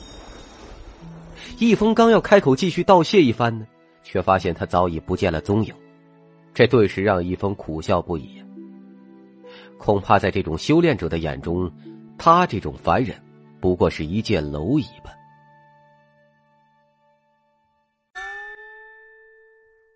第二百五十集，白衣女子离开之后，易峰继续踏上了行程。不过刚才的事情还是给易峰提了个醒儿。在这种大山中赶路确实很危险的，因为谁也无法预料后面会碰到一些什么东西。但是依旧没有让易峰放弃走这条路。在他看来，穷凶恶极的人类可比野兽要危险多了。啊，当然，多做一些准备还是很有必要的。所以在赶路的过程中，易峰通过系统给他的医药知识，会专门留意一些草药。这个是墨鱼草，带着剧毒。还有这个白枯叶，传闻一滴汁液可以麻痹十头大象啊！易峰蹲在地上，小心翼翼的采集着草药，又从空间之界中找出一只碗，将这些药草全部都磨成了汁儿，一滴一滴的倒到了小瓶子里面。采半瓶，保险起见，还是弄满一瓶比较好啊！接下来的两三天，易峰赶路的同时，都在为这个目标而努力着。当然，其他的准备他也没少干，用小刀将竹子削出了很多银针大小的剑枝，又弄来了一个差不多大小的芦苇杆杆，毒箭一吹，顿时飞了出去，一只攻击他的小豹子瞬间就倒在了地面上。哎呀，真棒啊！一峰很满意他自己的杰作。时间这一过，便是大半个月。易峰已经完全深入了十万大山。好在这一路都有惊无险。就在这时，远处的天边忽然传来了一声爆响，闪出无数道火光，一闪一闪的。易峰皱起了眉头：“是打雷吗？”看着这一闪一闪的光芒，易峰这样想到。不过，易峰也并没有在乎。毕竟这动静看起来离他还很远很远。可就在他准备继续赶路的时候，猛然发现远处的天上有什么东西朝着他砸了过来，速度之快，就跟他们陨石砸过来似的。这，不，好像是一个人影。易峰瞪大了眼睛，可正当他惊骇中，却有更可怕的发现：这道人影正朝他这边砸了过来。我干呐！易峰大骂一声，是拔腿就跑啊！他刚跑没几步，那人影就轰然落地。附近不少的树木在巨大冲击力下被砸的是拦腰截断，而易峰也被这力量给震倒在地面。我尼玛！易峰从地面上爬起来，嘴中吐出了一口泥巴。顿时发现前面的大坑里面砸落着一道人影。走近一看，易峰顿时一惊，这个人不是那天从天上飞过来帮他砍死那只狮子的女修炼者吗？到底是什么东西，居然将这么厉害的修炼者给打成了这样？这山里面不会真的有恐怖的东西吧？一峰感到一阵后怕呀，不过也心知救人要紧。将那白衣女子从地上翻起来，这才露出了她那张精致的面孔。不过此刻的她气息很微弱，在强大的攻击下早就变得衣衫褴褛。一块块白皙的皮肤暴露在外，尤其是那双大长腿，更是让易峰眼珠子直瞪啊！呃，非礼勿视，非礼勿视，非礼勿视，救人要紧。易峰双手合十，甩掉心中的杂念，他就认真的帮女子查看伤势。毕竟这种重伤的人要救治起来，易峰还是略懂一些的。要动他之前，必须要确认伤势，不然的话很容易造成二次伤害。于是，易峰先是从女子的手臂开始，他轻轻的捏着，呃，还好，这骨骼都还好。随后，易峰又抬起他那双大长腿，从脚板到大腿，也用同样的办法检查着，也还好。易峰又将目光看向女子胸部，那里明显有过受撞击的痕迹，于是用手掌检查着他的肋骨，这里好像有些不太对劲呢。易峰认真的呢喃着，但是不敢确定，而只好再三检查着。毕竟这玩意儿可不是开玩笑的，断裂肋骨一个弄不好，可是会刺破体内器官的。一时间，易峰反复摸着。可就在这时，白衣女子闭着的美眸猛然张开了，身上一股杀意顿时弥漫而出，朝易峰覆盖而来。啊！你居然醒了！易峰看到他张开双眼，顿时惊呼了一声，暗道这女子生命力可真强啊。随后郑重的提醒说：“你别动，我帮你检查伤势。”说完，易峰闭目，手掌依旧在摸着女子肋骨。我要杀了你！白衣女子顿时冷光直冒，嘴中传出冰冷的声音。也是万万没有想到啊，这个人类居然趁他不备占他的便宜。更可气的是，此人在他醒了之后，居然还堂而皇之的继续摸着。而他刚准备攻击，胸口便是一闷，嘴中一口鲜血吐了出来。易峰连忙问：“哎，你怎么样了？”就要扶住白衣女子，可白衣女子却甩开易峰的手臂，冷冷的喝道：“你给我滚开！”哎，你这人怎么回事啊？我说了是帮你检查伤势，被这样一喝，易峰心中顿时不高兴了。啊，虽然的确容易引起误会，但是并不会医，这可是常识。哪个更重要？难道没有一点逼数吗？白衣女子脸色依旧冰冷的喝道：“用不着你管。”易峰皱起眉头问：“真不用？”滚！白衣女子冰冷的喝着，眼中透着浓浓的厌恶。行，得了，好心没好报，易峰也懒得管了，便直接收拾东西离开了。对于易峰的离开，白衣女子看都没看一眼呢，紧咬着贝齿，强撑着伤势让自己站立起来。可是刚撑起一点儿，便又无力的坐了回去。查看了一下自己体内的伤势，前所未有的重啊！